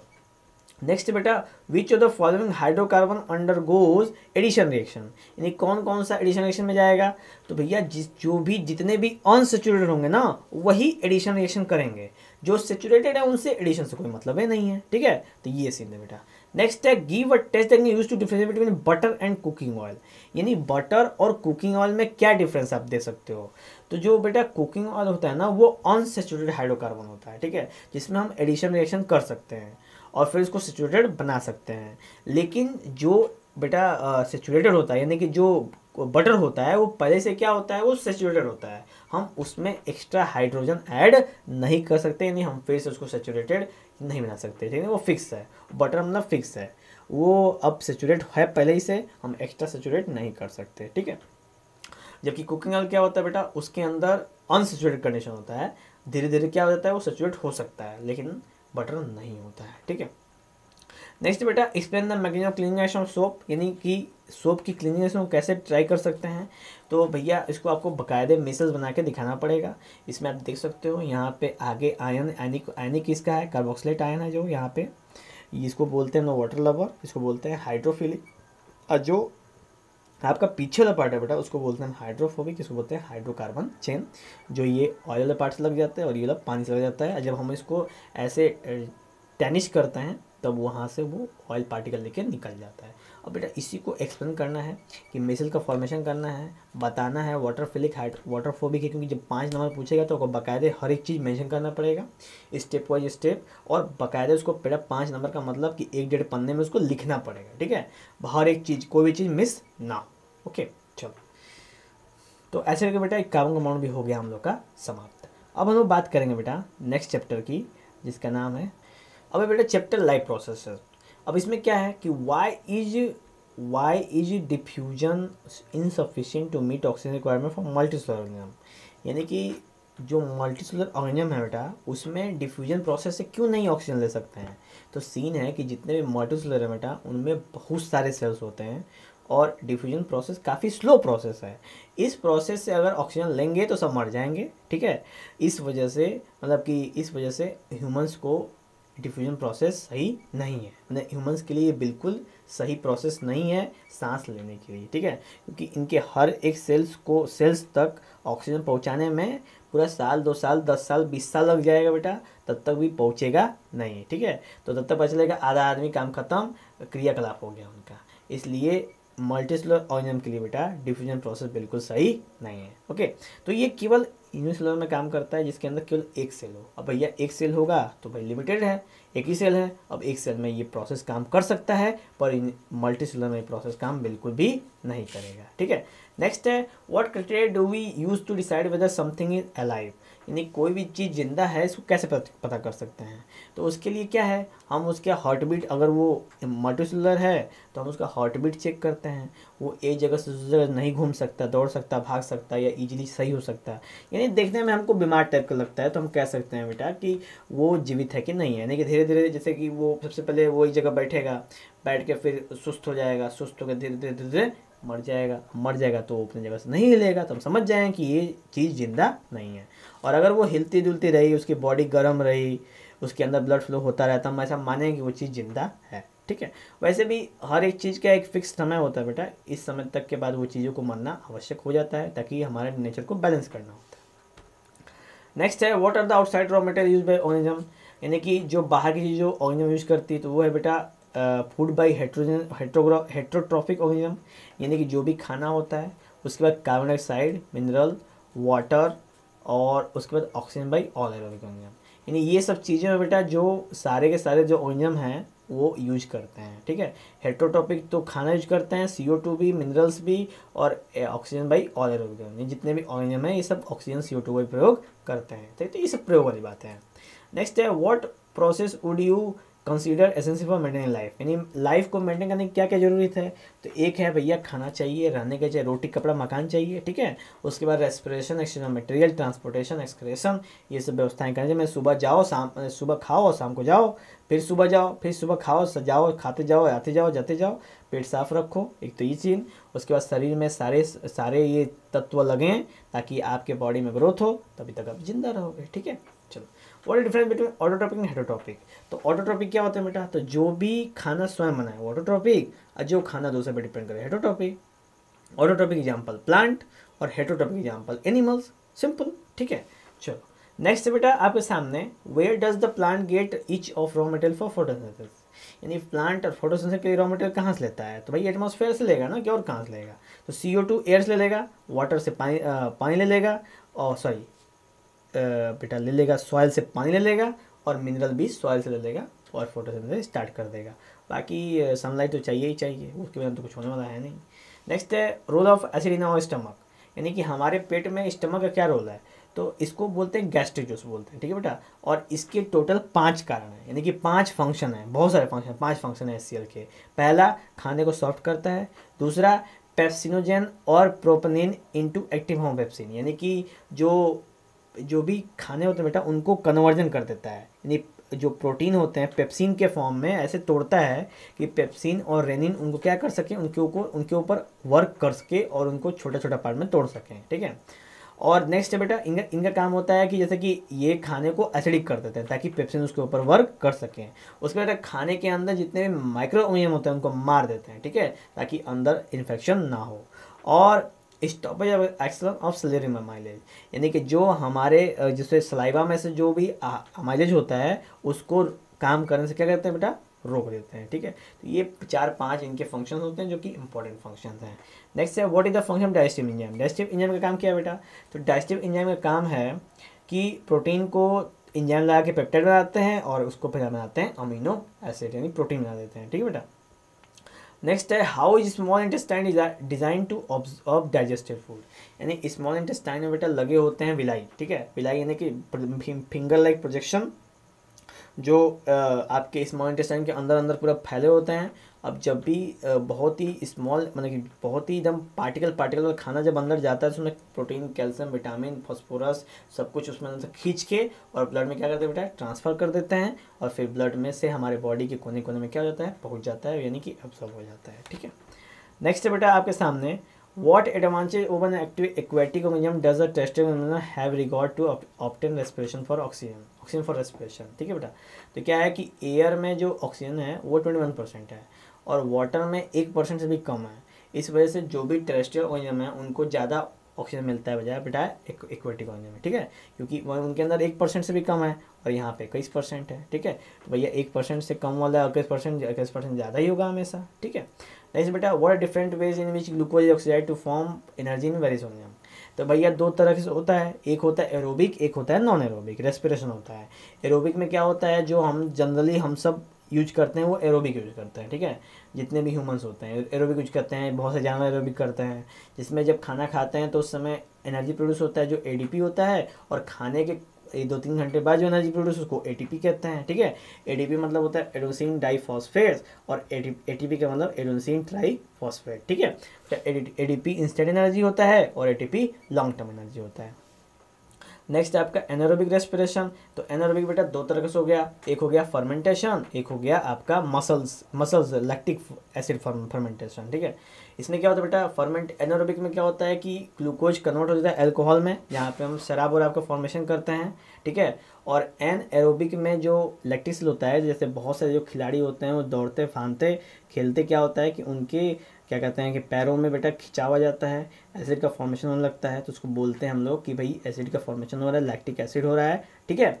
और वहाँ पे सीन क्रिया क्रिएट हो जाता है तो सीन यूँ क्रिएट होता है कि भैया पूरा एकदम दर्द होने लगती है उसके अंदर। जैसे आप भी कभी दौड़ो ना, लगातार दौड़ते दौड़ते पता चलता है कि लगेगा मसल्स जाम हो गया आज जाम होने के बाद लगेगा कि उसमें कुछ हो रहा है, ठीक है? दर्द सा हो रहा है, अलग किस्म का दर्द हो रहा है। उसको लैक्टिक एसिड फॉर्मेशन कहते हैं। नेक्स्ट है बेटा how oxygen carbon dioxide transport in human beings तो कैसे ट्रांसपोर्ट होते हैं? तो जो भी ऑक्सीजन कार्बन डाइऑक्साइड होते हैं ऑक्सीजन होते हैं हेमोग्लोबिन से, ठीक है? जिसको हम लोग ऑक्सी हेमोग्लोबिन बोलते हैं। नाइन्टी सेवन परसेंट वहीं से होते हैं और तीन परसेंट प्लाज्मा से होते हैं सौ परसेंट गया ऑक्सीजन और कार्बन डाइऑक्साइड कैसे निकलता है बेटा बाहर? तो वो होता है पाँच से सात परसेंट प्लाज्मा से, सत्तर परसेंट आपका सोडियम कार्बोनेट प्लाज्मा से, और उस पर तेईस परसेंट कंबाइंड हेमोग्लोबिन जिसको बोलते हैं कार्बो कार्बी हेमोग्लोबिन बोलते हैं बेटा, ठीक है? यानी कि कई सारे फॉर्म में सी हमारे बॉडी से बाहर निकलने की कोशिश करता है और कर भी लेता है, ठीक है? नेक्स्ट है how are the lungs designed in in human human beings to maximise the area of exchange for gases ठीक बेटा? तो होता ही है कि हमारे लंग्स में बहुत सारे पार्ट्स होते हैं, ठीक है? जिसमें ब्रोंकियोल्स हो गए ब्रोंकी हो गए आपके क्या कहते हैं उसको बेटा अल्वियोलीज हो गए बहुत ज़्यादा होता है ठीक है? और जो टोटल एरिया होता है अल्वियोली का वो होता है बेटा एट्टी मीटर स्क्वायर यानी अस्सी मीटर स्क्वायर होता है। इत, इतना जगह का एरिया इतना जगह का वो सरफेस एरिया कवर कर सकता है एक ह्यूमन बॉडी के अंदर एक ह्यूमन बॉडी का जो लंग्स होता है। एट एट्टी मीटर स्क्वायर में बहुत बड़ी वैल्यू होगी ठीक है बेटा? एक ग्राउंड हो गया अस्सी मीटर स्क्वायर का। और इतने जगह पे आराम से मतलब कि जो ऑक्सीजन आता है बेटा यानी एयर आता है वो सक करता है फिर एयर बाहर निकाल देता है, ठीक है? तो ये प्रोसेस है और ये बिल्कुल ट्री की तरह होता है बेटा। जैसे हमारे बाहर पेड़ होते हैं ना, वैसे ही ट्री की तरह हमारे लंग्स में होते हैं। उस वहाँ पे ट्री में पत्तियाँ लगी होती हैं और हमारे लंग्स में वो अल्व्यूलीज लगे होते हैं, जहाँ से गैसेस की एक्सचेंजिंग होती है बेटा, ठीक है? चलो नेक्स्ट है what are the components of the transport system human beings और what are the functions of this component तो ट्रांसपोर्ट सिस्टम में कौन कौन से बेटा हैं कंपोनेंट तो एक है आपका, एक है आपका बेटा ब्लड वेस्कुलर सिस्टम और लिम्फेटिक सिस्टम ठीक है? ब्लड में होते हैं बेटा ब्लड आ गया जिसमें हॉट आ गया ब्लड आ गया, ठीक है? ब्लड प्लाज्मा आ गया। तो ये सब आ गया बेटा, और ब्लड प्लाज्मा में भी आपके red blood cell white blood cell blood platelets blood vessels arteries veins capillaries तो ये सारे के सारे जो चीज़ें होते हैं, ये सब हेल्प करती हैं, ठीक है? जहाँ पे हार्ट बॉडी को पंप करता है ब्लड सब कुछ कैरी करता है, जिसमें आपका R B C W B C platelets हो गए ब्लड प्लाज्मा के अंदर nutrients vitamin excretory hormones materials सब कुछ उसके अंदर होता है हेमोग्लोबिन सब कुछ उसके अंदर एंटीबॉडी सब उसके अंदर होता है, ठीक है? आर बी सी काम होता है ऑक्सीजन को कैरी करना और सी ओ टू कैरी करना, और डब्ल्यू बी सी काम होता है बेटा बॉडी के इम्यूनिटी सिस्टम को बैलेंस करना, और प्लेटलेट्स काम होता है कि भैया कहीं कट पिट गया तो उसको लॉट करना, ठीक है? और ऑर्टरी वेंस जानते ही हैं कि इसी से तो सब कुछ कैरी होता है, नहीं होगा तो कैरी कैसे होगा, ठीक है? नेक्स्ट बेटा लिम्फेटिक सिस्टम तो लिम्फेटिक सिस्टम बिल्कुल ब्लड की तरह होता है। इसमें lymph lymph vessels lymph node होते हैं, ठीक है? इसमें सबसे मेन होता है डब्ल्यू का फॉर्मेशन होता है। और ये इसको सबसे सबसे इंपॉर्टेंट है भाई बॉडी को ये बॉडी के एक्सटर्नल जो एजेंट होते हैं, जो एलियंस होते हैं, जैसे जो घुसपैठी होते हैं, उनसे क्या करते हैं बेटा? बॉडी को प्रोटेक्ट करता है, ठीक है? नेक्स्ट है why is it necessary to separate oxygenated and de oxygen blood in mammals and birds यानी कि दोनों को अलग करने की आवश्यकता है। तो अगर दोनों को अलग इसलिए करते हैं ना ठीक है आर वार्म ब्लड यानी कि जो मैमल्स होते हैं बॉड्स होते हैं वार्म ब्लड होते हैं बेटा, ठीक है? जिनको हमेशा एनर्जी मेंटेन करना पड़ता है बॉडी के टेम्परेचर क्या करना पड़ता है? मेंटेन करना पड़ता है एनर्जी और बॉडी टेम्परेचर दोनों, ठीक है? इसलिए उनको हाई एनर्जी की आवश्यकता पड़ती है। और अगर उनके वार्म उनके जो ऑक्सीजन अलग अलग नहीं रहे तो वो हमेशा अपने अंदर कम एनर्जी फील करेंगे, क्योंकि डीऑक्सीजन ब्लड एनर्जी क्या करता है बेटा? घटा देता है, और आप हमें, वो हमेशा थका थका महसूस करते हैं। तो भाई तब तो फिर गड़बड़ हो जाएगा ना। मैमल्स और बर्ड्स तो उड़ नहीं पाएँगे वैसे रेंग रेंग के चलेंगे, फिर कोई भी खा जाएगा उनको, ठीक है? तो ये सीन है बेटा। नेक्स्ट है what are the components of transport system in हाईलेवनल plant तो हाईलेवनल प्लांट में ट्रांसपोर्ट सिस्टम कैसे होता है? तो वो होता है बेटा जाइलम और फ्लोएम्स है, ठीक है? जाइलम के अंदर दो पार्ट हैं जाइलम जाइलम ट्रैकिड्स और जाइलम वेसल्स ठीक है? उसके बाद फ्लोएम के अंदर दो पार्ट है बेटा कंपेनियन सेल्स और सीप ट्यूब्स ठीक है? और ये दोनों मिलके जाइलम क्या करता है? वाटर मिनरल को भेजता है प्लांट में अंदर और फ्लोएम क्या करता है? जो भी फ़ूड बनाता है प्लांट उसको पूरे बॉडी में डिस्ट्रीब्यूट कर देता है। ठीक है? नेक्स्ट बात करें बेटा how are water and minerals transported in plant यानी जो वाटर मिनरल्स होते हैं प्लांट में कैसे ट्रांसपोर्ट होते हैं? तो वही जाइलम और फ्लोएम की वजह से वाटर में ट्रांसपोर्ट होता है। बाकायदे स्टेप्स वाइज है प्रोसेस ठीक है? तो आप उस पर ध्यान देंगे। नेक्स्ट है हाउ इज़ प्लांट ट्रांसपोर्टिंग अरे यार, एक ही question how is food transporting plant तो सेम है फ्लोइंग की तरफ़ से। इसको प्रोसेस को बोलते हैं ट्रांसलोकेशन नेक्स्ट बेटा describe the structure function of nephron तो देख लो यहाँ पे नेफ्रॉन है, यहाँ पे मेंटेन है। यहाँ पे बहुत ज़्यादा कुछ डिटेल दे दिया है, ठीक है? इसे फोकस नहीं करना है हमको। ये ग्लोमेरुलस है, ये वोमन कैप्सूल है, ये ट्यूबुल है। ये ट्यूबुल के सब देख लो लूप ऑफ़ हेनले कहते हैं ट्यूबुल कहते हैं इसको। और यहाँ से बेटा जब जब यहाँ से इम्प्योर ब्लड आता है, यहाँ पे फ़िल्टर होता है फ़िल्टर होके यहाँ से इम्प्योरिटी अंदर चल के इल्थम चली जाती है। और यहाँ से प्योर ब्लड आपस में फिर से अपनी जगह पे चले जाता है, ठीक है? ये बेटा पूरा नेफ्रॉन का कॉन्सेप्ट ओके? फिर आपको क्या करना है कि इन सब के स्पेसिफिक स्पेसिफिक बारे में बताना है फिर डिस्क्राइब करने को बोलना चार पाँच नंबर में आएगा, ठीक है? ध्यान देना, ये इंपॉर्टेंट है। नेक्स्ट बेटा, आपके लिए what are method use to get rid of excretory product यानी कि क्या क्या मेथड जैसे हम एक्सक्रेटरी प्रोडक्ट क्या कर सकते हैं प्लांट निकाल सकते हैं? जैसे जैसे क्या है बेटा, वो है कि ऑक्सीजन अपना बाहर निकालता है तो भाई प्लांट के लिए तो फोटोसिंथेसिस प्रोसेस ऑक्सीजन निकलता है हमारे लिए यूज़फुल है, पर प्लांट के लिए वो कोई काम का नहीं है। उसके बाद क्या है? उसके बाद बेटा कि सी ओ टू वो भी प्लांट के लिए हेल्पफुल है। मतलब कि ड्यूरिंग रेस्पिरेशन वो भी निकल जाता है इसमें से। उसके बाद एक्सेस वाटर ट्रांसपरेशन निकल जाता है। उसके बाद भाई फ्रूट निकलता है। उसके बाद आपका जाइलम वेसल्स फ्लोन वेसल्स निकल जाते हैं। उसके बाद पेटल्स निकलते हैं सीड्स निकलते हैं। ये सब प्लांट के क्या होते हैं बेटा? वेस्ट प्रोडक्ट ही होते हैं। ठीक है? नेक्स्ट है how is the amount of produce regulated यानी कि जो बॉडी के अंदर जो यूरिन होता है, वो कैसे रेगुलेट होता है? तो वो होता है बेटा, वो होता है एडीएस से। जो एडीएच हार्मोन होता है, वो पिट्यूटरी ग्लैंड निकालती है और उससे हमारा पूरा का पूरा जो सिस्टम होता है, वो कंट्रोल होता है, ठीक है? वो कौन सा है? यूरिन वाला सिस्टम ठीक है? और जैसे बॉडी को पता चलता है कि भैया एक्स्ट्रा यूरिन हो गया तो चलो उसको निकाल दो। कम यूरिन हो गया तो यूज़ कर लो, ठीक है? ये सब मेंटेनेंस काम यहीं से होता है, ठीक है?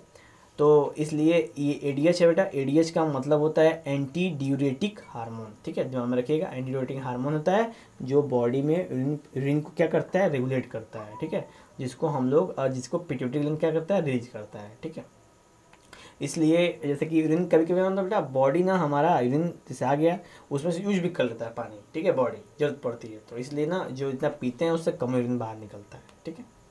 नेक्स्ट बेटा, हम बात करें तो the kidney means the part of system for excretion xylem plan responsible for transportation of water the autotrophic mode of nutrition किसमें होता है बेटा? ऑल ऑफ़ द सब कुछ होता है.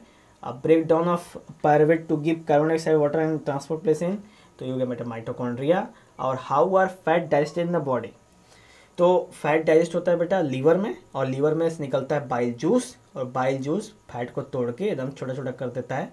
आपको थरिया होने से बचा देता है, ठीक है? नेक्स्ट बेटा what is the role of saliva in digestion of food यानी फ़ूड को डाइजेशन करने में सलाइवा क्या रोल है भाई? तो सलाइवा में निकलता है बेटा माल्टोज ठीक है? अब माल्टोज जाके स्टार्च कर देता है? ब्रेक कर देता है और हमारा खाना आसानी से बच जाता है।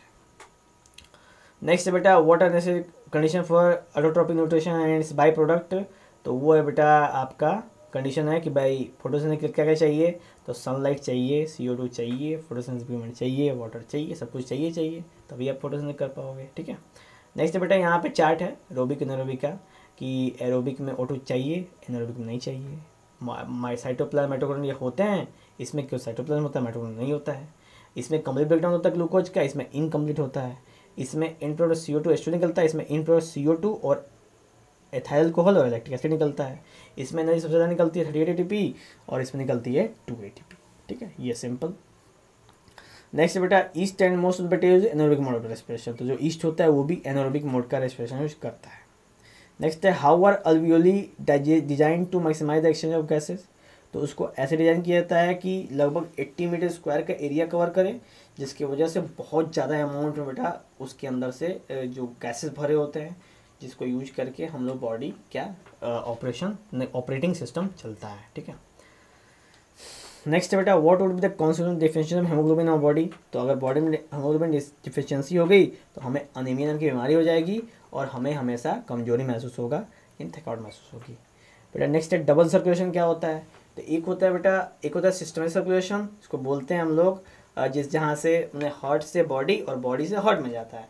और एक होता है बेटा पल्मोनरी सर्कुलेशन जिसमें हमारा हार्ट से लंग्स और लंग्स से फिर हार्ट में जाता है, ठीक है? तो ये दोनों कंबाइंड सर्कुलेशन को, ठीक है, जिसमें सिस्टमेटिक हो गया और पल्मोनरी हो गया। दोनों को मिक्स वाले को क्या बोलते हैं हम लोग? दोनों को मिक्स वाले को बोलते हैं बेटा डबल सर्कुलेशन ठीक है? तो आप इस पर दिमाग डबल सर्कुलेशन क्वेश्चन पूछता है पेपर के अंदर। नेक्स्ट है what are difference between transport material xylem phloem तो भाई जलम में क्या जाता है? वाटर मिनरल अपवर्ड जाता है और फ़िज़िकल प्रोसेस ट्रांसपरेशन होता है। ट्रांस फ्लोएम में फूट जाता है अपवर्ड डाउन दोनों जाता है और एनर्जी लगता है इसमें, ठीक है? और आखिरी बेटा आ गया आपका अल्वियोली और नेफ्रॉन के बीच में कमने की कंपेरिजन हो गया कि अल्वोली लंग्स में होता है नेफ्रॉन आपके किडनी में होता है। अल्वोली गैसेस के लिए होता है नेफ्रॉन इसके लिए नहीं होता है मतलब इनका एरिया कम होता है एलवी पर ज़्यादा एरिया होता है। इनके वॉल थिक होते हैं इन, ये नेफ्रॉन मेड ऑफ़ प्लोमेरस होते हैं, ठीक है? और ये कैपलरी से बने होते हैं। इसमें O two C O to निकलता है एक्सचेंज होता है, और इसमें किडनी का जो डस्ट पार्टिकल्स है वो नेफ्रॉन से पास होकर यूरेटर में चला जाता है, ठीक है? और अल्बियोली होते हैं गैस एक्सचेंज के लिए, और नेफ्रॉन होता है बेसिक फ़िल्टर हीट के लिए, ठीक है बेटा?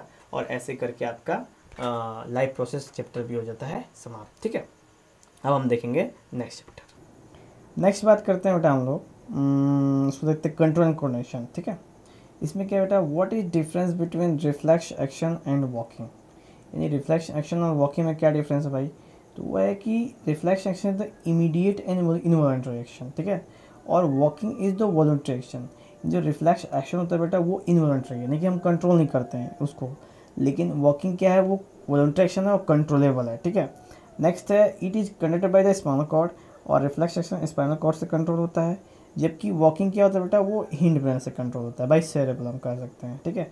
और रिफ्लेक्स एक्शन क्या है, वो फ्रैक्शन ऑफ़ सेकेंड्स में हो जाते हैं, जबकि वॉकिंग करने में उनको बाकायदे काफ़ी टाइम्स लगते हैं, ठीक है? नेक्स्ट बेटा what happen at the synapse between two neurons यानी कि दो न्यूरॉन्स के बीच में जो साइनस होता है इसको गैप बोलते हैं, उसमें क्या होता है बेटा? तो उसमें ये होता है कि उसमें एक लिक्विड होता है, ठीक है, जिसको बोलते हैं हम लोग क्या? उसको बोलते हैं आपका न्यूरो ट्रांसमीटर लिक्विड क्या बोलते हैं बेटा उसको? न्यूरो ट्रांसमीटर लिक्विड बोलते हैं, ठीक है? उस साइनस में जो गैप होता है, उसमें एक लिक्विड भरा होता है, जो उस साइनस को, यानी कि जो दो न्यूरॉन्स को, दोनों को आपस में अटैच करने में काफ़ी हेल्प करता है, ठीक है बेटा? तो ये ये जो ये जो गैप है, उसी को हम लोग साइनस का नाम देते हैं और उसमें जो केमिकल्स होता है, उसको बोलते हैं बेटा न्यूरो लिक्विड ठीक है? ध्यान देंगे उस पर। नेक्स्ट बेटा which part of the brain maintain posture and equilibrium of the body तो सेरेब्रम मेंटेन करता है हमारी पोस्चर और बॉडी के इक्विलिब्रियम को। नेक्स्ट है how do detect the smell of an agarbatti? अगरबत्ती की जो महक होती है, हम कैसे डिटेक्ट करते हैं? तो होता ही है बेटा कि जो अगरबत्ती की सुगंध होती है, ठीक है, वो ऑलफैक्ट्री सेप्टर के माध्यम से हमारे अंदर जाती है नोट से और फिर जो इलेक्ट्रिक इम्पल्सेस हमारे हाइपोथैलेमस को जाता है और वो अगरबत्ती के अगरबत्ती के सुगंध को डिटेक्ट करता है। यानी बेटा हाइपोथैलेमस क्लियर नहीं है उसके पास भी काम है वो भी अगरबत्ती के सुगंध को डिटेक्ट करके बताता है ठीक है? नेक्स्ट है what is the role of brain in reflex action बेटा? तो रिफ्लेक्स एक्शन ब्रेन का क्या रोल है?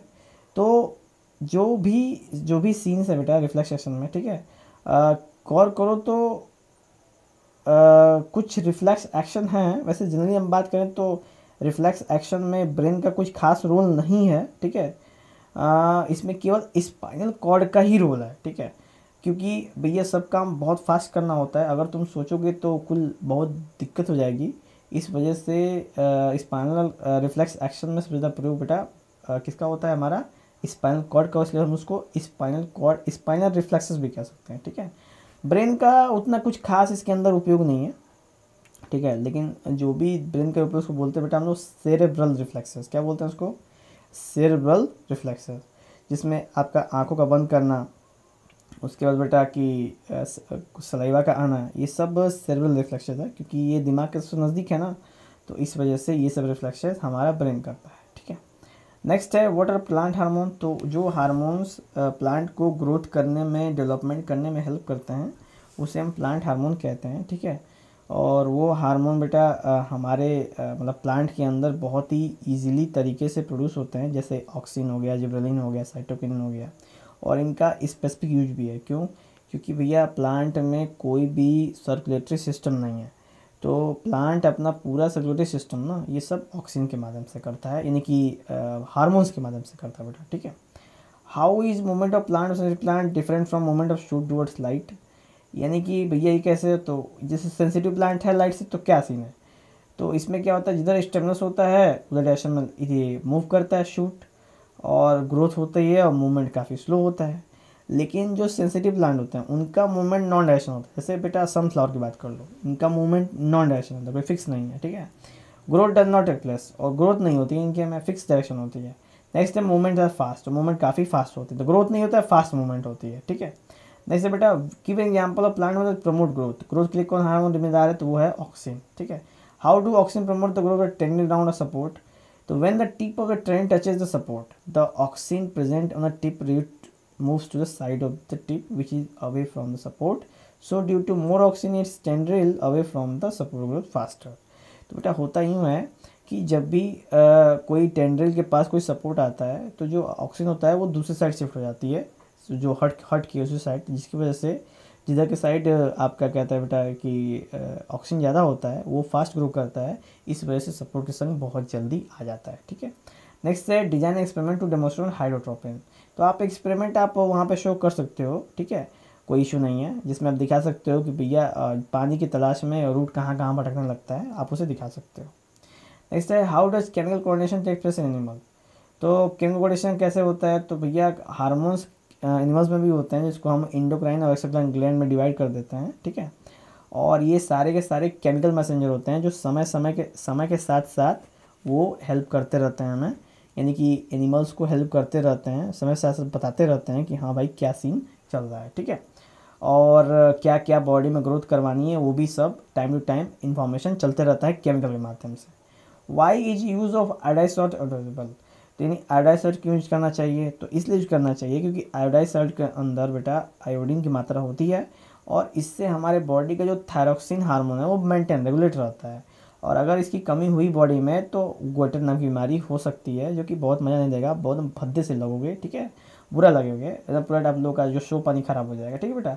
तो आप लोग थायरोक्सिन वाला काम मत करना, नमक आयोडीन वाला ही खाना, ठीक है? नेक्स्ट है how does our body respond when adrenaline secreting to blood तो जो ही एडलाइन ग्लैंड हार्मोन रिलीज़ करता है बेटा तो ही ब्लड में जो ही होता है यूँ है कि तुरंत हार्ट बीट फास्ट हो जाता है और ऑक्सीजन मसल्स के बहुत तेज पहुँचने लगता है और हमारी बॉडी बहुत फास्ट होने लगती है, ठीक है? और जो स्केटल मसल्स हैं, वो भी तेज हो जाते हैं। तो धीरे धीरे धीरे धीरे हमारी बॉडी में सब कुछ स्ट्रॉन्ग होने लगता है, कुछ समय के लिए होता है। और हमारा हमारा जो एक्शन है रिफ्लेक्सेस हैं वो बहुत ही फास्ट हो जाते हैं। इसलिए हम तुरंत एकदम इंस्टेंट रिस्पॉन्स इसके ऊपर किसी भी सिचुएशन के लिए करते हैं ठीक है? Why are some patients of diabetes treated by giving injection of insulin बेटा यूँ होता है कि uh, जब भी पेशेंट्स uh, के अंदर प्रॉपर अमाउंट में इंसुलिन हार्मोन रेट नहीं होता है तो ब्लड लेवल सफिशेंटली इधर उधर घटता बढ़ता रहता है।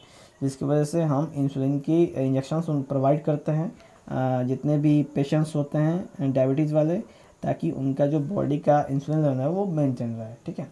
Which the following is plant hormone cytokinin ठीक है? देख लो सब में से साइटोकिनिन है। The gap between two neuron is called synapse the brain responsible for all of the above and what is the function of receptor of body तो भैया to to carry all the information from the outer surrounding to the brain ठीक है? Simple अब देखो बेटा draw the structure neuron explain structure neuron का भी figure आ गया नेफ्रॉन का भी आ गया। ध्यान देना दोनों के लिए, ठीक है? Dendrite dendron cell body nucleus axon और ड्राइवर एक्सॉन एंडिंग ठीक है? चलो। नेक्स्ट बेटा आपका फ़ंक्शन ऑफ़ न्यूरॉन तो भैया, ये सिग्नल से हेल्प करने में काम आता है और बॉडी को कंट्रोल करने में। नेक्स्ट है how does phototropism occur in plant यानी फोटोट्रॉपिंग प्लांट में कैसे ऑकर करता है? तो प्लांट में बहुत सारे हार्मोन्स मौजूद होते हैं, जो कि बहुत सारे में से कुछ हार्मोन्स जो होते हैं, वो लाइट सेंसिटिव होते हैं। तो लाइट के स्टिमुलस की वजह से उनके अंदर बेंडिंग हो जाती है, इसलिए उनको हम लोग फोटोट्रॉपिन वाले मतलब कि फोटोट्रॉपिन वाले प्लांट कह सकते हैं, ठीक है? इनमें रूट और शूट का सिस्टम होता है, ठीक है? नेक्स्ट है which signal will get disrupted in case of spinal cord injury तो जब भी स्पाइन कॉर्ड इंजरी होता है, किस तरह का सिग्नल जाता है बेटा? तो जो सेंट्रल नर्वस सिस्टम होता है ना, वहाँ का जो सिग्नल होता है वो नहीं जाता है, जिसकी वजह से होता क्या है कि जो जो रिफ्लेक्सेज हैं, जो स्पाइनल रिफ्लेक्सेज हैं, वो अपना कंट्रोल ख़त्म कर देते हैं, ठीक है बेटा? जो स्पाइनल रिफ्लेक्सेज हैं, उनका कंट्रोल ख़त्म हो जाता है कमज़ोर हो जाता है, और स्पाइनल कॉर्ड जो इंजर्ड होने की वजह से जो नेक होता है थोड़े होता है एबडोमिनल यानी ये पूरा का पूरा काम करना बेटा बंद कर देता है। यानी कि समझ लो ये बहुत ही खतरनाक तरह की इंजरी होती है, बहुत दिक्कत हो जाती है, ठीक है? एक नंबर, दो नंबर करने में भी हालत गंभीर हो जाएगा आप लोग का। नेक्स्ट है how does chemical coordination organ plant तो भाई केमिकल कोऑर्डिनेशन कैसे होता है? तो ये सब कुछ बेटा एक सिस्टमेटिक तौर पे बैलेंस होता है, क्योंकि प्लांट के अंदर भी एक फीडबैक मैकेनिज्म होता है, जैसे एनिमल्स के अंदर होता है, जो प्लांट के हार्मोन्स को कंट्रोल करता है कि भाई कौन सा प्लांट किस समय में प्रोवाइड करवाना है बॉडी के अंदर, ठीक है? तो ये सीन है ठीक है? ये भी प्लांट के अंदर नर्वस सिस्टम की तरह बिहेव करता है, जिसकी वजह से प्लांट में भी ग्रोथमेंट ग्रोथ होती है मूवमेंट होती है, जो ग्रोथ के फॉर्म में होती है। What is the need for system control coordination aneurysm तो भाई कंट्रोल कोऑर्डिनेशन की आवश्यकता क्यों पड़ती है? क्योंकि प्लांट जितने भी ऑर्गेनियम है ना, वो सारे के सारे डाइवर्स इन नेचर है मल्टीपल है उनके अलग स्ट्रक्चर अलग फ़ंक्शन है अलग अलग सिस्टम है। अब सबके लिए अगर कंट्रोल कोऑर्डिनेशन सेम हो जाएगा तो पूरा बवाल हो जाएगा। अब समझ में सांस कहाँ लें और बाकी आगे का आप समझ ही सकते हो। ठीक है? तो इस वजह से ये समस्या यहाँ पे उत्पन्न हो सकती है। इस वजह से आप इसके ऊपर ध्यान देंगे, ठीक है? कि हाँ अलग अलग सिस्टम बनाए हुए हैं अलग अलग जानवरों के लिए, ठीक है? चलो नेक्स्ट है बेटा how are involuntary action reflex different from each other तो वॉलेंट्री और रिफ्लेक्स कैसे हैं? तो रिफ्लेक्स सडन होता है और इनवॉलेंट्री होते हैं जो आप सोच समझ के करते हो। वही ना कि और क्या, इससे बड़ी क्या डिफरेंसेस हो सकती है? नेक्स्ट है नर्वस सिस्टम में और हार्मोनल कोऑर्डिनेशन में क्या डिफरेंस है? तो आप इसे, बेटा, आराम से इजीली दे सकते हो। कम से कम तीन आपको वहाँ पे मेंशन करने ही करना है, ठीक है? कम से कम तीन आपको डिफरेंस चाहे प्रॉपर्टी आपको लिखनी पड़ेगी, उससे आप बच नहीं सकते, ठीक है, बेटा? ऐसे करके आपका कंट्रोल कोऑर्डिनेशन भी रहता है, समाप्त। तो बेटा, हम लोग आ गए हैं हाउ टू ऑयम रिप्रोड्यूस में। अब उसमें देख लेते हैं। What is the importance of D copying reproduction यानी डी कॉपिंग रिप्रोडक्शन में क्यों इम्पोर्टेंस है? क्या इंपॉर्टेंस है भाई? तो इसका होता है कि करेक्टर ट्रांसफ़र करने के लिए डीएनए कॉपिंग होना आवश्यक है। तभी तो पता चलेगा कि भैया ये किसका लड़का है। नहीं तो कैसे डिसाइड करोगे? पता नहीं चलेगा कौन किसका लड़का है, ठीक है? तो इस वजह से डीएनए कॉपिंग एक इंपॉर्टेंट फिनोमिना है। पता करने के लिए कि कौन किसका ऑफस्प्रिंग है और कितना वेरिएशन हो रहा है, ठीक है? नेक्स्ट बेटा why is variation beneficial to specific but not necessary for the individual तो जितने भी वेरिएशन होते हैं ना वो इंडिविजुअल तौर पे अच्छे नहीं होते हैं, पर कंडीशन तौर पे अच्छे होते हैं। क्यों? क्योंकि बहुत सारे वेरिएशन जो होते हैं बेटा, वो बहुत सारे प्रॉब्लम से हमें बचा लेते हैं। होता क्या है कि कभी कभी ऐसी कैसी बीमारियाँ हो जाती हैं कि जिससे बॉडी बच नहीं सकती। नहीं कभी कभी जो यंग वन होते हैं, जो पैदा होते हैं, वो उनको बीमारियाँ नहीं होती हैं। क्यों? क्योंकि कारण यही होता है बेटा कि उनके अंदर वेरिएशन हो गया होता है जेनेटिकल परिवर्तन हो गया होता है, वो उनकी उनके अंदर रोग प्रतिरोधक क्षमता आ जाती है, ठीक है? तो इसलिए बेटा वेरिएशन इंपॉर्टेंट है बेनिफिशियल है, ठीक है? Species to the species but not necessary for the individual individual तौर पर नहीं कर सकते, पर स्पीसीज तौर पर वो इम्पोर्टेंट है, ठीक है? नेक्स्ट बेटा हम बात करते हैं how does binary fission differ from multiple fission यानी बाइनरी फिजन मल्टीपल से कैसे अलग है? तो जो बाइनरी होता है बेटा, एक दो में डिवाइड होता है, ठीक है?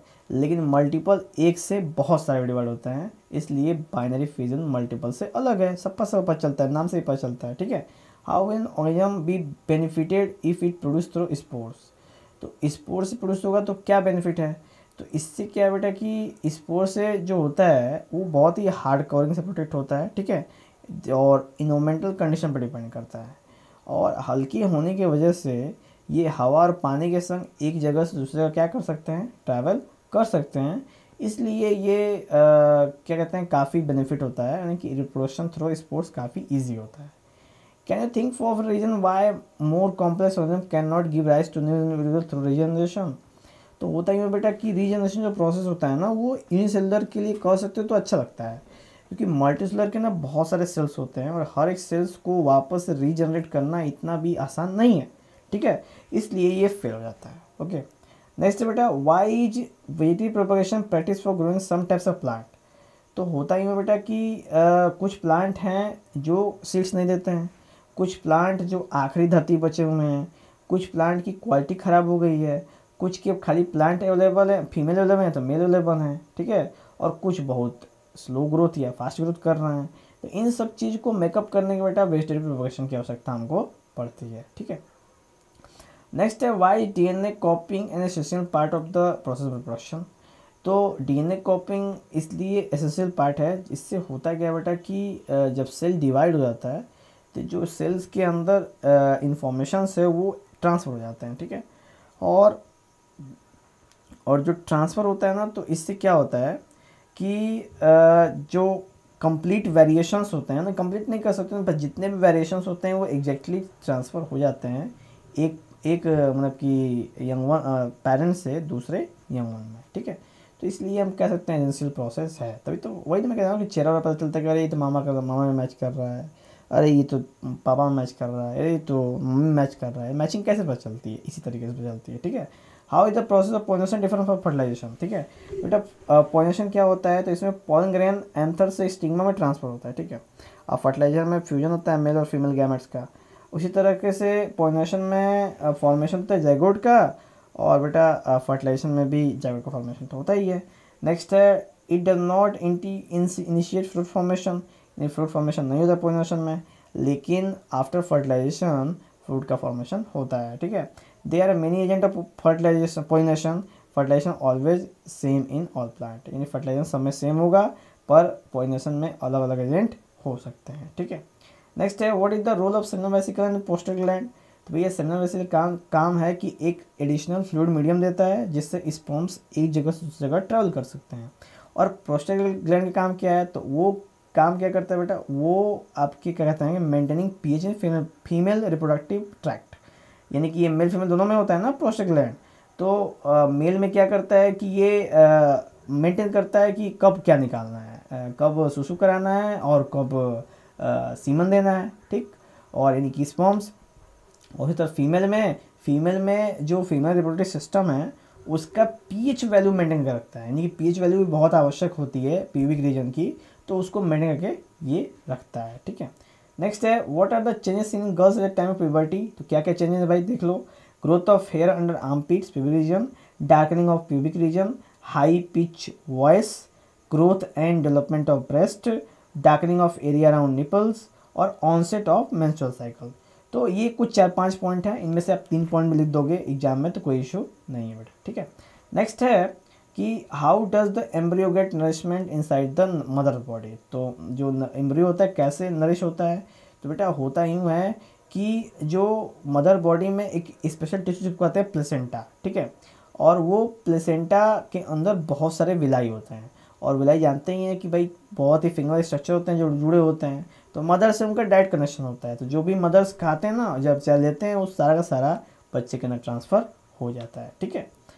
टू द एम्ब्रियो नेक्स्ट है बेटा if a women using a copper T will it help in protect from sexual disease no because copper T का यूज़ किया जाता है बेटा केवल प्रेगनेंसी को प्रोटेक्ट करने के लिए। एस टी डी वाली जो बीमारियाँ होती हैं ना, उससे कॉपर टी नहीं बचा सकता, ठीक है? इसलिए दूसरे कॉन्ट्रासेप्टिव मेथड्स का प्रयोग करते हैं। नेक्स्ट है sexual reproduction place through budding यानी बर्डिंग के थ्रो ये क्या होता है? एपिसोड रिप्रोडक्शन होता है। कौन है भैया? ईस्ट है।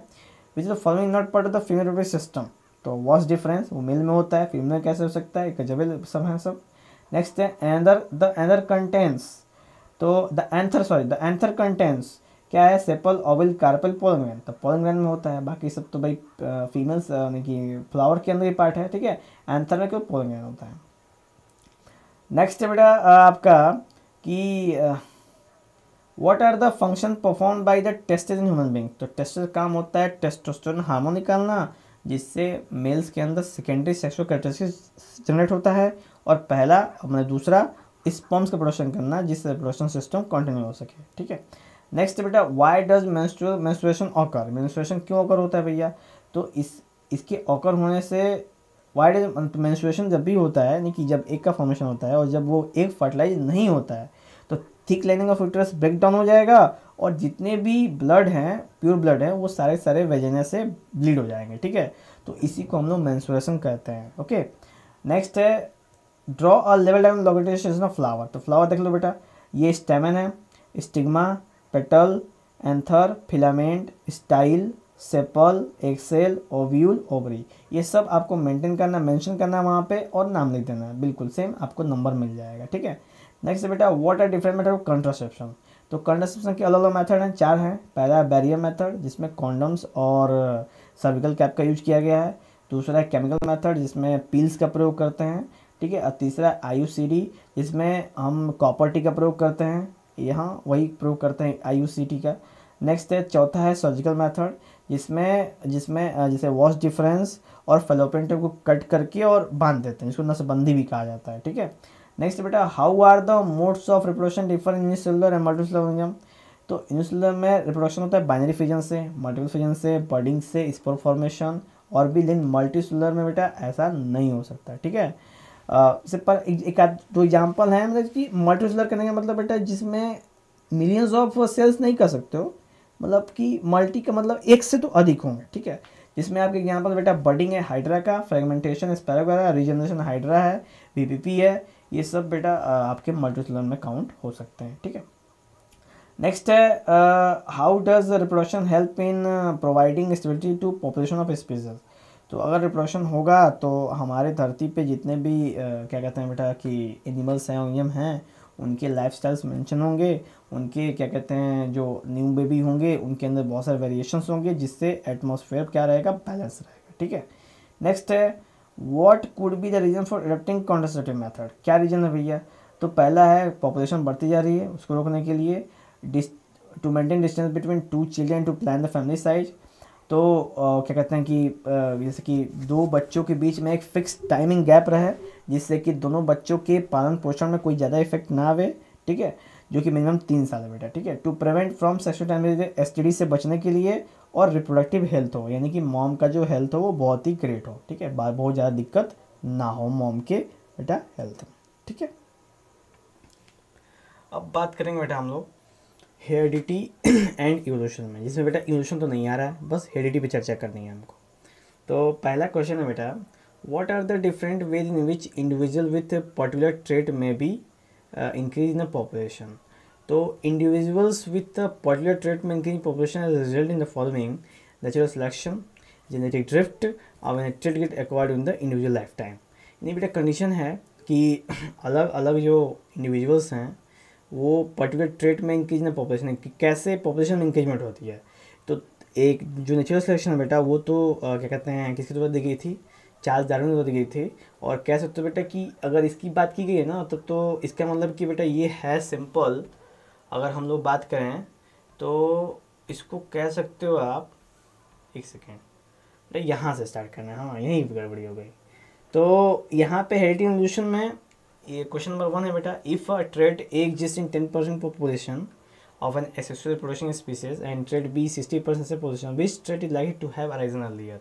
तो ये भी कोई इशू नहीं है बेटा, ठीक है? ये भी हेरिडिटी क्वेश्चन नहीं है, इस पर बात नहीं करेंगे। How do creation of variation in species promote survival हाँ इस पर देख लेते हैं तो क्रिएशन ऑफ़ वेरिएशन में भी suitable for population to fight against some new change in environment while those which do not have the variation will not be able to fight such changing environment condition will die. एक condition बेटा कि जब भी variation होगा तो क्या होगा कि सर्वाइवल रेट बढ़ जाती है, ठीक है? जैसे उदाहरण के तौर पर बात करें हम लोग तो मान चलो कि कोई बैक्टीरिया है जो सौ सेल्सियस मर जा रहा है तो अगर वो अपने जेंटिल में परिवर्तन करेंगे तो एक समय ऐसा भी आएगा बेटा कि सौ सेल्सियस पर नहीं मारेंगे, फिर अब एक सौ दस पे मारेंगे वो, फिर एक सौ बीस में मारेंगे, फिर डेढ़ सौ मारने लगेंगे, ठीक है? तो ये इसको कहते हैं बेटा जेनेटिकल वेरिएशंस कहते हैं, जो कि जो कि बहुत ही इंपॉर्टेंट होता है सर्वाइवल के लिए, ठीक है? नेक्स्ट बेटा how to Mendel experiment show the tech trait में भी डोमिनेंट और रिसेसिव यानी कैसे दिखा सकते हो कि जो जो ट्रेट्स होते हैं, वो डोमिनेंट है कि रिसेसिव हैं? तो भैया मेंडल ने फाउंड किया था मोनोहाइब्रिड और डाइहाइब्रिड क्रॉस आउट, ठीक है?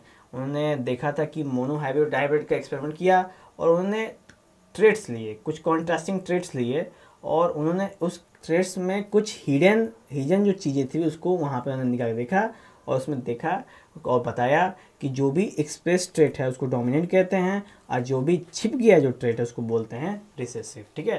तो ये तरीका था मेंडल का शो करने का डोमिनेट करने का, ठीक है?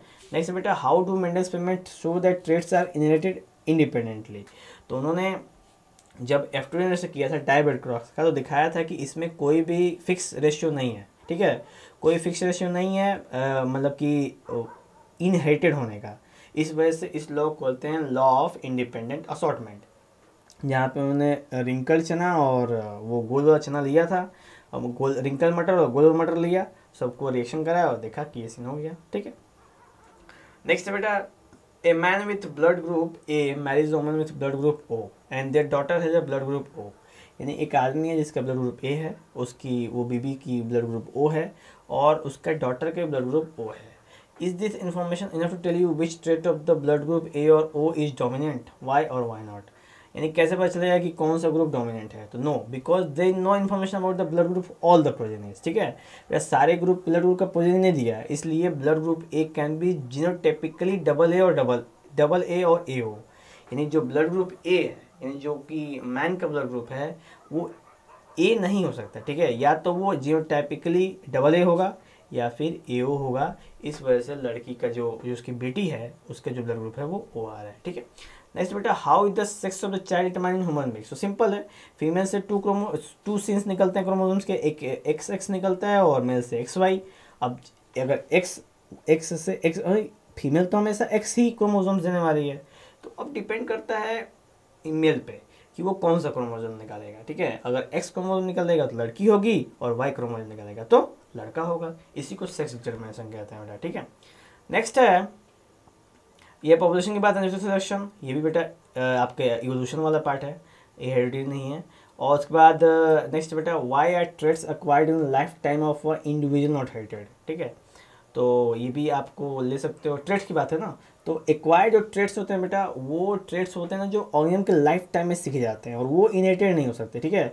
क्योंकि वो पास नहीं होते हैं। एक नेक्स्ट जनरेशन यानी कि एक जनरेशन दूसरे जनरेशन पास नहीं होते हैं, इस वजह से वो किसी के अंदर समा नहीं सकते वैसा नहीं है कि किसी को अगर स्विमिंग करने आता है तो उस लड़के को भी स्विमिंग करना आएगा, क्योंकि ये एक्वायर्ड ट्रेट है, ठीक है? इसका एक्सपेरिमेंट साइंटिस्टों ने कर चुके हैं अपने समय में, ओके? चलो नेक्स्ट बात करते हैं बेटा। Why are the number small number of surviving tigers cause of worry from a point of view genetics भैया, इनके नंबर कम हो रहे हैं। अब कम हो रहे हैं तो समस्या है कि अगर कम हो जाएँगे बहुत ज़्यादा तो फ़ूड चेन में प्रॉब्लम हो जाएगी। जो फ़ूड चेन बना हुआ है, उसके अंदर दिक्कत हो जाएगी और इसलिए नेचर इम्बैलेंस हो सकता है और हमारे धरती पे प्रलय भी आ सकता है, ठीक है? इसी तरह ना प्रलय आएगी और कैसे प्रलय आएगा? नेक्स्ट है व्हाट फैक्टर को lead to rise of new species तो म्यूचुअल म्यूटेशन हो गया एनर्जी सिलेक्शन हो गया जेरोफिलिक आइसोलेशन हो गया तो ये सब जो तीन पॉइंट बेटा, इससे हम जान सकते हैं कि नए स्पीसीज कैसे निकल सकते हैं। विल जेरोफिलिक आइसोलेशन में मेजर फैक्टर क्या जोग्राफिकल आइसोलेशन मेजर फैक्टर है तो ऐसा नहीं है because both male and female reproductive organ present in same organism तो जो सेल्फ पोजिशन होता है ना बेटा सेल्फ पोजिशन बात हो रही है कि जो जैसे कि फ्लावर में जो सेल्फ पोजिशन होता है, क्या उनके जो फिर एसोसिएशन डिपेंड करता है? नहीं करेगा, क्योंकि जब मेल और फीमेल पार्ट एक ही फ्लावर में रहेंगे तो क्या फ़र्क पड़ता है कि तुम कहाँ रह रहे हो, कहाँ नहीं रह रहे हो? कोई फ़र्क नहीं पड़ता, उसको तो हर जगह फर्टिलाइजेशन हो जाएगा, ठीक है? नेक्स्ट है will geographical isolation be major factor in speciation of that reproduce asexually why और why not no because geographical isolation does not affect much in a asexual reproduction यानी कि बेटा जोग्राफिकल आइसोलेशन एसेक्सुअल रिप्रोडक्शन से कोई फ़र्क नहीं पड़ता। क्यों? क्योंकि ए सेक्सुअल रिप्रोडक्शन के लिए केवल एक पेरेंट की आवश्यकता पड़ती है और वो कहीं भी रहे, वो अपने कंडीशन के अनुसार क्या कहते हैं बेटा रिप्रोडक्शन कर सकते हैं। कोई इशू नहीं है, ठीक है? नेक्स्ट है गिव इवोल्यूशन का भी क्वेश्चन है बेटा। इसमें नहीं कोई इशू इसमें टेंशन नहीं लेना है। नेक्स्ट ये भी इवोल्यूशन क्वेश्चन है। ये भी फॉसिल्स वाला भी बेटा इवोल्यूशन का ही क्वेश्चन है। उसमें कोई ज़्यादा टेंशन नहीं लेना है, ठीक है? और उसके बाद है आपका human beings size colour look species evolutionary मेंढा। बेटा ये क्वेश्चन है मेंडेलियन वाला, उसको देख लो। मेंडल एक्सपेरिमेंट है बेडिंग टॉल पी प्लांट है। इसका आंसर है टी टी डब्ल्यू डब्ल्यू जहाँ पे टॉल प्लांट टॉल पेरेंट की बात की गई है, ठीक है? और ये होमोलोगस ये भी नहीं है एल्यूशनरी भी नहीं है स्टडी भी नहीं है। लाइट कलर्ड आइब हावर भी नहीं है बेटा, ठीक है?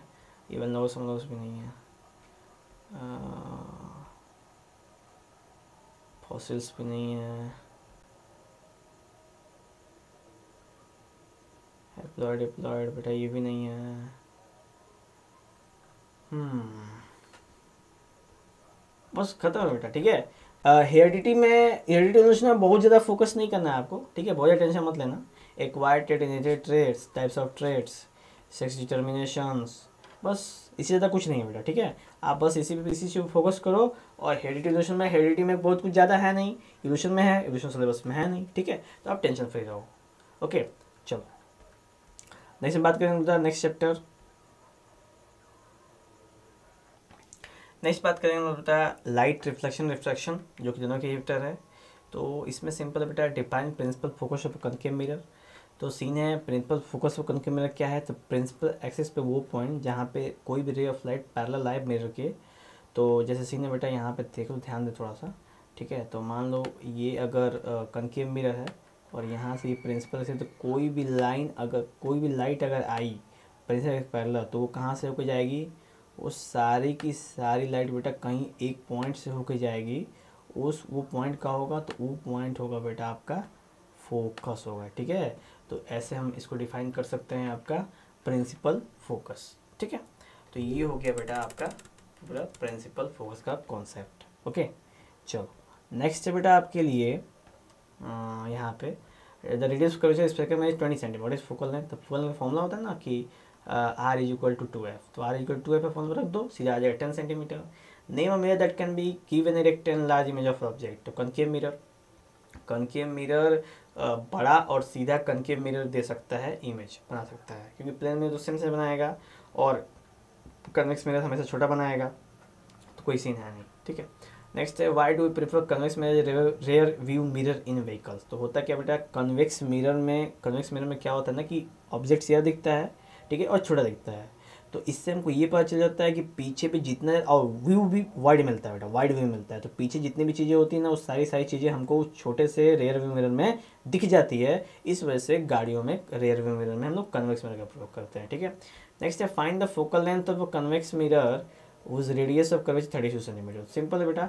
हम वही टू एफ़ का प्रयोग करेंगे R is equal to F तो यहाँ से भी हमको सोलह सेंटीमीटर मिल जाएगा। नेक्स्ट है, एक कनके में produce three times magnified real image of an object place ten centimetre in front of it यानी एक कनके मिरर है, जो three times in large real में आती है. यानी three times three X times तो इसका मैनिफिकेशन हो गया बेटा माइनस थ्री और रियल इमेज ऑफ़ ऑब्जेक्ट है तो ऑब्जेक्ट टेन सेंटीमीटर तो यूज़ माइनस टेन आप इसको सॉल्व कर दो तो आ जाएगा अपने माइनस थर्टी सेंटीमीटर ठीक है बेटा? फॉर्मूला होता है M is equal to minus B by U यहाँ पे देख लो यहाँ पे फॉर्मूला नोट है M is equal minus B by U आप इसको लगाओ और आपका आंसर आ जाएगा बेटा, ठीक है? और साथ में साइन कन्वेंशन ध्यान रखिएगा क्योंकि साइन कन्वेंशन बहुत ज़्यादा इंपॉर्टेंट है इस चीज़ के लिए। नेक्स्ट है a ray of light travelling in air enter of obligated into water does the right light ray bend towards the normal or away from the normal तो सीन है सबसे पहले बेटा कि लाइट रेयरर से डेंसर मीडियम में normal तरफ़ bend होती है। तो एयर रेयरर है और वाटर डेंसर है तो ज़रूर होगी। यस तो इसका आंसर होगा बेटा यस नेक्स्ट है लाइट की स्पीड ग्लास में कितनी होती है? तो देखो क्वेश्चन दिया है कि लाइट की स्पीड रिफ्रेक्टिव इंडेक्स दिया है वन पॉइंट फाइव और स्पीड ऑफ़ लाइट होती है three into ten for eight air में. तो फॉर्मूला होता है बेटा V is equal to N is V is equal to C by N ठीक है? जहाँ पे एन है रिफ्रेक्टिव इंडेक्स तो वी सी लाइट की स्पीड और नीचे डेढ़ डेढ़ दोनों तीन, आ गया आपका आंसर फट से, ठीक है?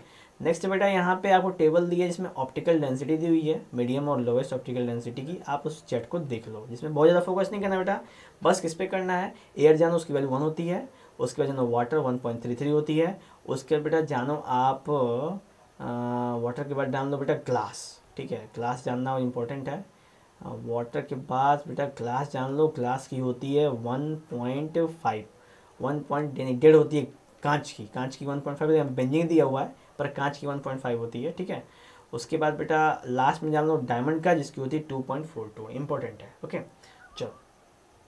नेक्स्ट बेटा आपका among the media given diamond has the highest optical density diamond की है, ठीक है? तो इसलिए इसका मैक्सिमम द गिन मीडिया और सबसे लीस्ट है आपका एयर का, जिसके अंदर सबसे कम है, ठीक है? You are given kerosene turpentine and water using the table given question three find which this does the light travel fastest यानी किसमें लाइट सबसे ज़्यादा फास्टेस्ट ट्रेवल करेगा। ठीक है बेटा? केरोसिन है टर्पेंटाइन है और वाटर है। ठीक है? ध्यान देते हैं हम लोग। केरोसिन है टर्पेंटाइन है और वाटर है। तो वाटर में रिफ्लेक्टिव इंडेक्स सबसे कम होगा बेटा। ठीक है? तो वाटर रिफ्लेक्टिव इंडेक्स कम है और अभी गौर करो रिफ्रैक्टिव इंडेक्स का जो फॉर्मूला है, वो वेलोसिटी से इन्वर्सली प्रोपोर्शनल है। ठीक है? तो अगर वेलोसिटी बढ़ेगी तो रिफ्रैक्टिव इंडेक्स घटेगा। इसका मतलब कि सबसे फास्ट लाइट होगी वाटर में, ठीक है? क्योंकि बाकी सबकी इंडेक्स क्या है? हाई है तो स्पीड घट जाएगी, ठीक है बेटा? चलो। नेक्स्ट है the refractive index of diamond is two point four two इसका मतलब क्या है? इसका मतलब ये है कि इसका refractive index two point two point four two है। टू पॉइंट फोर टू है तो इसके अंदर लाइट की स्पीड क्या होगी? सबसे कम होगी, यानी बहुत कम हो जाएगी, ठीक है? लाइट की स्पीड कम हो जाएगी लाइट बहुत स्लो इसके अंदर स्मोक करेगी। एक डायप्टर क्या होता है बेटा? तो एक डायप्टर है कि पावर ऑफ़ फोकल लेंथ यानी कि फोकल लेंथ वन मीटर की जो होता है, किसी भी लेंस का, उसको वन डायप्टर कहते हैं, ठीक है? बाकी न्यूमेरिकल है, आप न्यूमेरिकल इसके ऊपर ध्यान से देख सकते हो। न्यूमेरिकल में बस यही चीज़ है बेटा कि एक बार न्यूमेरिकल पढ़ लेना। मेन से ना कि अगर न्यूमेरिकल में कोई भी डाउट हो तो सबसे तुरंत में न्यूमेरिकल मत करो बेटा, ठीक है? न्यूमेरिकल के लिए आप न्यूमेरिकल के लिए भी आखिरी में समय दो, ठीक है? सब कुछ थ्योरी पूरा करने के बाद। नहीं तो ये फिर ये टाइम खींचेगा और आपका टाइम हो जाएगा नुकसान, ठीक है बेटा? तो उस पर बहुत ज़्यादा टेंशन नहीं लेना। छोटे मोटे न्यूमेरिकल तो आप निपटा सकते हो। जैसे आपको पावर बोला है ना तो पावर होता है वन अपन फोकल लेंथ यहाँ से निपटा लो, बात सिंपल ठीक है? नेक्स्ट बेटा हम बात करेंगे which of the following material can not be use to make lens कौन सा नहीं कर सकते? क्ले क्योंकि क्ले ट्रांसपेरेंट नहीं होता है, ठीक है? नेक्स्ट है the image formed by concave में observe to a virtual erect and large than the object where should position यानी कि पोल और फोकस के बीच में सिंपल ठीक है बेटा? नेक्स्ट है where should an object place in front of convection to get a real image of the size of the object यानी कन्वेक्शन में कहाँ रखा जाए भाई तो वहाँ पे रखा जाएगा option B at twice the focal length focal length पर ट्वाइस रख दो, आ जाएगा सेम साइज़ मिल जाएगा और रियल इन्वर्टर मिलेगा ठीक है? नेक्स्ट है, इस फिगर में देखिए थिन लेंस है each focal length of minus fifty the mirror would likely to be कौन सा होगा? भाई बोथ कंकेव लेंस है, दोनों दोनों कंकेव लेंस है, इस वजह से ऐसा हो रहा है, ठीक है? No matter how far stand from mirror your image appears erect the mirror is likely to be कौन कौन सा मिरर है? तो वो है बेटा आइदर प्लेन और कन्वेक्स यानी या तो प्लेन हो या तो कन्वेक्स हो दोनों केस में तुम कहीं भी खड़े रहो उसका इमेज हमेशा कैसा बनेगा बेटा? हमेशा सीधा ही बनेगा। ठीक है? ये बात कॉल करना। नेक्स्ट है which the following lens would you prefer to use while reading small letter found in dictionary simple बेटा सी ऑप्शन कन्वेक्स लेंस इसका focal length five centimetre okay चलो नेक्स्ट है बेटा आप क्या आ, इस पे सब पे ध्यान दीजिए बेटा ठीक है? इस पर सब पे ध्यान दीजिएगा, नहीं तो गड़बड़ हो जाएगा। नेक्स्ट है name the type of mirror use in following situation कौन कौन सा मिरर यूज़ होता है? तो headlight of a car mirror concave mirror use होता है हेडलाइट ऑफ़ कार मिरर में। साइड मिरर में कन्वेक्स मिरर होता है। और सोलर फर्नेस में बेटा कौन सा मिरर होता है? तो सोलर फर्नेस में आप देख लो, इसमें भी कंके मिरर का ही प्रयोग करते हैं, ठीक है? उसके बाद है आपका कि अगर एक आधा, मैंने एक लेंस का आधा भाग उसको कवर करिए ब्लैक पेपर से तो क्या वो image what will produce a complete image yes complete image बनाएगा क्योंकि इसका कोई फ़र्क उसके ऊपर नहीं पड़ने वाला, ठीक है? बाकायदे आप फेव बना के आप उसको दिखा सकते हैं, ठीक है? दिखा देंगे, मुँह बंद हो जाएगा नंबर दे देगा आपको, एकदम झकास वाला, कोई टेंशन नहीं है। आगे बढ़ा जाए, चलिए तो बेटा न्यूमेरिकल ये इसमें ज़्यादा ज़्यादा भर भर के ठीक है? बाकी उस पर कोई टेंशन नहीं है। मैनिफिकेशन प्रोड्यूस बाई प्लेन में प्लस वन इसका मतलब क्या? इसका मतलब ये कि जो उसका ऑब्जेक्ट है बेटा, उसका सेम साइज़ है इमेज का। ठीक है? सिंपल ज़्यादा बड़ा नहीं ना छोटा है। सेम साइज़ का है। ठीक है? चलो। नेक्स्ट है बेटा, आपके सामने एक चीज़ है बेटा एन e के जितने भी न्यूमेरिकल है ना लाइट के, वो कर जाना, ठीक है? एन e के न्यूमेरिकल लाइट के आप देख लेना। यहाँ पे मैंने आपके सामने से गुजार रहा हूँ, आप इसे देख सकते हो इम्पोर्टेंट है। सारे लाइट के एक एक बार पॉज करके देख लो तो आपको सारे सारे क्लियर हो जाएँगे, ठीक है? नेक्स्ट है बेटा आपके सामने। ये हो जाता है बेटा समाप्त, ठीक है? अब हम लोग बात करेंगे eye and the colourful next बेटा the human and the colourful world इसमें देख लो। What is mean by power of accommodation of the eye यानी क्या मतलब भैया इसका? इसका सीन है कि जो भी आँखों के लेंस है ना उसको जो एडजस्ट करता है फोकल लेंस से। कभी आप दूर देख लो कभी नज़दीक देख लो। इत, इतना जल्दी जल्दी जो अपना आई लेंस एडजस्ट कर रहा है फोकल लेंथ को इसी पावर को कहते हैं एकोमोडेशन ऑफ़ द आई ठीक है? पावर ऑफ़ एकोमोडेशन मान लो बेटा कोई है a person with myopic eye can not see object beyond one point two metre distance what should be the type of corrective lens कौन सा लेंस लगाएँगे भैया? मायोपिक वाले को तो वो लगाएँगे आप कनकेव लेंस दिमाग में रखना। मायोपिक को कनकेव लगाएँगे तो हाइट हाइपरमेट्रोपिया को लगाएँगे आप कन्वेक्स लगाएँगे, ठीक है? और जो प्रेस बायोपिया उसको दोनों लगा देंगे, कोई टेंशन नहीं है, बुढ़ापे वाले लोग हैं। नेक्स्ट है what is the far point near point human eye with normal vision तो जो नियर पॉइंट है, वो बेटा पच्चीस सेंटीमीटर और फार पॉइंट बेटा इन्फिनिटी ठीक है? नॉर्मल है नॉर्मल ही बात है। नेक्स्ट है student has difficult reading the blackboard while sitting in last row what could be the defect the student is suffering from ठीक है बेटा? तो ये मायोपिया सफरिंग है और इसके लिए जो लेंस लगेगा वो कौन सा होगा? तो कंकेव लेंस का हम लोग को उसमें प्रयोग करना है। नेक्स्ट बेटा आपका the human eye can focus object at different distance by adjusting focus length of the eye length this is due to this is due to accommodation simple आप पी ऑप्शन लगा दो बेटा, ठीक है? एकोमोडेशन ही तो करता है। The human eye form the image of object at its कहाँ पे इमेज बनता है भैया? तो यहाँ पे चारों में से डी पे ऑप्शन पे कॉर्निया रेटिना पे सॉरी रेटिना पे इमेज का फॉर्मेशन होता है। और इसके बाद बेटा the least distance distance vision for young adult with normal vision is about twenty five centimetre नहीं ट्वेंटी फाइव सेंटीमीटर ठीक है बेटा? सी ट्वेंटी फाइव सेंटीमीटर सबके लिए लिस्ट डिस्टेंस उतना ही होता है। बहुत ज़्यादा उसके ऊपर टेंशन नहीं लेना है। Next changing focal length of an eye lens is caused by the action of यानी कि जो भी फोकल में चेंजिंग होती है वो किसकी वजह से होती है? तो वो होता है बेटा सिलरी मसल सिलरी मसल्स उस पूरे लेंस को एडजस्ट करता है, तभी उसका फोकल क्या होता है? एडजस्ट हो पाता है बेटा, ठीक है? अब यहाँ पे आप नेक्स्ट देख लो बेटा, यहाँ पे एक क्वेश्चन है न्यूमेरिकल है। इसे देख लो, ये लेंस का एक न्यूमेरिकल यहाँ पे यहाँ पे डिस्टेंस विजन और नियर विजन की बातें कर रहा है, ठीक है? नेक्स्ट बेटा, आपका मेक अ डायग्राम यहाँ पे डायग्राम बनाना तो डायग्राम के देख लेना डायग्राम इंपॉर्टेंट है भैया उसको छोड़ नहीं सकते हम लोग। नेक्स्ट है आपके सामने बेटा why is normal eye not able to see clear the distance object closer than twenty five centimetre यानी closer than twenty five centimetre हमको नियर आई क्यों देख पाते? क्योंकि हमारा जो मसल्स है बेटा, जो स्लेरी मसल है, वो ज़्यादा कॉन्ट्रैक्ट नहीं कर पाता, एक सर्टेन लिमिट तक कॉन्ट्रैक्ट करता है। इस वजह से नॉर्मल जो जिनकी आँखें सही होती हैं, उनको पच्चीस सेंटीमीटर से नज़दीक में नहीं दिखता है, ठीक है? और अगर अगर उनको दिख रहा है इसका मतलब उनके, उनकी आँखों में धीरे धीरे डिफेक्ट का शुरुआत हो गई है, ध्यान देना, तनी खाना पीना शुरू करो तुम लोग, कुपोषण का शिकार होते जा रहे हो, ठीक है? हाँ तनी खाओ, पियो, तनी से मस्त रहो, एग्ज़ाम तो आते जाते रहेंगे, लेकिन ऐसा नहीं कि छोड़ देना, ठीक है? एग्ज़ाम को भी बढ़िया करके, तभी तो बढ़िया रिज़ल्ट आएगा, ठीक है? चलो नेक्स्ट है what happen to the image distance in eye with we increase distance of object from the eye तो क्या होगा? जैसे जैसे size of an eye can not be increase और डिक्रीज तो आई का साइज़ तो नहीं बढ़ सकता लेकिन जो इमेज डिस्टेंस है, वो रिमेन कॉन्स्टेंट रहेगा, ठीक है बेटा? क्या है? Image distance eye when we increase decrease of object from the eye यानी आई से जब उसकी दूरी और नज़दीकी हम बढ़ाएँगे तो उसके साइज़ में तो कोई फ़र्क तो आएगा नहीं, ठीक है? आएगा कहाँ से अंतर? तो उसकी दूरी में अंतर आएगा बेटा, कि वो कितना दूर है और कितना नज़दीक है, ठीक है? इस पर हम लोग बात कर सकते हैं। नेक्स्ट क्वेश्चन बनता है बेटा why do star twinkle star twinkle क्यों करते हैं? Due to atmospheric reflection simple answer यहाँ पे मैं मेंशन करता हूँ एटमोस्फेरिक रिफ्लेक्शन और इसको समझाने के लिए आप layer of air surrounding the earth जिनकी मीडियम किसी की डेंसर होती है किसी की रेयर होती है कंटिन्यूसली मोशन करते हैं इसलिए हमको ये जो स्टार होते हैं वो फेंटर दिखते हैं ठीक है? तो आप ऐसा देख सकते हो। नेक्स्ट है explain why the planet do not twinkle planet क्यों नहीं ट्विंकल करते हैं? तो बेटा क्या है कि स्टार्स के कंपेरिजन में प्लांट की जो साइज़ होती है आ, वो काफ़ी छोटी होती है। इस वजह से और प्लस वो काफ़ी नज़दीक होते हैं स्टार्स के मुकाबले। इस वजह से वो जितने भी प्लांट्स होते हैं, वो ट्विंकल हमें नहीं दिखते हैं, ठीक है?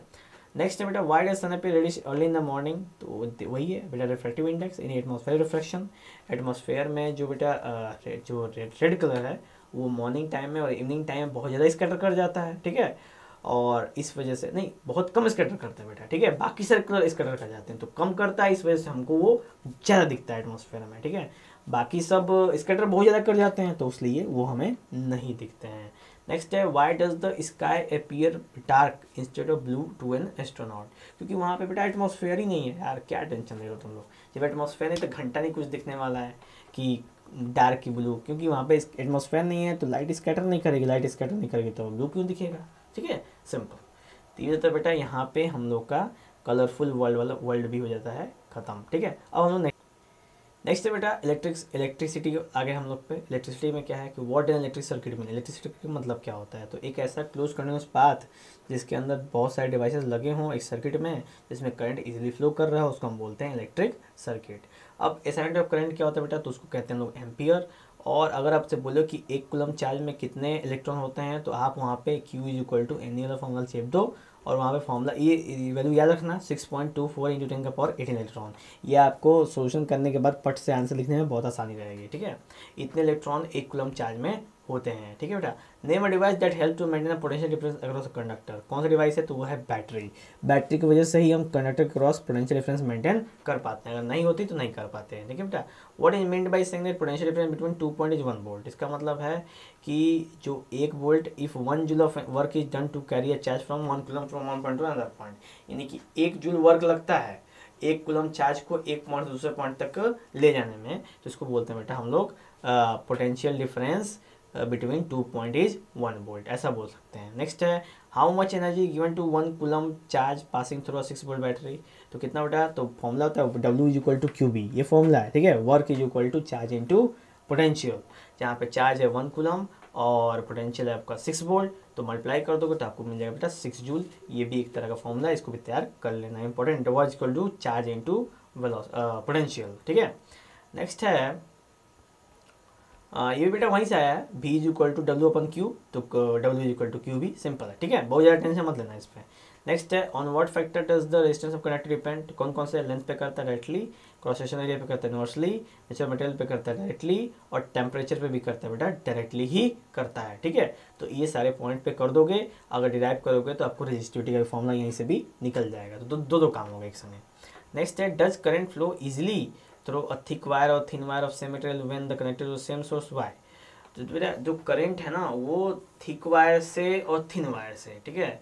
वो मोर इजीली फ्लो करेगा। थिक वायर से बहुत अच्छा फ्लो करेगा बजाय थिन वायर के। ऐसा क्यों? कि क्योंकि थिक वायर का रेजिस्टेंस क्या होता है बेटा? कम होता है क्योंकि उसका क्रॉस सेक्शन ज़्यादा है और थिन वायर का रेजिस्टेंस अधिक होता है क्योंकि उसका क्रॉस सेक्शन क्या है बेटा? कम है, ठीक है?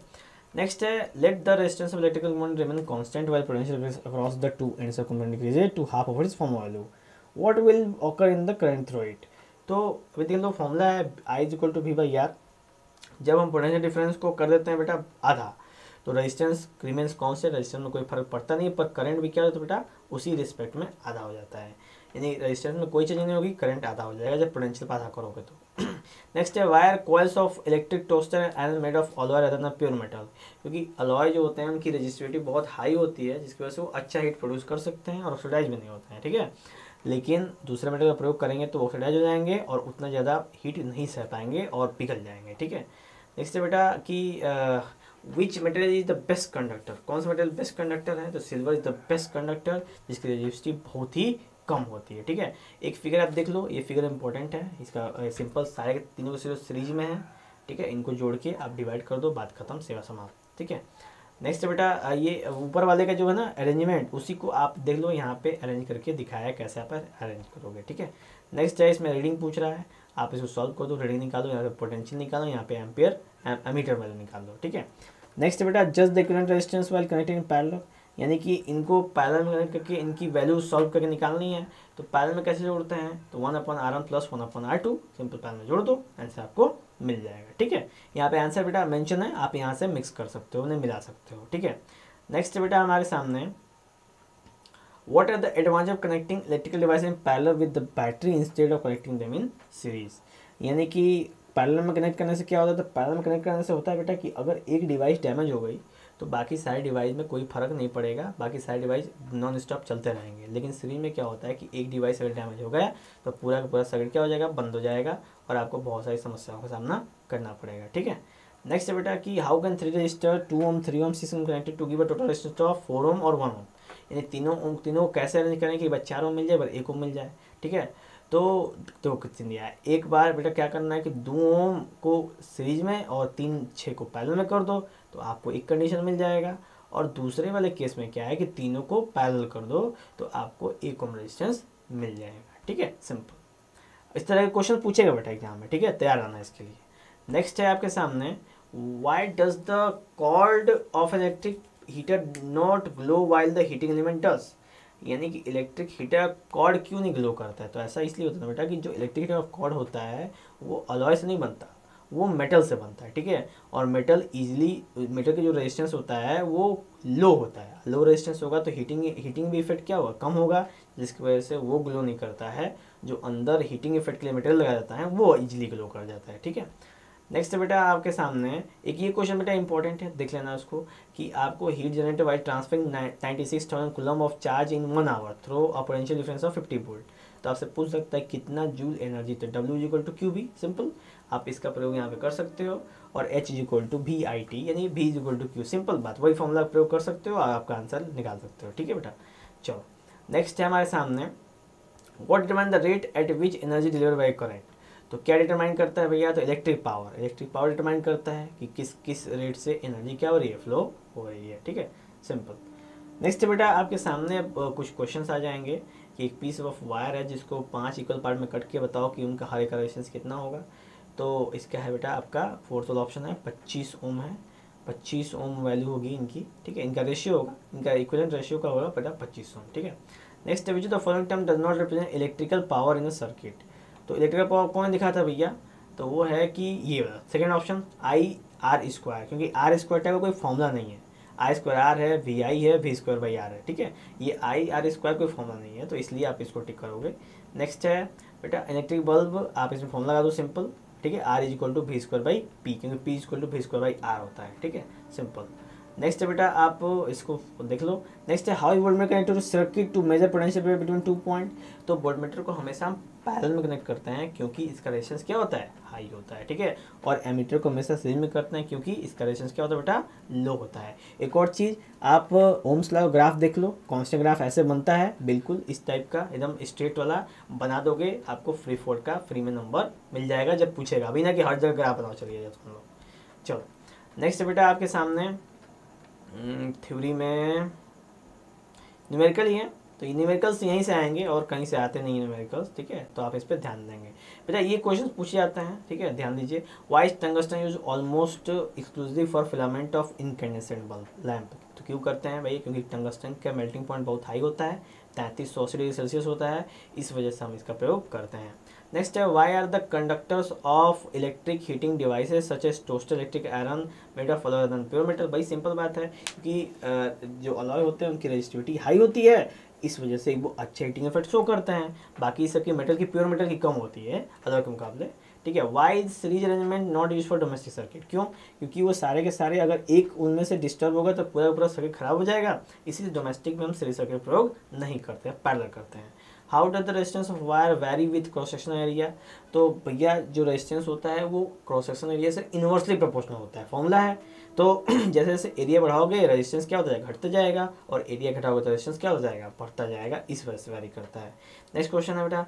Why are copper ammonium wires usually employed for electrical transmission तो कई सारे पॉइंट हैं। एक है लो रेजिस्टिविटी होती है और दूसरा है बेटा लो कॉस्ट आते हैं। इस वजह से हम इनका प्रयोग मतलब कि इलेक्ट्रिसिटी ट्रांसफ़र के लिए करते हैं, ठीक है? तो ऐसे करके बेटा, ये हमारा जो इलेक्ट्रिसिटी होता है, वो भी हो जाता है समाप्त। अब हम बात करेंगे नेक्स्ट पे। अब बात करते हैं बेटा मैग्नेटिक इफ़ेक्ट ऑफ़ करंट पे। तो मैग्नेटिक इफ़ेक्ट ऑफ़ करंट में है कि why does the compass needle get related when brought near bar magnet तो बेटा कंपास नीडल कंपास के अंदर पहले से एक मैग्नेट होता है और एक मैग्नेट को जब दूसरे मैग्नेट के पास लेके आओगे ना तो क्या होगा ना कि उसके अंदर डिफ्लेक्शन शुरू हो जाएगा। वो डिफ्लेक्शन हमको यहाँ पे देखने को मिलता है। अगर आपको बोले draw magnetic field line around a bar magnet तो आप सिंपल इस तरह का मैग्नेट बना देना। जहाँ पे नॉर्थ से निकलता है उस जगह क्या हो जाता है? मिक्स हो जाता है।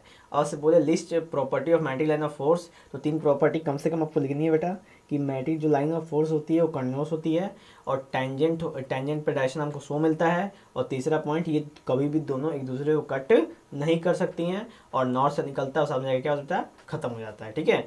नेक्स्ट है why do not two magnetic line of force intersect intersect तो क्यों? क्योंकि अगर दोनों इंटरसेक्ट करेंगी तो एक पॉइंट के दो डायरेक्शन हो जाएँगे और दो डायरेक्शन कभी पॉसिबल नहीं है। इस वजह से दोनों आपस में इंटरसेक्ट नहीं करते हैं। ठीक है? नेक्स्ट बेटा आपके सामने। आ, एक लूप है। Let the current pass through the loop clockwise apply the hand rule कोई बात नहीं है। इसमें क्या है बेटा कि magnetic field inside loop is permanent to the plane of the table downward direction तो अभी क्या बेटा मैं अपने आपको हाथ में दिखा नहीं सकता क्योंकि अभी तो वीडियो वाला मोड ऑफ़ है, ठीक है? तो आप सिंपल आप इसको, इस पर कोई दिक्कत नहीं, छोड़ दो बेटा, ठीक है? हम लोग आगे चर्चा करते हैं मेन इंपॉर्टेंट पे। Next is the magnetic field in given region uniform draw और डायग्राम टू रिप्रेजेंट इट तो आप देख सकते हो बेटा, सारे के सारे लाइन एक डायरेक्शन में है और बिल्कुल इक्वल पैरेलल हैं, इस वजह से यूनिफॉर्म है, ठीक है? नेक्स्ट है कि the magnetic field inside a straight long straight is solenoid current carrying conductor each कितना? तो वो है बेटा आपका degrees as you move toward Indians यानी कि जब जैसे जैसे हम सोनॉट के नज़दीक होते जाएँगे ना मतलब सोनॉट से दूर होते जाएँगे, वैसे वैसे हम उसकी जो स्ट्रेंथ होती है बेटा वो घटती जाती है, ठीक है? तो ये कारण है इसका मतलब कि सोनॉट का प्रयोग होने का। नेक्स्ट है which the property a proton can change when it moves freely in a magnetic field तो मोशन ऑफ़ चार्ज पर proton magnetic field is a circular path यानी जो का पाथ होगा बेटा, वो सर्कुलर पाथ में मूव करेगा। एक बात क्लियर है? और its velocity momentum can change यानी जो उसकी वेलोसिटी मोमेंटम होगी वो चेंज हो सकती है।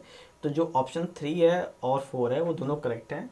यानी कि बेटा, जो प्रोटॉन में तीन और चार ऑप्शन क्या हो चेंज हो जाएगा। और मास और स्पीड उनकी होगी कॉन्स्टेंट ठीक है? सिंपल नेक्स्ट हम लोग बात करेंगे बेटा, कि एक positive charge particle projected towards west is deflected toward north by a magnetic field तो direction of magnetic field is यानी मैग्नेटिक फ़ील्ड का डायरेक्शन कितना होगा उन्हें कौन सा होगा? क्योंकि देखो, एक पॉजिटिव पार्टिकल है, जिसको हम वेस्ट की तरफ़ प्रोजेक्ट किए हैं। देखो वेस्ट की तरफ़ प्रोजेक्ट किए हैं बेटा मोशन ऑफ़ प्रोटॉन है। और is direct toward north by magnetic field और वो नॉर्थ की तरफ़ डिफ्लेक्ट हो गया मैटिक फ़ील्ड की वजह से, ठीक है? तो इसमें क्या है by Fleming left hand rule लगा दो बेटा, फ्लेमिंग लेफ़्ट हैंड रूल क्या बोलता है कि वो लेफ़्ट हैंड रूल लगाओ, thumb rule, left hand thumb rule तो या फिर आप वो लगा सकते हो बेटा, एक और सीन है फ्लेमिंग का लेफ़्ट हैंड जो लेफ़्ट हैंड रूल है जिसमें आप क्या कहते हैं, तीनों जब एक दूसरे के 90 डिग्री है, वहाँ पे लगा सकते हो बेटा, ठीक है? तो इसमें ऑप्शन फोर करेक्ट है, ये अपवर्ड जाएगा, ठीक है? वेस्ट में जा रहा है नॉर्थ में जा रहा है तो इसका डायरेक्शन क्या होगा बेटा? अपवर्ड होगा। आप यहाँ पे मैक्सवेल का लेफ़्ट हैंड रूल लगाओगे, जिसमें वर्क मैग्नेटिक फ़ील्ड और करंट तीनों के पॉइंट की बात की गई है तो आपको ये आंसर बिल्कुल मिल जाएगा, ठीक है? फ्लेमिंग का लेफ़्ट हैंड रूल क्या है? तो stage thumb forefinger centre finger of your left hand there are mutually perpendicular और फोर फिंगर क्या रिप्रेजेंट करेगा बेटा? Direction of magnetic field centre finger क्या रिप्रेजेंट करेगा? वो करेगा बेटा डायरेक्शन ऑफ़ करंट और थम क्या करेगा कि किस डायरेक्शन में फोर्स लगने वाला है, ठीक है? नेक्स्ट है बेटा प्रिंसिपल ऑफ़ मोटर वैसे मोटर तो सिलेबस में है नहीं, कोई इशू नहीं है। वैसे प्रिंसिपल मोटर किस पे वर्क करता है? तो इलेक्ट्रोमैटिक इंडक्शन पर वर्क करता है सिंपल कोई ज़्यादा इशू नहीं, ठीक बेटा? उस पर what is the role split ring ये भी कोई इशू नहीं है। नेक्स्ट है what is difference way to induce current in a coil तो क्या और तरीका है कॉयल इंड्यूस करने के करंट में? मतलब कि कॉयल में तो वो है कि जब हम किसी बार मैग्नेट को बेटा कॉयल के आसपास कॉयल के अंदर से मोशन करवाएँ तो उसके अंदर इंड्यूस करंट प्रोड्यूस होगा। ठीक है? तो ये तरीका है इंड्यूस करंट प्रोड्यूस करने का। नेक्स्ट है electric generator electromagnetic induction name some source of direct current हाँ बेटा डायरेक्ट करंट इंपॉर्टेंट है। ड्राई सेल है बैटरी है सोलर सेल है डीसी जनरेटर है, ये सब ड्राई करंट के लिए सोर्स हैं। और एसी जनरेटर के एसी करंट के सोर्स हैं एसी जनरेटर एसी करंट हमेशा एसी जनरेटर से ही प्रोड्यूस होता है। ठीक है? उसके बाद बेटा नेक्स्ट आप देख लो। नेक्स्ट है name two safety measure commonly use in electric circuit and appliances तो पहला इलेक्ट्रिक फ्यूज जिससे कि मतलब शॉर्ट सर्किट नहीं होगा और ओवरलोडिंग और दूसरा बेटा अर्थिंग कि एक्स्ट्रा करंट आ गया तो अर्थ में चला जाएगा और हमें एक्स्ट्रा शॉक नहीं लगेगा। ठीक है बेटा? नेक्स्ट है what precaution should be taken to avoid overloading domestic circuit तो इसलिए है कि एक ही सॉकेट में बहुत सारे अप्लायंसेस नहीं कनेक्ट करो और मतलब कि औकात देख के लगाओ कि एक बोर्ड की क्षमता कितनी है, ठीक है? और अलग अलग और भी अलग अलग बोर्ड खरीद लो यार, कहें को एक ही बोर्ड में मकचूसी किए हुए हो, ठीक है? चलो नेक्स्ट है which the following criteria describe the magnetic field near long straight current conductor तो कौन सा डिस्क्राइब कर रहा भैया? तो वो है fourth option the field consist of concentric circle यानी कि कोई भी अगर स्ट्रेट करेंट कंडक्टर है लॉन्ग तो उसमें उसके चारों तरफ़ जो फ़ील्ड बनेगा, कैसा बनेगा? कंसेंट्रिक बनेगा। यानी कि एक ही सेंटर से कई सारे सर्कुलर बनते हैं ना, वैसे बनेंगे बेटा, ठीक है? नेक्स्ट इलेक्ट्रोमैग्नेटिक इंडक्शन इज़ तो वो है प्रोड्यूसिंग इंड्यूस करेंट यानी इंड्यूस करेंट प्रोड्यूस होता है इलेक्ट्रोमैग्नेटिक इंडक्शन की वजह से, ठीक है? The device use to produce electric current कौन सा डिवाइस इलेक्ट्रिक करंट बनता है? तो वह है जनरेटर जनरेटर से हम इलेक्ट्रिक करंट बनाते हैं। डीसी हो तो डीसी जनरेटर एसी हो तो एसी जनरेटर ठीक है? नेक्स्ट है difference between AC generator and DC generator क्या डिफरेंस भैया तो वो है कि एसी जनरेटर के पास स्लिपरिंग होता है और डीसी वत कम्यूटेटर होता है। ये भी सिलेबस में नहीं है, कोई इशू नहीं है। Next at the time of short circuit the current in the circuit यानी कि शॉर्ट सर्किट टाइम में करंट क्या होता है बेटा? तो करंट होता है कि वो इंक्रीज कर जाता है, बहुत हैवीली यानी कि शॉर्ट हो जाता है आपस में लोड होता नहीं है शॉर्ट हो जाता है, बहुत ज़्यादा बढ़ जाता है, जिससे वहाँ पे आग लग जाती है। ठीक है? धुआँ धुआँ हो जाता है पूरा। नेक्स्ट है इलेक्ट्रिक मोटर कन्वर्ट ये भी नहीं है बेटा, इलेक्ट्रिक जनरेटर ये भी नहीं है। सेंटर छोड़ दो। A wire with a green insulation is usually live the usually the live wire. गलत है, ये फॉल्स है, क्योंकि ग्रीन कलर का जो भी इंसुलेशन होता है बेटा, वो ग्राउंड शो करता है, ठीक है? और रेड कलर का शो करता है लाइव वायर, और ब्लैक कलर का शो करता है न्यूट्रल वायर, ठीक है? दिमाग में रखिएगा। नेक्स्ट है बेटा आपका how does solenoid behave like a mat तो सोनॉट कैसे बिहेव करता है? तो सोनॉट सेम बिहेव करता है बेटा बार मैनेट के लिए ठीक है? क्योंकि इसकी भी सेम प्रॉपर्टी होती है जैसी बार मैनेट होती है क्योंकि बारह मैनेट में नॉर्थ पोल से मैटिफिल निकलता है और साउथ मिल जाता है और ऐसा ही सोनॉट के संग भी होता है बेटा ठीक है? नेक्स्ट है आप देख सकते हो हम्म, हाँ यहाँ मोटर अभी सिलेबस में नहीं है बेटा मोटर आपकी ठीक है? कोई इशू नहीं है। Name some device in which electric motor use छोड़ दो इसको छोड़ दो छोड़ दो छोड़ दो। कोई इशू नहीं है। मोटर है मोटर है। और एक क्वेश्चन है वाई इलेक्ट्रिक हाँ why does an electric short circuit occur तो जब लाइव वायर न्यूट्रल वायर आपस में डायरेक्ट कॉन्टेक्ट में आ जाता है ना, तब शॉर्ट सर्किट होता है। तो ये क्वेश्चन पूछ सकता है, ठीक है? What is the function of earth wire तो अर्थ वायर क्या फ़ंक्शन है? तो अर्थ वायर को हम सेफ्टी मेजर तौर पर यूज़ करते हैं। और इसका प्रयोग कब करते हैं? तो इसका प्रयोग तब करते हैं जब सीन हो जाता है कि बहुत ज़्यादा मतलब कि बेटा कि ऐसा हो जाता है कि बहुत ज़्यादा हैवी अप्लाइंसेस है घरों में और इलेक्ट्रिक करंट अगर बॉडी में आ जाएगा तो शॉर्ट लग सकता है। तो इस वजह से हम ग्राउंडिंग का प्रयोग करते हैं ऑर्थो का प्रयोग करते हैं, जिससे किसी को भी इलेक्ट्रिक शॉक ना लगे बेटा, ठीक है? और ऐसे बेटा इलेक्ट्रिक करंट हो जाता है समाप्त, ठीक है? अब हम लोग बात करेंगे बेटा नेक्स्ट की। तो बेटा हम लोग बात करने वाले हैं अभी कि आवर इनोमेंट जो सबसे आखिरी चैप्टर है, ठीक है? तो अभी क्या है why are some substance biodegradable and some are non biodegradable तो कौन से सब्सटेंस बायोडिग्रेडेबल कौन से नॉन बायोडिग्रेडेबल है? तो जो भी सब्सटेंस ग्रीन होते हैं ना, वो सारे से बायोडिग्रेडेबल होते हैं। जो भी सब्सटेंस सड़ गल जाते हैं, वो सारे से बायोडिग्रेडेबल होते हैं। और नॉन बायोडिग्रेडेबल जो सड़ते गलते नहीं हैं, और जो पोल्यूशन पहुँचाते हैं सारे सारे नॉन बायोडिग्रेडेबल जैसे प्लास्टिक हो गया। और बायोडिग्रेडेबल में जैसे कि केले का छिलका, जितने भी छिलका वाले प्लांट हैं, पेड़, पौधे, फूल, पत्तियाँ, ये सब सब बायोडिग्रेडेबल में आते हैं बेटा, ठीक है? इसमें कम से कम तीन तीन एग्ज़ाम्पल आपको मेंशन करने हैं तो तीन तीन एग्ज़ाम्पल आप मेंशन कर देंगे, ठीक है? Give two ways in which biodegradable wastage would affect the environment यानी कौन कौन सा तरीका है जिससे कि बायोडिग्रेडेबल वेस्ट इन्वायरमेंट को अफेक्ट कर सकते हैं? तो पहला है कि अगर हम उसको अच्छे से नहीं मतलब कि डिस्पोज करेंगे बेटा तो वो एक प्रदूषण का कारण बन सकता है और उसका यूज़ कंपोस्टिंग के तौर पे हम करते हैं, जिससे सॉइल की फर्टिलिटी क्या होती है? बढ़ती है, ठीक है? नेक्स्ट बेटा, हमारे सामने बात करेंगी। One a two ways in which non biodegradable substance would affect the environment यानी पहले बायोडिग्रेडेबल था अब नॉन बायोडिग्रेडेबल तो देखो, ये क्या करता है? ये ये सड़ता गलता तो है नहीं तो ये कॉन्टेमिनेट कर देता है। सॉइल ख़राब कर देता है, पानी खराब कर देता है और पोल्यूशन कर देता है। दूसरा है, ये रेडियो एक्टिव होते हैं और ये ह्यूमन लाइफ को काफ़ी खतरनाक तौर पर इम्फेक्ट कर सकते हैं, ठीक है? नेक्स्ट बेटा ट्रॉफिक लेवल्स क्या हैं? तो ट्रॉफिक लेवल्स हैं कि बहुत सारे फ़ूड फ़ूड चेन के अंदर बहुत सारे लेवल्स बने हुए हैं, जिसके अंदर मतलब हर एक लेवल पे सबकी स्पेसिफिक वैल्यू है। जैसे कि सबसे पहले क्रास है, उसके बाद डियर है, उसके बाद लॉयन है, ठीक है बेटा? ये सारे के सारे हैं। अब इसमें से गायब हो गए हैं। वो सारे सारे, जैसे क्या हो गया बेटा ना, कि डियर ने ग्रास को खा गया और डियर को लॉयन खा गया। अब लॉयन को बैक्टीरिया फंगी मार गए। तो इसलिए कोई बचा नहीं ना बेटा, इसलिए फ़ोटो नहीं है उसमें, ठीक है? दिल पे मत लेना आप लोग। तो ये सीन है। तो अब देखो जैसे ये ट्रॉफी लेवल में बेटा ना कि अलग अलग जैसे एक लेवल दो लेवल तीन लेवल तो ये सबका लेवल बना हुआ है, ठीक है? कि भाई जैसे कि इसको प्राइमरी कहेंगे, इसको सेकेंडरी बोलेंगे, इसको टर्शियरी टर्शरी बोलेंगे तो तीन लेवल बनी हुई हैं। अब उन लेवल को बोलते हैं बेटा ट्रॉफिक लेवल्स मैंने अलग अलग लेवल्स को क्या बोलते हैं लोग? ट्रॉफिक लेवल्स का दर्जा दिया गया है, ठीक है? नेक्स्ट है what is the role of decomposing ecosystem तो डीकम्पोजर काम होता है कि जो भी जो भी थर्ड एंड टर्शरी टर्शरी जो हैं टर्शरी जो मतलब कि कैसे लेवल टर्शरी में आते हैं, उनको कोई खाता होता है नहीं, ठीक है? तो उनको वापस से इकोसिस्टम बैलेंस करने के लिए डिकम्पोजर्स बनाए हैं हमारे नेचर ने और डिकम्पोजर्स क्या करते हैं? पूरा सड़ा रहा ख़त्म कर देते हैं और फिर से इस मिट्टी में मिला देते हैं, ठीक है? तो मिट्टी में मिल जाते हैं बात खत्म से समाप्त हो जाती है उनकी।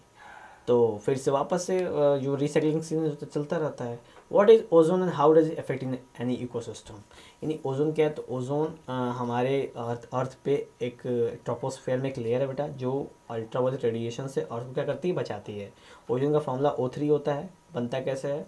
तो जब ओ टू के ओ जुड़ता है तो ओ थ्री बन जाता है ओजोन मॉलिक्यूल और ये हमारे अर्थ को बहुत से अर्थ के साथ तो हमें बच, बचाता है मतलब कि रेडिएशन के हार्मफुल रेडिएशन जो यूवी रेडिएशन होते हैं, ठीक है?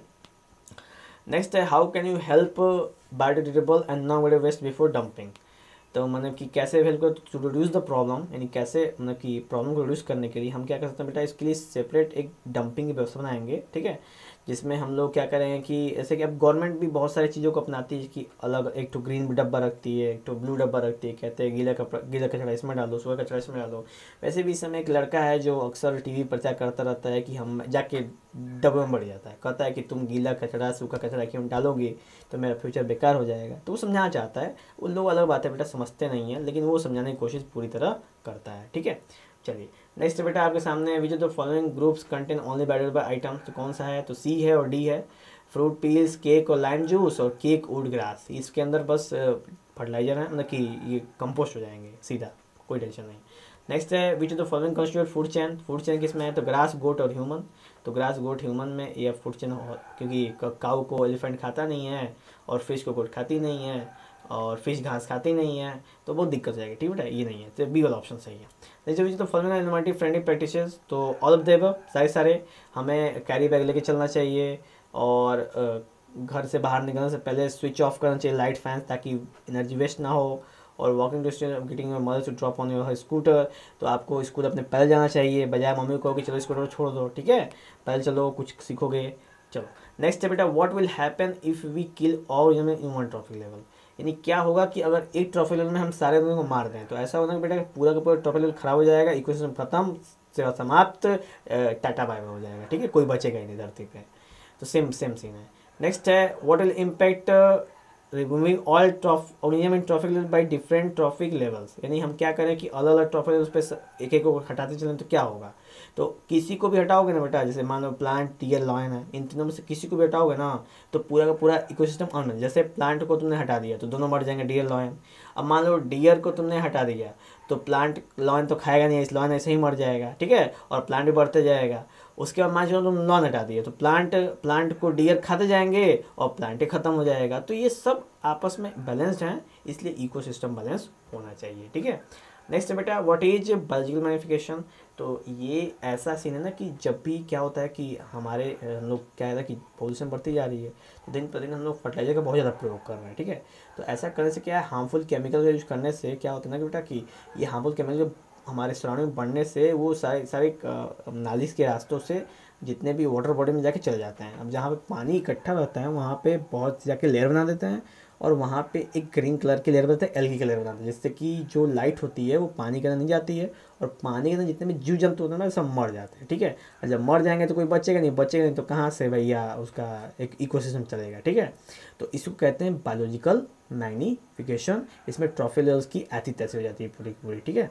इसमें हार्मफुल केमिकल की ज़िम्मेदारी है, लेकिन कोई लेता ही नहीं है, ठीक है? चलो नेक्स्ट बात करेंगे बेटा हम लोग water problem cause by non biodegradable waste यानी कि नॉन बायोडेबल वेस्ट से क्या प्रॉब्लम होती है? तो उससे क्या होता है कि भैया इन्वायरमेंट हमारा ख़राब होता रहता है इकोसिस्टम हमारा अनबैलेंस होता है, बहुत ज़्यादा समस्याएँ होती है। जैसे एक और वेस्ट है फर्टिलाइज़र है पेस्टिसाइड है वीडिसाइड्स है, ये सॉइल को ख़त्म करते जा रहे हैं और एक समय ऐसा सॉइल रहेगा ही नहीं, फिर खाएँगे क्या? धुआँ धुआँ पिया जाएगा, मिट्टी उठा के खाई जाएगी, ठीक है? वजह से मिट्टी भी खाने लायक रहेगी नहीं तो क्या खाओगे? चलो, सोच के बताना। नेक्स्ट है if all the waste we generate is biodegradable देखो ये चैप्टर ना बेटा, इसके अंदर आप थोड़ा अपना मोरल चिप सकते हो। मान चलो कि आपने एग्ज़ाम में आप गए, वहाँ पे पेपर दे रहे हो और आपको समझने कि हम क्या लिखे हैं। जानते हो ये ऐसी, ऐसे टॉपिक्स हैं जो हमारे आसपास हो रही हैं। तो आप अपने आसपास होने वाली चीज़ों को भी उसके अंदर मैंशन करोगे ना तो कोई दिक्कत नहीं है, चल जाता है, कोई इशू नहीं है। आपको नंबर मिलेगा, क्योंकि ऐसा चैप्टर में है ना कि आप कुछ चेप सकते हो इसमें, ठीक है? अब ऐसा मत चिप देना कि गाना चिप देना, ठीक है? अभी मत कि ना तो पटक के मर गया स्टॉक हो जाए गाना वाना काम नहीं, फालतू काम है वो, ठीक है? चलो। नेक्स्ट है bio waste will be recycled easily bio waste को बेटा इजीली रिसाइकल कर सकते हैं डिकम्पोज कर सकते हैं बैक्टीरिया फंगी से इसलिए इन्वायरमेंट क्या रहता है, उससे क्लीन रहता है और ग्लोबल वार्मिंग में ग्लोबल वार्मिंग में कोई ज़्यादा बढ़ोतरी उसकी वजह से नहीं होती है। ठीक है बेटा? चलो नेक्स्ट है why is damage to ozone layer cause for concern तो भैया ओजोन लेयर धीरे धीरे खत्म हो रहा है क्योंकि हम कंटिन्यूसली बहुत सारी चीज़ों का प्रयोग कर, जैसे सीएफसी का प्रयोग कर रहे थे क्लोरोफ्लोरोकार्बन का, अपने A C fridge washing machine में।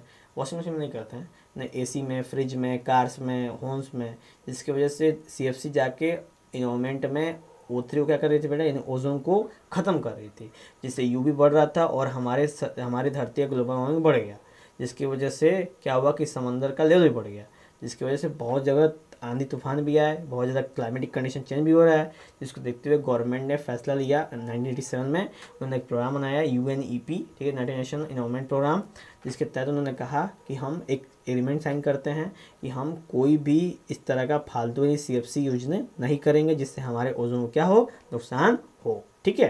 तो ये थे कुछ स्टेप सीरियस जो मतलब कि बेटा उस कहते हैं, जो जितने भी गवर्नमेंट है उन्होंने लिए थे अपने कंट्री को, अपने वर्ल्ड को बचाने के लिए। ठीक है? वो अलग बात है कि लोग पगलाते जा रहे हैं सबको मैंने मार्स पे जाना है तो जुपिटर पे जाना है तो सैटन पे जाना है, समझ में नहीं आता क्या हो रहा है। अर्थ पे इन्वेस्ट करो। अर्थ खुद बची रहेगी तो बहुत हर जगह जाना, ठीक है? तो ये तो बेटा हम लोग का आखिरी टॉपिक और यहाँ पर हो जाता है ये चैप्टर समाप्त। और ये सारे के सारे बेटा बहुत ही इंपॉर्टेंट इन सारे क्वेश्चंस में कुछ न्यूमेरिकल थे जिसको हमने खाली बस आपके सामने लोड किया है। आप उन सारे न्यूमेरिकल्स को गौर करो, ठीक है? गौर करो, देखो, और कोई प्रॉब्लम हो तो आप हमें कमेंट बॉक्स कर सकते हो। सकते समय लगे तो हम आपको ज़रूर बताएँगे, ठीक है?